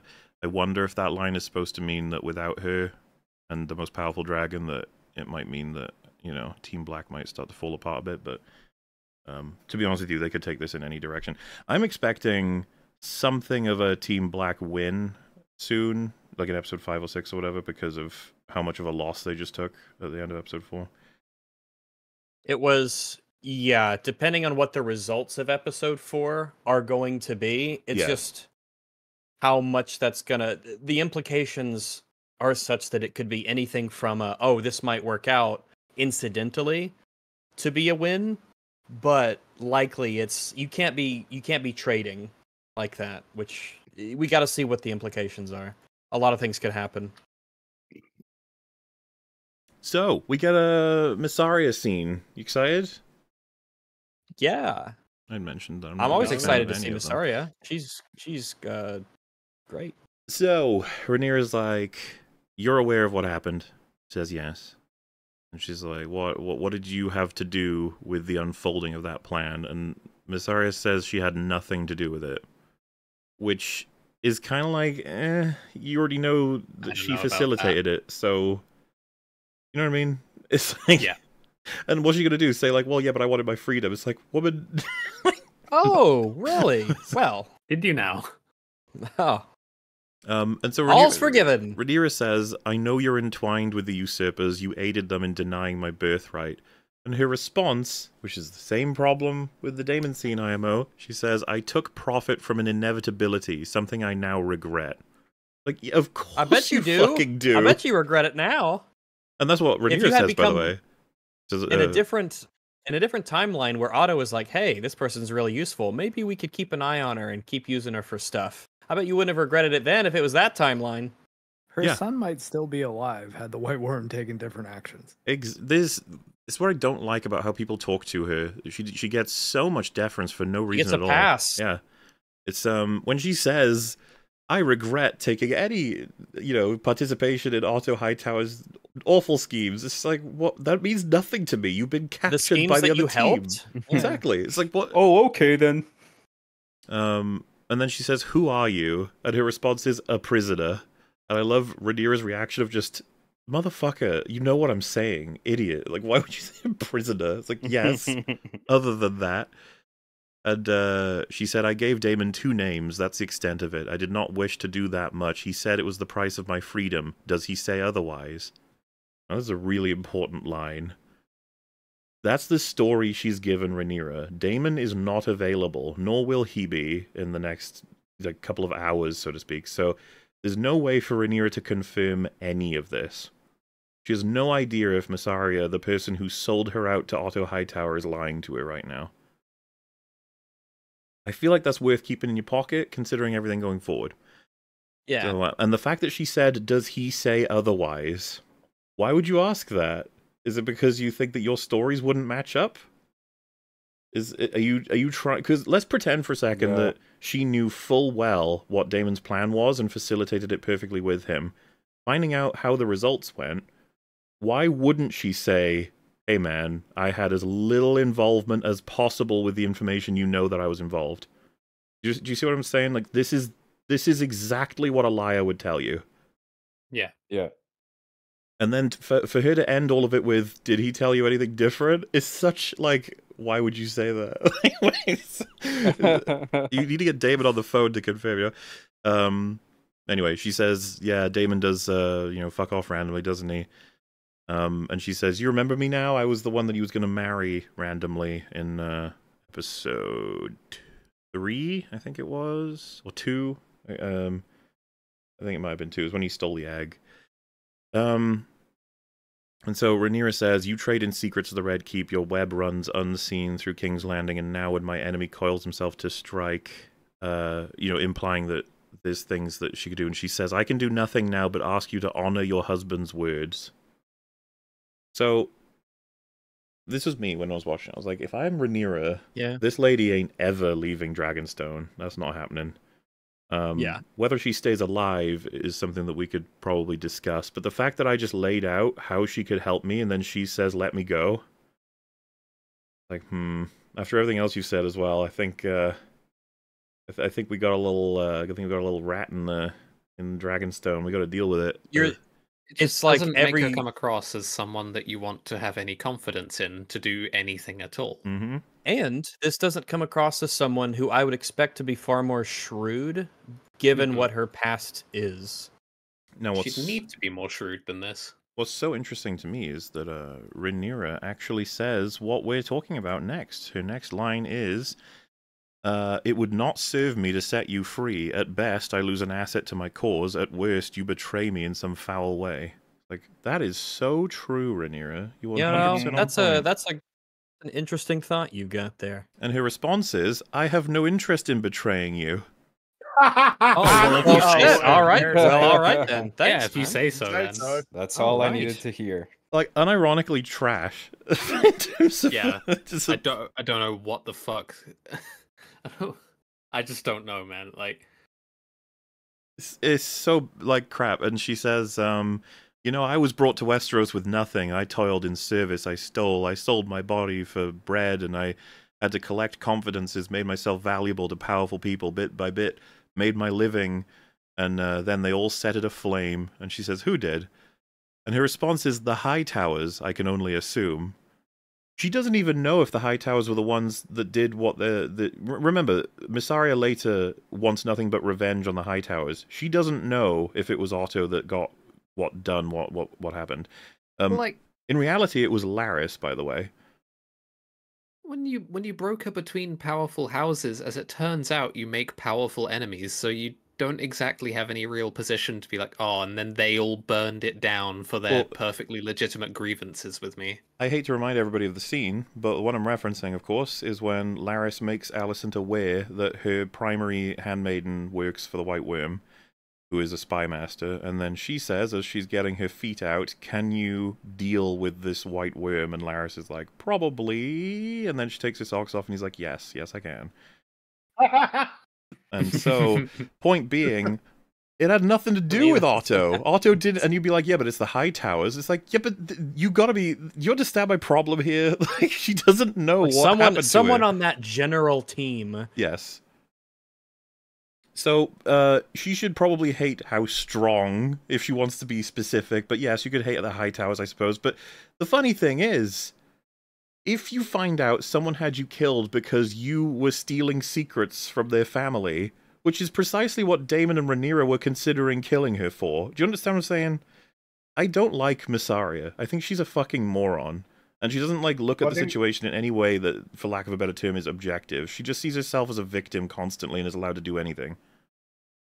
And the story, think it's, unfortunately, kind of uh, rewards her for that. Yes. Which I don't Yeah, like. that's that's the problem is that the show seems to not understand. eh, well, it's like the show needs to find ways to justify keeping her around, and so it just relies on characters momentarily forgetting reality, the reality of their world, the reality of the actions that have been uh, taken.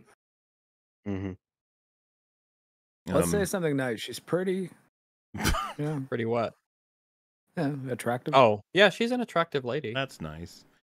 That's um, nice. So yeah, uh, we'll get more on this later because Rhaenyra asked her how she got his scar, and she doesn't want to give away how it happened. So, like I said, Addam spots Seasmoke, which will likely come up later. Uh, we'll have to see what happens with that. And then we find out the rat catchers have been booped. For lack of a better term, they've All been killed, hanged. Look at them go. Oh go. my goodness! Wait, wait, all of them? But Well, All of them. wait a second. all the ones uh, I think they say all the ones that ever had employ with the the king, which is probably a lot of them.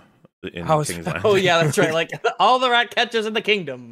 all the rat catchers in Westeros. Like, Execute Jesus. Order sixty six. The rat catchers Oh my are God. trying to take over the This Senate. was all a ploy by Big Rat.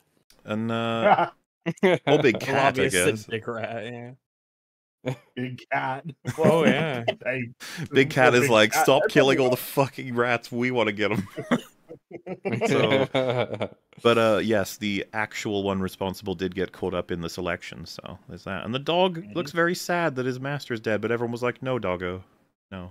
No, you understand. been- You, you have a bright future ahead of you. Yes, you'll be fine. You won't be put into a soup days later. Find a yeah, I'll find a This is- different rat catcher who appreciates my talents. Yeah. I'm always showing up to work on time. I don't complain.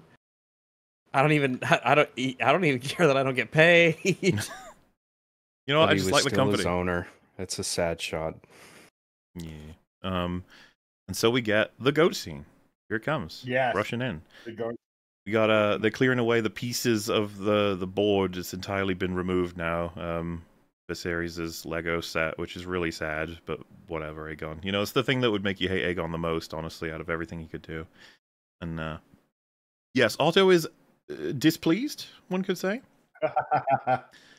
I love the um what have you done? And then he's like, hmm?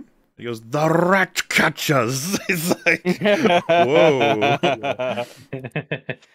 Um, his performance in this scene is nothing but fucking wonderful. He does Stellar. It Yep. this is brain Yep. crack. This is what this is acting crack.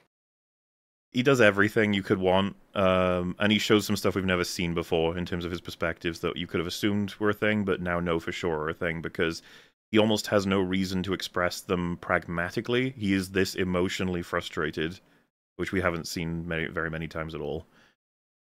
Because he's quite a smart boy, but he's uh, at his wits' end with Aegon here because he's done immense damage to uh, his plans by just simply not listening to him.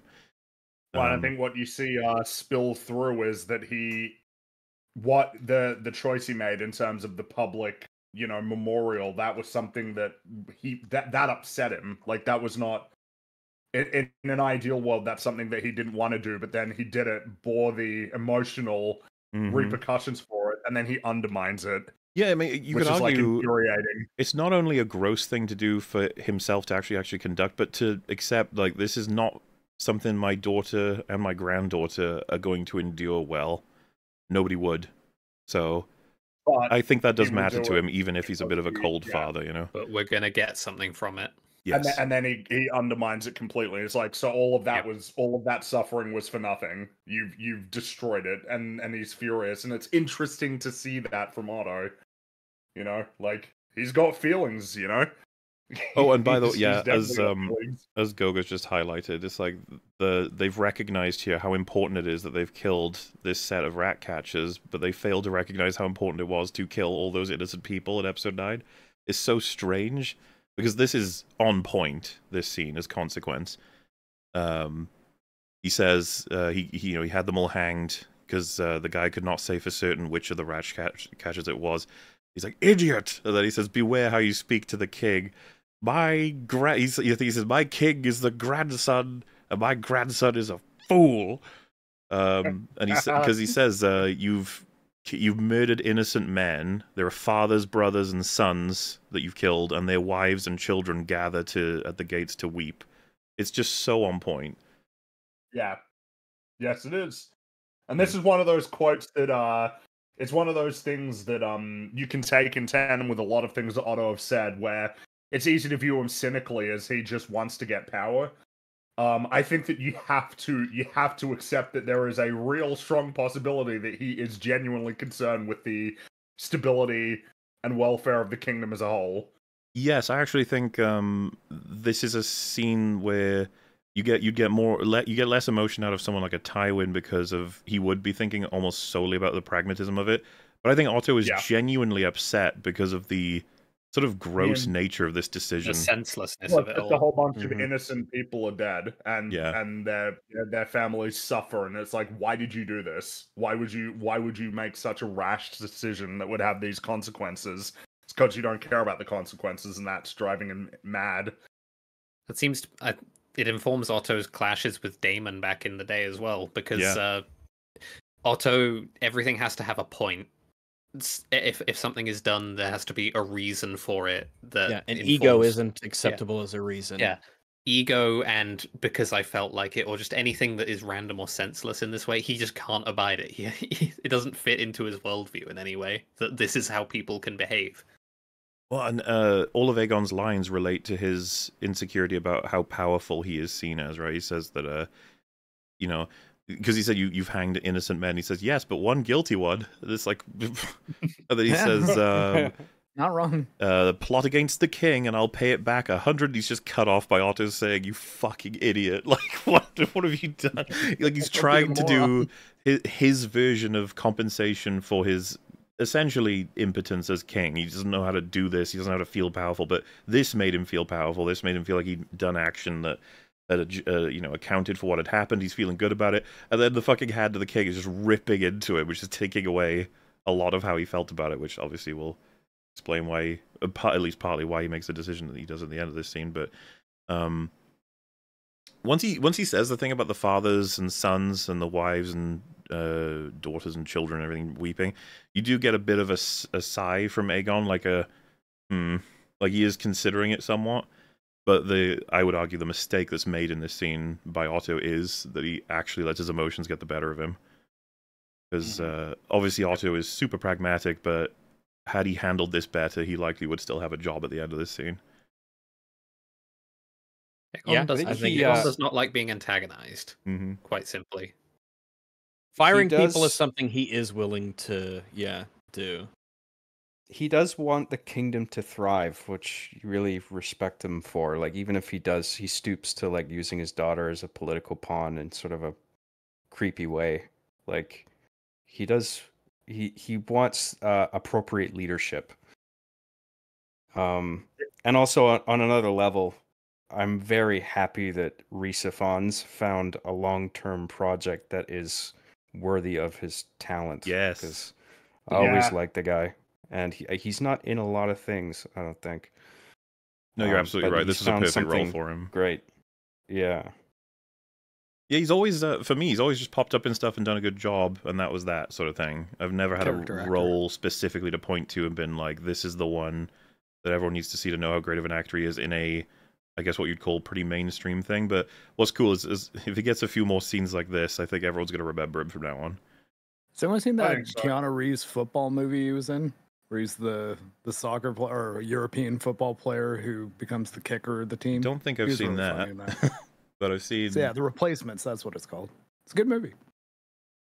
I think the first thing I saw him in was Kevin and Perry Go Large, which is not Have a great you- movie. Anyone here seen Little Nicky? I know Yeah, of that movie. Haven't seen it. He's fucking great in that film. It's not a really good film, but like he's uh he's the son of the devil and he plays it up a lot and he's great as uh kind of crazy to watch now because he's so much younger but um and he's like he, the Rhys Ifans are just in general is very punk in the way that he likes to approach a lot of characters so it was always weird seeing him like this anyway for for me 'cause it's not familiar at all but he fucking nailed it. Absolutely captures uh, the the character he's clearly meant to be playing. But anyway, um, he says, "With your children's blood, we bought their approval. With your mother's tears, we made a bitter uh, deal against the. I think he says the deprivations to come, and you've thrown all of it away. After all I've done for you, thoughtless, feckless, self-indulgent. Like he's actually when he's saying these insults, you can tell he's running out of everything. He's just so done." Mhm. Because uh, there's- what else is there to say in terms of just how much this is a fuck up? There's there's not much. Um, Mhm. there's no way of recovering it either. Yeah, these are lives. You can't just unkill them.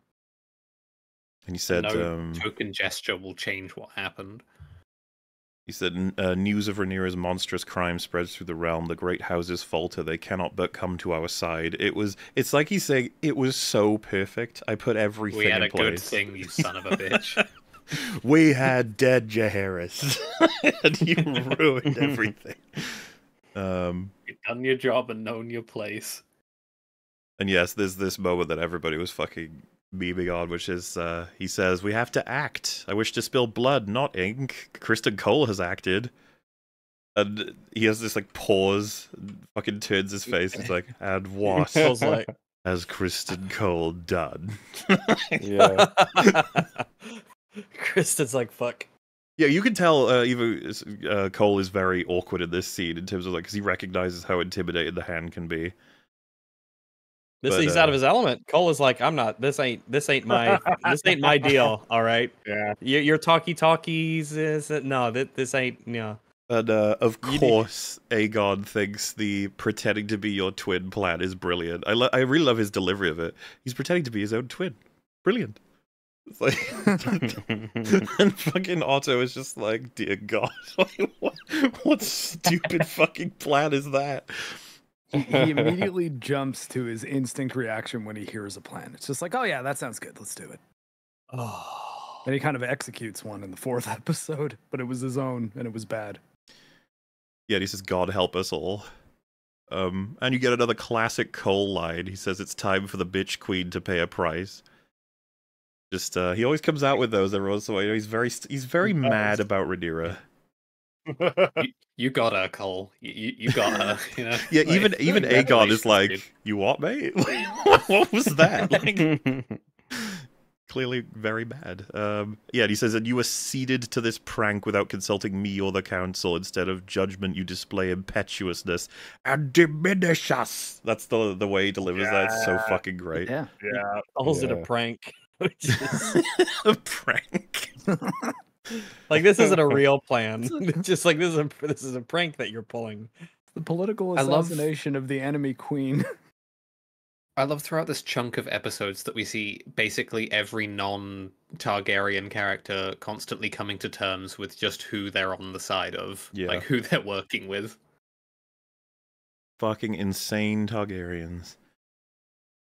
Um, yeah, and so he does the he does that. Then the ill-considered, trifling, that has this pause, and you get some of the realest Otto we have ever gotten, where he just says, "Do you never think of your father, his forbearance, his judiciousness, his dignity?"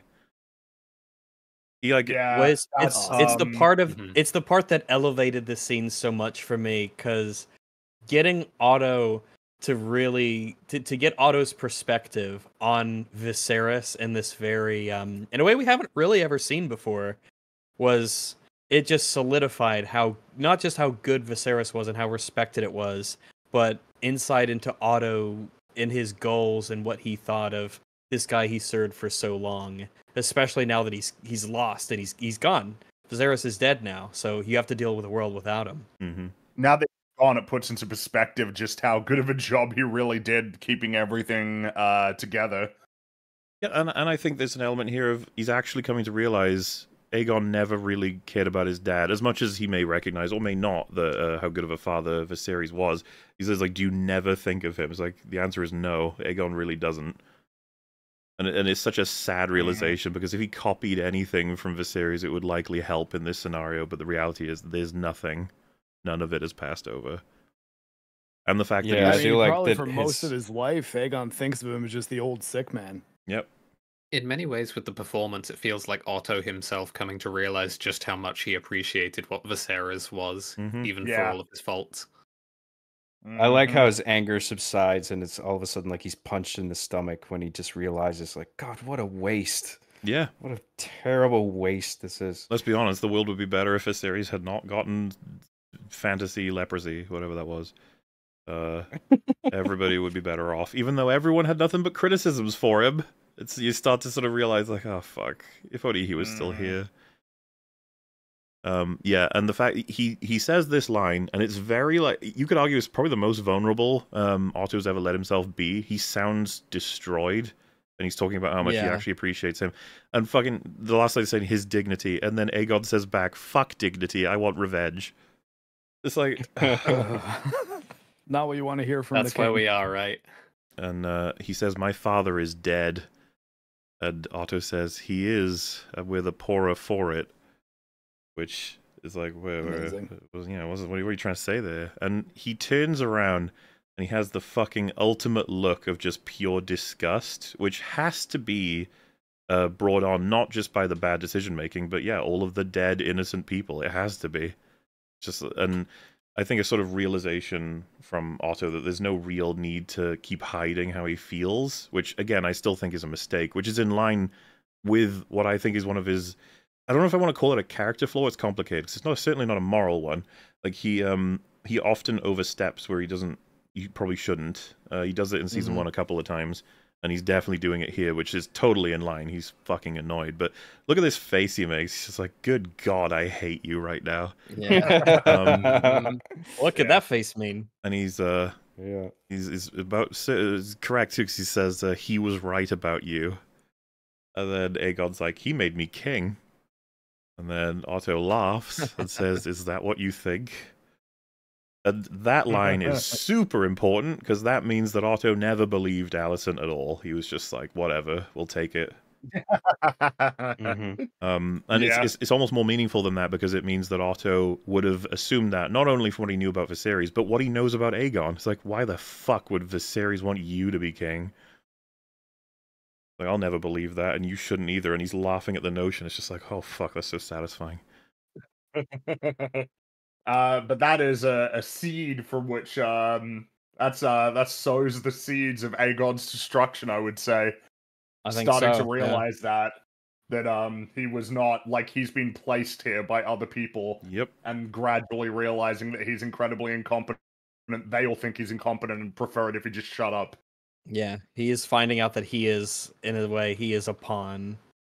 Yes, he yeah. Even though he sits on the, even though he's the king, it's like yeah, he's mm. in the big chair, but Yeah. no one respects him. Like he's he's if, it- if treated it was this like way. this, you know, this choice, right? Of like, yeah, you know, Criston Cole, you can be my hand. It's like you, it, what a bad decision. Well, It's motivated purely by spite. Yep.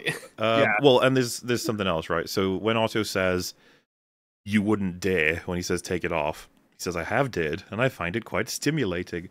And uh, I think the point that's being made there is like I'm having way more fun, you know, doing silly schemes with Criston Cole that involves actual deaths of people, which makes me feel like progress is being made than I've ever had with you writing letters, you know, procession funerals. Fuck that shit. It's boring. And he's like, yeah, give it to Cole, more fun. It's just it's it's such a bad fucking move in so many different ways. And as you just highlighted, like it's so much fun to watch Cole sort of doing his normal actions, right? Because part of why he sent he did the fucking twin job is his own huge amount of guilt that has nothing to do with Aegon and his crazy plans, or even a pragmatic approach to uh, nailing this war. More about trying to make up for all of his failures. And so to have him be like, You're hand of the king now, by the way, it's just like, You fucking what? what? what? Sorry. This is not the promotion that I was looking for. You want? I think uh, when he he says give it to Cole, you have uh, Cole deliver the most meek Your Grace. like, ever. like, why would you do that? Why would anyone do that? Why would you do this to me? Um, yeah, and he says, "In this hour, you've proven yourself of more worth than a hundred old men. My new hand will be a steel fist," which I quite enjoy as a line because it's it sums up Yeah, Aegon pretty good line. well. It's in the book too. Mhm. It is such a bad move, but it is such a satisfying slap in the face for him Yeah. to to do this to Otto. Like he's just because he is very impulsive, Aegon. He's just loving this moment. Just how dare you insult me like that? He's like, Fuck you." haha, I fire you. Haha. Yeah, and he uh uh we is later described by Alicent as uh, Aegon banished Otto because he says you're dismissed here. I don't know if that means the same thing or if he did it later, but uh, you could tell Otto feels pretty fucking ruined by this because uh, as much as he was completely right and just absolutely banging in this scene, it's uh it has cost him. like, whether or not he thinks that was ultimately the best move or not is uh, to be figured out. But yeah, we'll talk a bit more about Otto soon. But um, what a banger scene! Just excellent shit. This is uh, this I what, guess what I'm here Otto for. like Otto likely left because if he uh, if he didn't have a position at court anymore, he probably should be at the High Tower. Well, so there's plenty of pragmatic reasons for it. I guess I'm saying that um, I wonder if he regrets this whole scene because of the power and influence he had is now lost, uh, at least somewhat, right, of what he had before. Probably. As for whether or not he'd stay I after it, yes. no, I, I agree. I don't think he would. He doesn't. I don't think he wants to stay just for the fact that it, it's fucking humiliating to stay. Yeah. yeah. Um, What and is he he's- gonna do there? You, you, you're right. He has more use in uh, Oldtown, or as Alicent suggests, I think he might go visit the Oh, yeah, uh, High Town, sorry. Garden. I think he's he's gonna tutor someone, isn't he? He's gonna specifically go and be the tutor of Well, so a he character. he said he'd like to go and see Daeron, uh, who is a book character that has not been given much yet in the show at all, other than I think two mentions, maybe three. Uh, he said he'll be more willing to listen to him, and that his dragon is close to fighting age, is something someone said at some point. So I think either a season end of season two character introduction, or probably season three. Who knows? We'll see. But uh, yeah, Otto wants to go and get influence from that fella. Slash, go to I think, like I said, go to see the Tyrells in Highgarden was something uh, Alicent mentioned. Anyway, after that, we get a comparably much worse scene, unfortunately. Um, after everything that we've gone over with Mysaria slash Rhaenyra and what decisions should be Mm. made, uh, Rhaenyra says, "I don't know if I can trust you, and I sense there's danger in you. But I will keep the word of my house. If you say it was given, you may go." Uh, Why? That makes less than no sense. One of the most nonsense fucking lines ever. There's no. This was this was a moment I think when I was watching it at the, for the first time. It was like there's gonna be consequences for this, and what I mean by that is there's a reason they fucked up this much. Like she's gonna Oh, be Waller, there will be consequences. Don't you worry Well, worry. Uh, just to be clear, what I mean is like th- this won't just be a markdown in terms of poor writing for saving Mysaria's life slash not drawing all the information out of her. Those are consequences, but clearly the writers need something to happen. Don't know what it is yet because I don't know yeah, where this, this story's is a going. But I was This like, is a setup thing. it's a reliable thing we've talked about on EFAP many times. Whenever something really fucking noticeably odd happens, it's like this is to facilitate something. Don't know what it is, but something is gonna happen. And uh, yeah, she says there's a ship for you waiting. It's bound for Mia through Pentos, and that she's uh, gonna be given passage. And she ends this whole thing with, "I am not so unworldly as to let you fly free." It's like, um, so you're gonna send one knight and what? He's going to be with her for the rest of her life? Or uh, do you think it's going to be hard is- for her to slip this knight in Pentos? Like, what? What are you talking about, woman? Some master intelligences. I don't understand what Well, the fuck I she thought she was saying. They they have the Targaryens have friends in Pentos that would be taking care of her though. They're ultimately where um, other Viserys and Daenerys go. This is well. that's- to that's be where there fair, you're talking about um, the guy who met they met in season one, right? I mean, like it would be his ancestor, I'm sure. Like it, So- people of the same group. we're talking about possibly several boat rides, like stopping in all kinds of particular places. That knight is going to make Oh, sure yeah, he never leaves his sight, and that she can never speak to anybody that would have influence. To f- my point is the uh, Rhaenyra said. Oh, the journey would be treacherous for sure, especially with their cargo. Rhaenyra said that there's valuable if they're the, the the best version of letting her go is that she loses an asset. The worst version is she loses someone who is going to actively plot against her with her enemies. There's no way sending one knight with her prevents that. That's insane. Why would you ever even think Yeah, it? fair enough. and that um in this world like the, the, there's a couple of criticisms of Rhaenyra that I tend to defend on her behalf so to speak I'm like no I, I can see why she did that or that and you should she shouldn't be rated as a shite queen or one that doesn't do anything because of this but this is one I can't defend in any way shape or form I think it's rough This is a toughie. but I would have understood her executing Mysaria. I'd have been like, yeah, I mean, unfortunately, she's very dangerous to be left, uh, especially with her history of selling your house out consistently and causing you nothing but damage under the justification that she's hungry, which turns out humans get hungry semi regularly, so there's no reason to think she wouldn't just do it again. And I don't think her telling you, uh, no, I'd never do it again. Is uh, is acceptable? I don't think that's really that useful. IMO when That- she's in your fucking you see- prison. The thing is, like, so, so I, I, I know what lies are. Yeah, right? yeah, that one. So this this really gets in the way of a lot of the stuff involving this side plot line. Like I I know what lies are, and you're probably doing one of them. And for the record, like I said, I wouldn't kill her. I would get every last piece of information out of it, and I probably would be interested in trying to get her to work for me. Um, I would never You've let shown the her- capacity Yeah. to get in the that position, so like that's valuable to me. I just have to be like, look, I need to make sure that you're on my team to the point where wanna- once we're like squared away, Yeah, I want to give you a job, but we're gonna have to work to get to that point. Understand? Give me some accomplished objectives because of your information. And you want to bring in that, a that little will be a better way whiteboard. to make your case. You know the you know the fuck around find out whiteboard A meme. little white. You need the not like not fucking fucking with and uh, getting rewards, you know, thing, and be like, see if you fuck with me in a good way. I mean, you, you got one on the on the on the board. If you do it twice, ooh, that's even better. And then three times, oh man, that's a pattern. That's what that's what we call that. And then like four times, you'll have you'll have graduated from I won't torture you to or much to I won't torture you to I'll keep you in a nice cell to I'll keep you you know you can walk around Yeah, you can to- yeah. you can elevate to maybe a member of my council. Wouldn't that be crazy? But I'm going to Yeah. need a lot of benefits first. You must understand that because you have been a thorn in my family's side for some time. But we didn't even get that. We just got her saying, "Yeah, I'll let you go." Oh, okay. Nah. Yeah. What a pity. Because the thing is, uh, where all this goes, I think you could have done that storyline, and it would have worked way better than what they do. What they do I here think is so, a it fast would've- track. Yeah, it would have given us a long progress on her doing things and being an asset for, you know, Team Black and you can use Mhm. her at different intervals for facilitating events.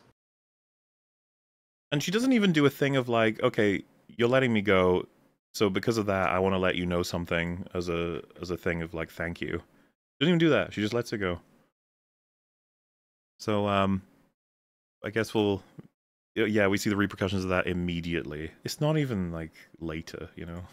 it's like now that that has happened, like 10 this will happen. later Yeah, uh, in universe, but for us, it's in instant. universe. Um, Yeah. so Sir Erryk, the the one that's conducting the twin plot, I don't know at this point if I should just describe all of the events and then we uh Yeah, do it. You should just do it do your that way. we're gonna go through it all and then we'll go through it all. So this will be the quick vision. She's going down the beach and she spots Eric in his Kingsguard uh, outfit. He's he's moving on up in the armor and he goes in and tricks the front doorsmans into thinking he's Sir Erryk. Goes into the castle and carefully avoids spot being spotted at the same time as his twin. Gets into Rhaenyra's room after figuring out who's on guard and trying to get them out of the room. He um unfortunately is unable to uh, complete his assassination because his brother comes into the room, which I think we're supposed to believe it's because Mysaria has tipped him off. She managed to get the information back before uh, he would have completed the assassination. They fight, and uh, Sir, I want to say Sir Eric kills no Sir Eric kills Sir Eric and then kills himself, and uh, Rhaenyra makes it out, though not unscathed. I think she hurts her hand. Mhm. So We can talk about the good and the bad, you know, because there's plenty. Well, so the bad Um, already is like, oh, you're just walking out and he's there in his king's, like his his full set of armor. Uh, Yeah. Oh, wait, hold on, that's a bit sus. Yeah, it is. It's so sus. Why would he do that? That's big sussers. That's uh, have that's what we call a stupid thing to do. So yeah, you, you gotta bear in mind here. This is a very odd choice from him because boats coming in and out on Dragonstone. There's not a lot, and I wouldn't be surprised if the harbor has people who are familiar with the state of who's in and out of the place in general. What I'm saying is you got to be a little careful because what things can give you away pretty easily. Now, number one thing that might give you away is wearing incredibly special armor. You might think, well, he's just going to tell everybody that he's Sir Erryk. Like, yeah, that's not going to work great if everyone knows that Sir Erryk is here right now. You're going to be like, Mhm. what do you mean? You never why left. coming off the boat? What? Yeah, what's the deal? And then he'd be like, "Where did you go?" And he's gonna be like, "You know, I uh, I went to I went fishing or I went whatever thing he comes up with. They're gonna be like, "That's really weird, bro," and I don't believe you. Bro, like, what did "Yeah, you say? well, What did you say, bro? I guess he's just gonna have know, to um, brute force it uh, and hope that nobody is is at the dock slash the harbor. Nobody sees him along the way. That's just like, why are you here? What are you doing? What are your orders? Why aren't you up there where I know that you should be? There's what I'm trying to say is he's a bit of a moron. He should have packed up his armor in a big old sack. He should have made himself look completely commoner and been like, oh, geez, oh, I'm visiting Dragonstone to help with, you know, blah, blah, blah. Just one of these guys. See, there's lots of these old people here just doing their thing. Just some guy. Yeah. Yeah. And uh, he can manipulate his hair in any way, shape, or form that he wants. Quite long, put it in front, put it around, make some. You know, do the layer hair. You know, it'll really distract people if he does that. He wouldn't. They, he won't look at all like uh, the person he's going to be impersonating. and so, what you would do then is when you get up to the entrance to the castle, go behind a rock and just change into your actual uniform, and then pop out and be like, "Hey, fellas, how you doing? I'm who I am." And uh, at that point, the risk of the plan is as expected. You know, I, I get at that point it's still risky, but that is the plan, is to hopefully trick people into thinking you're the twin for as long as you can get a kill on Rhaenyra. Now, we bring all of this up because it would have been clever of him, or rather normal of him, to have made these choices. Because he didn't, Mysaria obviously spots a Kingsguard that looks kind of like Sir uh, Eric. I mean, fucking, I'm to confuse this now. Basically, the one that should be where she just was, because she was just speaking to him. So that doesn't make sense logistically. And then she, unfortunately, is one of the only people on this fucking planet, and I'm not kidding when I say that, who has unique information to know he's actually one of a twin. So instead of what a, when a normal person sees a person in one place and then sees them in a place they'd almost think was impossible, what the brain will do is tell them, yeah, but Oh no. what do you what do you expect? They didn't teleport, so they must be them. And you're like, yeah, okay. But she has unique information, so she can be like, wait a minute, that could be the twin. And if it is the twin, he's loyal to the other family. Oh my god, an assassination attempt is about to be conducted. And she does nothing. What man, lucky, huh? That she saw that. Yeah, if you haven't grasped what we're trying to get at here, this is incredibly lucky. Lucky that she was let go. Lucky that she was walking past. Lucky he was wearing his armor instead of a better disguise. Hmm. Not amazing. I mean, uh, realistically, I think you're you're all... initially to defend against this too. You should probably just immediately tell Sir Erryk to shave his head once he joins the Blacks. Like, just be like, "Hey, we got to have you not looking exactly like your brother. No beard either." You- do a you're not wrong about that, but I would, uh, mustache. I will at least have allowed them that. Um, but this was way too far. Especially because, as we know, um, if not for this, he would have killed Rhaenyra. I would say it's like a 99% chance he would have done it. And that is what we call consequence.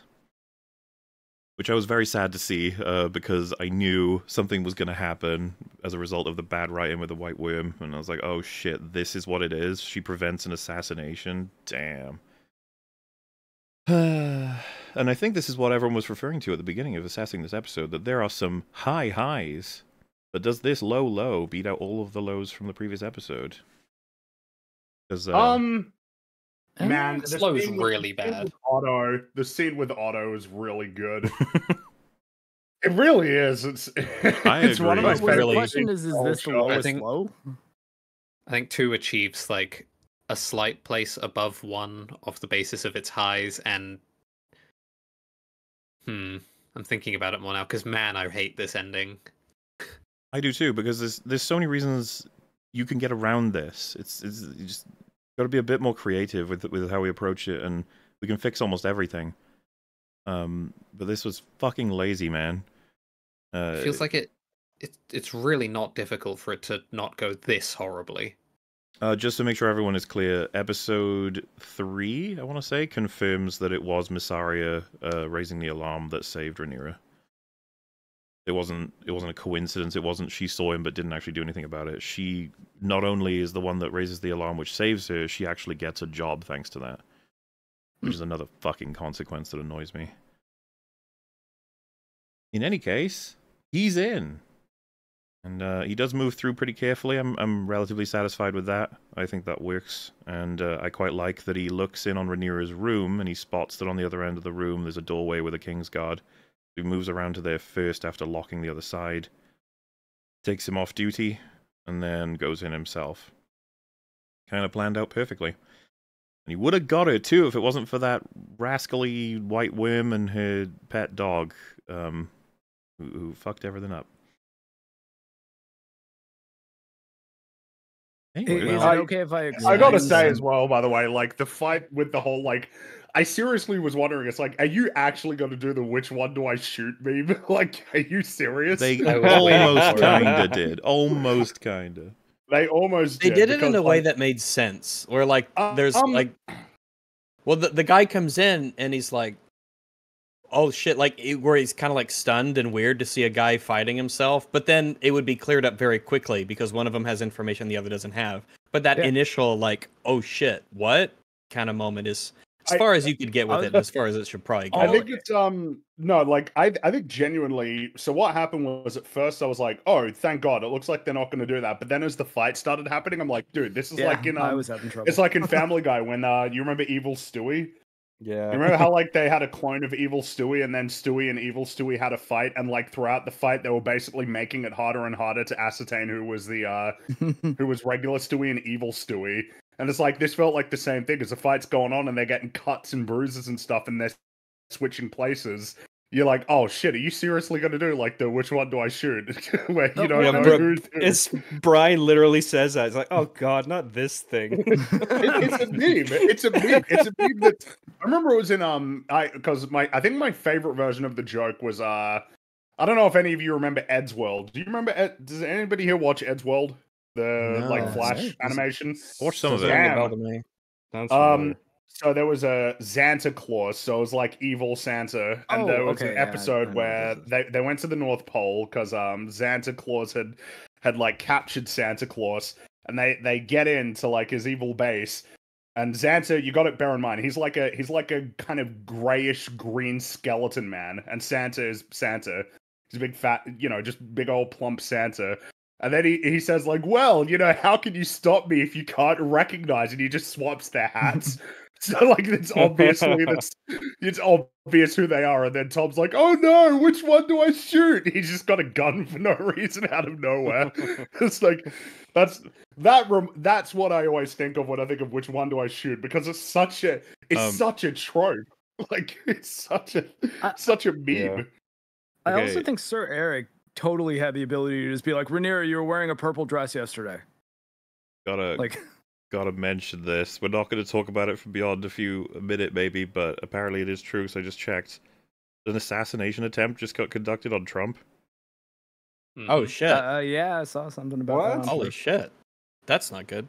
Um, Damn. apparently he's okay, no. but he's like there's blood on his face when he comes back up. Holy shit. shit! Not Holy violence, crap, not good. Everybody, really? no matter what your political allegiances are. No, of course Christ, not. Uh, that's crazy. And we Do will get back to talking it? about our nerdy fantasy show, but I don't. I'm just saying that like it would be impossible not to acknowledge that that just fucking happened. Damn. yeah, we're gonna be hearing about that. Well, uh, yeah, like I said, probably not going to talk about it. Just acknowledging it because chat was wondering if we knew. So that's uh terrible, and we'll we'll just uh we'll carry on talking about the the funny twin fight. Even though I was actually going to say this fight, this part is actually kind of good uh of this whole thing. What the Yeah. which, which portion of the fight? Like the fight itself and the ending? Um, well, so I was gonna say the uh, I think Rags, did you say at one point you kind of wish there was more for the twins when this sort of completed Uh, this yes. story? I think the twin stuff should have lasted a bit longer as the conflict grew on. Um, and I wish that we got more of them doing their things at their respective places and wondering about, you know, the conflict that led them to be, you know, enemies. And I feel like we could have just done more with this concept of, you know, the two twins when in the, fighting for different sides.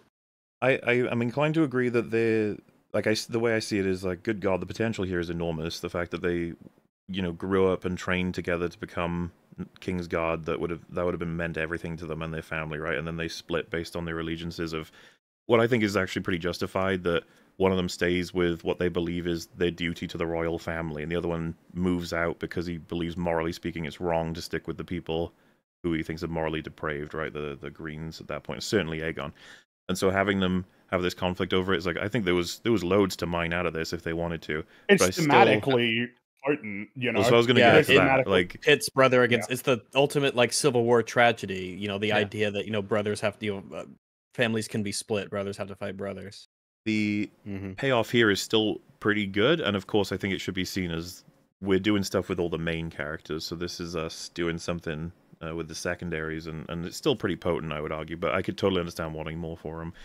What I was going to say is that the fight itself is pretty good in the sense that the way they get injured respects the way their armor should work. So that's fun. Like they they get each other on parts that isn't armored or between. Uh, like uh, both of the kill shots are underneath the plate of, of their chest. So yeah you like you like to see that instead of it just the armor doesn't work. Uh, obviously, Game of Thrones, as part of its deterioration, the armor stopped working at certain points, which was a little bit annoying. Especially because Game of Thrones season one has a fight where specifically because of how armor works, it allows a character who is at least you'd think maybe he wasn't going to win uh, otherwise. Like his armor gets him the upper hand in a fight, which they never fucking do that in these things. Like rarely ever does the armor mean they win. But it, no, it's fun. when It's it's right should be there. a it's just huge like, it's determinant, Kind of yeah. just there to be like, well, yeah, people in medieval times wear armor For a reason. it's like, yeah, why? it's a why? uni- yeah i don't like it when it's it's it's one of my biggest problems with star wars is like it's it's armor it's not they, they treat it like it's a uniform to, to- so i can tell what side you're on but no it's like it's supposed to be armor Yeah, because people are talking about it. It's uh, Jorah Mormont's fighting a Dothraki, and he shoves the arakh into his side, but he just locks it in because it hits his armor, and it's just at that point he's helpless, and he just hits him with the sword into his face. It's uh, it's the kind of shit. Like I said, you could create so many payoffs from it, but they rarely ever. And when I say they, I just mean storytellers. They rarely ever use the armor to do stuff like that. But uh, this armor is fight, very important like I said, sort of respects it. And as the fight goes on, the injuries get worse and worse and worse, and you get um, some back and forth. Like the, I think he says, uh, "We were born together," and he says, "You parted us. I still love you, brother." And it's like, oh, this is sad. there's, there's, uh, there's nothing else to be done here. They're both what are the? It's like uh, immovable object meets unstoppable force sort of thing. So, Big uh, sad. yeah, and um, well, yeah, It is pretty sad. thematically, you- it was already mentioned, but thematically, this is. It's just this shouldn't be happening. The only reason that this is happening is because of a variety of societal uh, pressures that have forced a confrontation between two people who don't want to fight each other. Um, but they they now they they have to, and the Mhm. result is that they both end up dead as a consequence, which feels like uh I mean that's the point right of the show is that ultimately the fight will destroy the, the um, family. will destroy the family completely. Yeah, it's uh, Even a victory can be counted as a loss. thematically appropriate in microcosm, and everyone recognizes how awful it is, but it can't be stopped. It's it's like already done. Yeah, and so he kills. the Uh, I think I. I think there was some confusion of uh, which one was victorious, and I think a lot of people would have assumed that's something they'd want to work with. Uh, I, I saw it discussed at one point that um, whoever remained could be motivated to kill themselves anyway, no matter if it was the one loyal to Rhaenyra or not. But um, he does refer to her as Your Grace, so I assume Yeah, that was what I thought as well. I thought it was um whichever one was hers. It's Yeah. Eric, right? Eric. I think Eric, yeah. Yeah, I thought so too.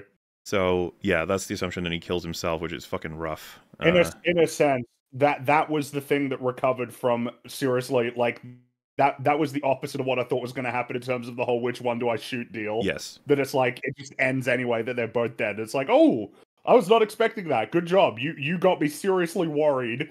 Like that you were actually going to have it be like, oh, who knows? Maybe he's the infiltrator, and maybe he'll be working behind the scenes to subvert them. It's like, no, no, no, no, no. That's you can't be doing that. Okay. Uh, like that's considering considering that, What you if might each well just kill him anyways, uh, just to be safe. I have a better idea. Each twin was simultaneously given a secret mission to pretend to be the other.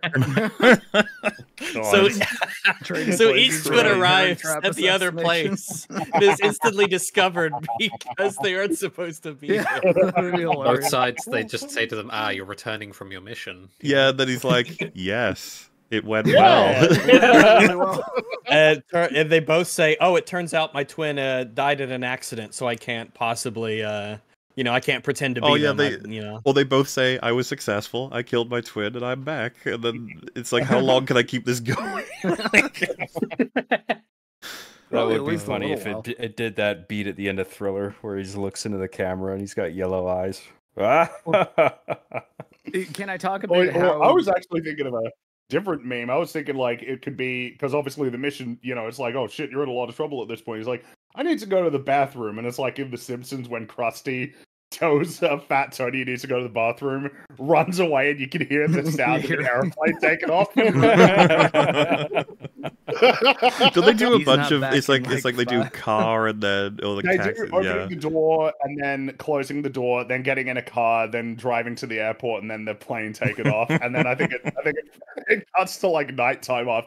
Oh wait, or am I mixing that up with the McBain one? I can't remember, but uh, yeah, I remember yeah, a I'm bunch trying of, to remember too. bunch of sounds. Um, I think I remember saying him saying something to the effect of like, "Let's wait a little longer just to be sure." yeah. Uh, But uh, uh, I was gonna ask though, can I can I talk a bit about how this scene goes down in the book, or do you guys not want to know? No, you, I think that's fine. Yeah, You- you- go you- for I'm sure you know? what things not to say in case it regards anything. Yeah, like I, I'm only going to be talking about the brother versus brother fight. So Mm-hmm. uh, the interesting thing about it is, it's this is one of the facts that's disputed by two of the different sources, and um, one I think it was the the sept uh, no sorry the maester that uh, his account says that it went down pretty much the way that it did here, except they just both kind of stab each other at the same time, like right away and and but all the things that they said are like line for line almost and in Mushroom's version and Mushroom's like the jester dude the little dwarf guy he he says that they were like brother like i will kill it's like the total opposite where they were like this was the the fateful battle between brothers who hated each other and like one was gonna live one was gonna die and they both ended up dying i always thought Hmm. that was kind of funny Well, so um, that's the thing about what everyone has said. It's uh, the continuity isn't necessarily changed or broken because there are counts of events. I do find that interesting. Um, and Gary was saying it's it's way he way prefers this format for storytelling. I think uh, Ryan said the same. That because I, I mean I don't know if we've come across anything that we would have this perspective on in terms of like movies we covered on EFAP, but having a person telling the story and thus it means that none of it is concrete it's just from poor memory can be pretty frustrating to get invested in i guess Yeah, like is ever am I supposed to doubt everything that happens? Like that's fun for a few things, but when it's everything, kind of wears out its welcome. I, I think most of the events in Fire and Blood are, are pretty clearly set in stone. The thing that's really up in the air is like the motivations and how how it exactly happened down to like the you know the events and dialogue and things like that. yeah um you know it's, it's, it's an interesting comparison it's just uh it's not quite the same as like the game of thrones books i guess in comparison what i was going to say though is uh, as much as we've been laughing a little bit uh, it is a very fucking traumatic scene uh really quite sad Yeah, and Yeah, it is. Oh, sad. yeah, it's very tragic. It's, an, it's it's a fucking tragedy. Absolutely. um, once again, watching both of them kill each other and then Rhaenyra's reaction, just utter dis fucking despondent dismay, sorrow, just this. Why has any of this happened? There's Um, plenty going on with this fight, like rampaging around in Rhaenyra's personal space, ostensibly, while Yeah. she's helpless to do anything but watch. Mm-hmm. Yeah, So because the, wind back door is the uh, whirlwind, sort of. Uh, back door's locked, and so they just have to watch and wait for one of them to be victorious. Because as the uh, as the other King's Guard said, he, d- he just doesn't know which one's which, so he can't really help. Mm-hmm. Which is like, geez, what a shitty position to be in if you're that guy, you know? Like, fuck me. Like, your job is to protect her, and there's these two guys fighting, and one's trying to kill her, and one's trying to stop it, and you're like, "Fuck, what I- shit. Which gives us the Alicent and Otto scene uh, next up. Which uh, he says it's ignorance and vanity. You know as well as I do that Aegon needs to be kept in check, as does Sir Criston, the two of them together. And then she says uh, Criston's devotion can't be questioned. But if it does come to war, and he says he's insured it, which um, I imagine he's obviously talking about the twin thing here because that's just a guarantee, which I think is interesting comparing his choice to do it uh, at the end of season one, a similar plan. But I have to imagine it's because he doesn't believe this will work. While it would have worked maybe before because it would have been complete surprise, right? They didn't even know that Viserys had died. Um, so th- it, it's an interesting comparison that Otto would think this is retarded because all it will do is uh, sort of add to their side of this of the war, if you know what I mean. Like they can claim like they sent an assassin in the night to kill me, um, because he just doesn't believe they would be successful. So that it's just like yeah, the the war is is all but started. It just needs some kind of official push. Um, and he says they wish now not for the good of the realm, but for petty satisfaction of vengeance. Which, uh, yeah, it's just an interesting carving out of exactly what kind of character Otto is. Um, he says so he's going to go to Oldtown, or we'll they'll do, he'll be doing something in um, I think where the uh the Tyrells in Highgarden. I can't remember if that's called the Reach or is that the. Is it, how's your geography on this, Marc Theo? Where where where are they at? I forget. There's all the. the Oh, I, I really fucked have up my no idea. geography earlier in the episode, so I'm too I'm too afraid to say. I might be really wrong. Chat will help me out eventually i'm sure of it. Um but yeah that's likely where he's going to be heading. And otto doesn't show up in episodes three or four. It's it's horrifying. It's, It's like sad. you Why are we here? um yes it is the reach. There you go. So um yeah he actually um uh she uh Alicent says while he's gone she's going to speak sense to Aegon. His blood will cool and in time Otto may yet be able to return like clearly showing how much she's going to try and get this to work she's invested in him and stuff which I think he takes really well and um he takes her hand and says, The young are peacocks, all shrieking in feathers, but we will yet prevail and bring forth peace. I believe it, as long as you and I hold fast. And it's such a nice moment for them, but uh, something else happens, and this is this has had a lot of discussion as to what exactly it means. She she like sort of tries to take a breath and chokes on it and says she's sinned, and then he says, "I don't, I do not wish to hear of it." And uh, she has a distinctly sad reaction to that and Mm. leaves the room. So, what do you guys think of that? Uh, I just- hmm hmm. I got a few thoughts. I suppose it's like it's it's conflicting. Is that a case of it's? It feels like this is uh for for as much as it was trying to be the, the both of them kind of mutually building each other up. That there's still that fundamental disconnect, right? Of of like she can't she, She can't talk to, to him, Yeah, she wants to confide in him. She wants to talk to and he won't but let her. That Maybe there is an element of it doesn't matter what bad you've done. It doesn't change anything. We still have to do what we need to do. so that it almost Go ahead. seems to me Otto like misconstruing what she means there. Almost to me, like she wants like absolution, in essence, but uh, I, I'm not sure if that's the way he interpreted what she meant. Um, so uh, the two big takes on this were one, um, he's once again in a moment where they've connected more than ever, almost on the strategy and the assessing the situation, and the fact that she's saying she's going to do what she can to get him back, and that they're a team, and that she feels comfortable enough to start expressing to him what she's failed to do, as she, you know he is her father, and he fails miserably and says, "Nah, I don't want to be doing that shit. Uh, I've, I've got enough on my mind." The other interpretation is that she comes to him with this and he's saying to her by saying what he said whatever it is it doesn't matter. There is no sin that makes it so that we shouldn't conduct the jobs that we're doing. And that in a, in a sense that is him reassuring her that you shouldn't you know take this to be what it is. I value the perspective. I think it's interesting the second one but i don't believe it for a fucking second. Um there's two reasons. One, because of how I feel about Otto as a character and everything they've told us about him so far and the family dynamic that we have. But two, you guys remember what happens next? Um, specifically, Like the next scene. no, it. Oh, the next scene is her going to Cole.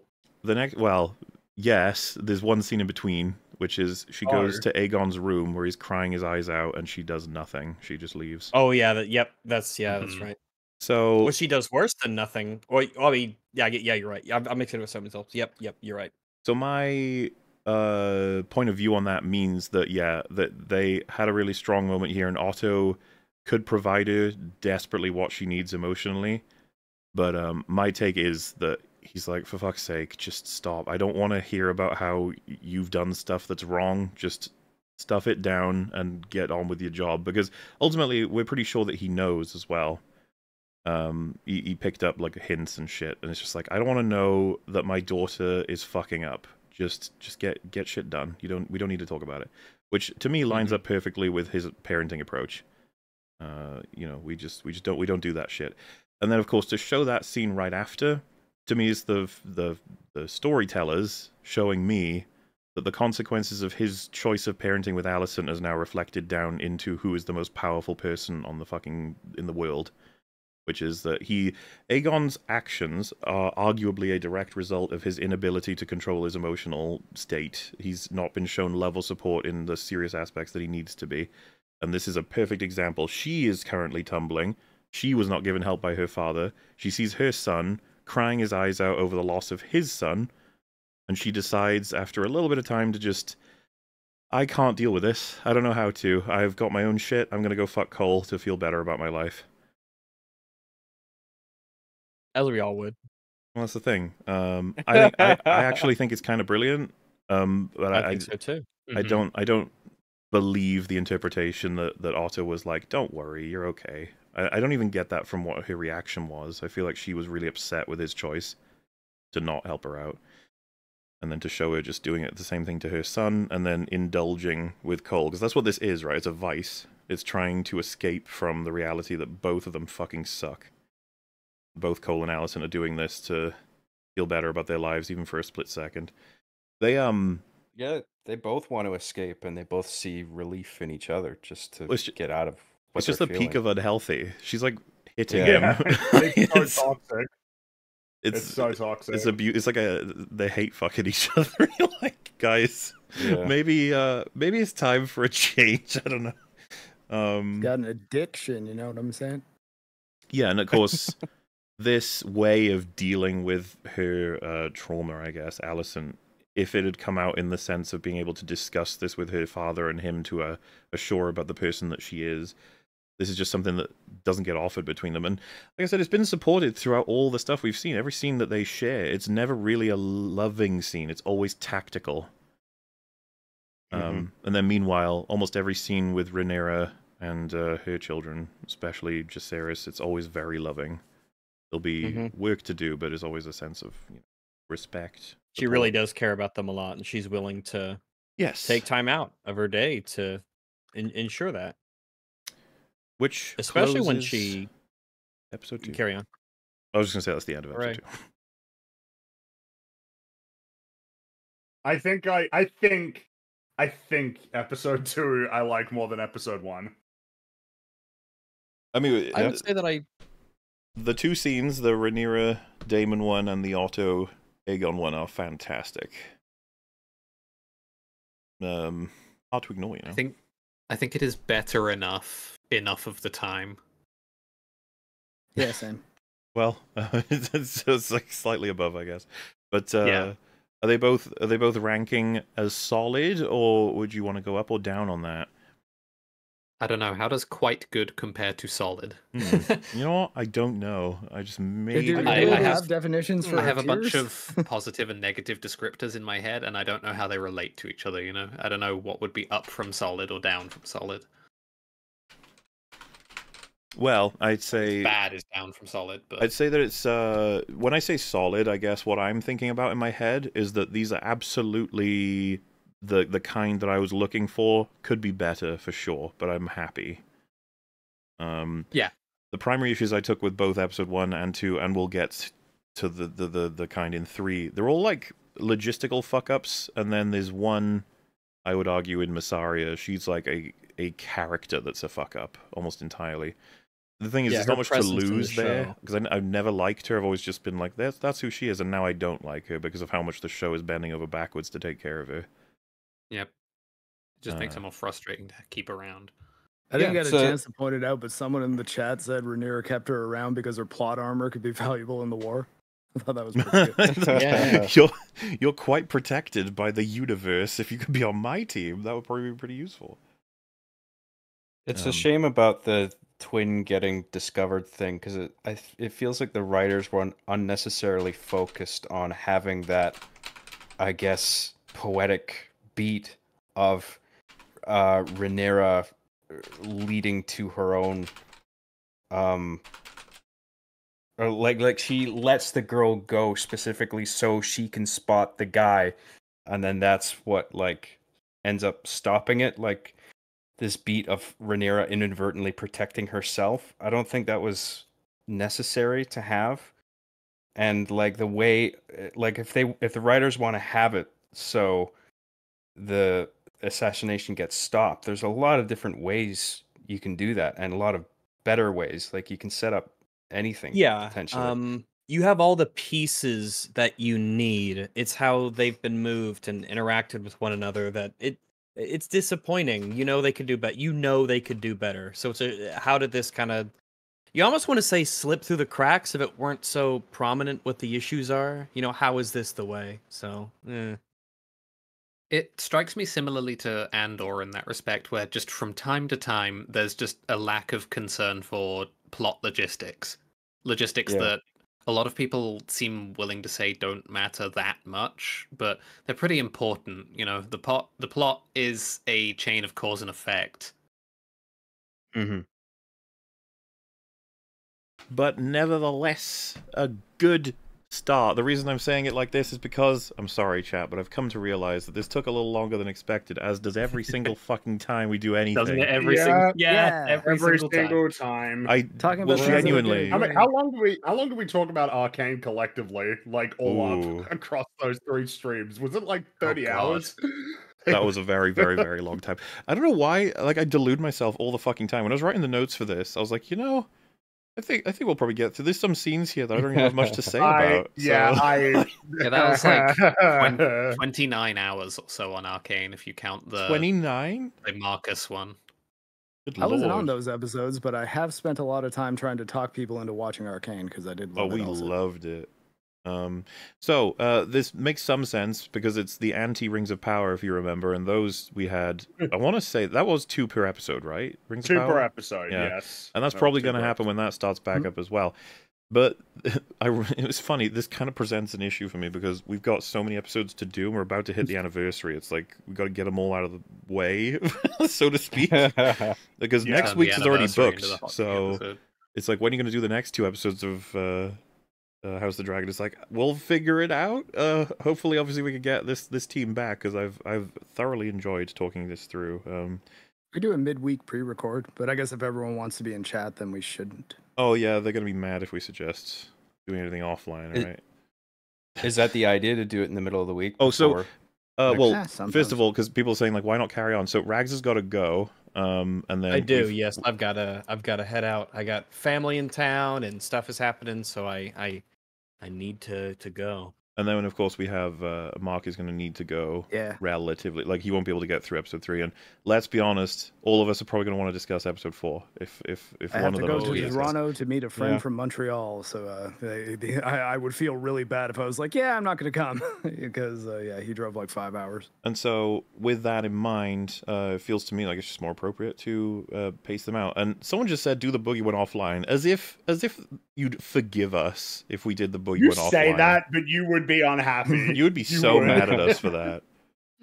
You, you'd post all the Mole of Rage emotes. You'd be you'd be doing that all day, every day. So, like, do not do not fret. You will get more Hot D in future because I uh, it's there's only four episodes out right now. So in theory, by the time we get around to the next set, We we we're slowly catching up. Catch In- up. in we theory. can catch up. Yes. In, yes, in theory, a game theory. But yeah, we can. Um, I'll figure it out, I swear. But like I said, next week, which I'll be working on throughout the week now, is making a fucking compilation for us to, res- the, I was about to say respond to, but more so react to, uh, with a whole team of boogie experts. They're going to be making a Boogie, return. boog- boogologists. Boogologists. um, gonna be very very fun i'm sure of it but if you want to see uh you know up to date coverage of hot d gary is doing weekly streams in which i participate sometimes with a shad sometimes with a frongo sometimes with i'm not sure if other people are jumping on at some point they very well may be but also ryan we typically go for three hours and we just talk about the episode so if you want to know what i consider to be the pros and cons of this stuff as it's coming out you can check it out there but for now uh, you'll have to you know be satisfied with the first two, and we'll do more in future. Like I said, hopefully with this team if they're up for it. But for now, I we're feel probably, like episode four is going to be a long one, like for discussion. Probably. I would imagine. Well, and who knows? By the time they hit five, six, seven, I imagine eight might. They've crushed a season of ten into eight, so you know, it, in theory, it would be more dense with um, events. But who can say? Um, uh, as per usual, really appreciate the uh, you know joining us for this long. Obviously, everyone yes, here. thanks very chat. much, guys. and for sending us Mhm. the kind donations we are getting to them. Me, Fringy, and Rise. You don't understand how we are we are catching amount. up. Absolutely. Like, if I could try and explain briefly, uh, I'm doing with Fringy the the acolyte episodes, which in and of themselves just eat out two days of every week themselves to get them Mhm. done as fast as we do them.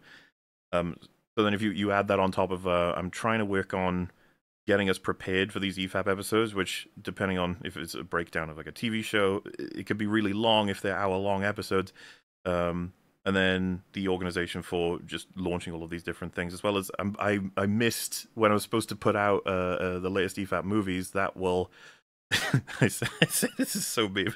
If Goga manages to remind me while I'm awake, I will get it out on time this time this Wednesday. It's, You hear um, that, Goger? Your fault. Yes, absolutely. it's uh I think Season of the Witch is the next one with uh I want to say which one's the one after that? It was in the trailer. You guys know, I'm sure. Um it was it's it's it's going to be Wednesday.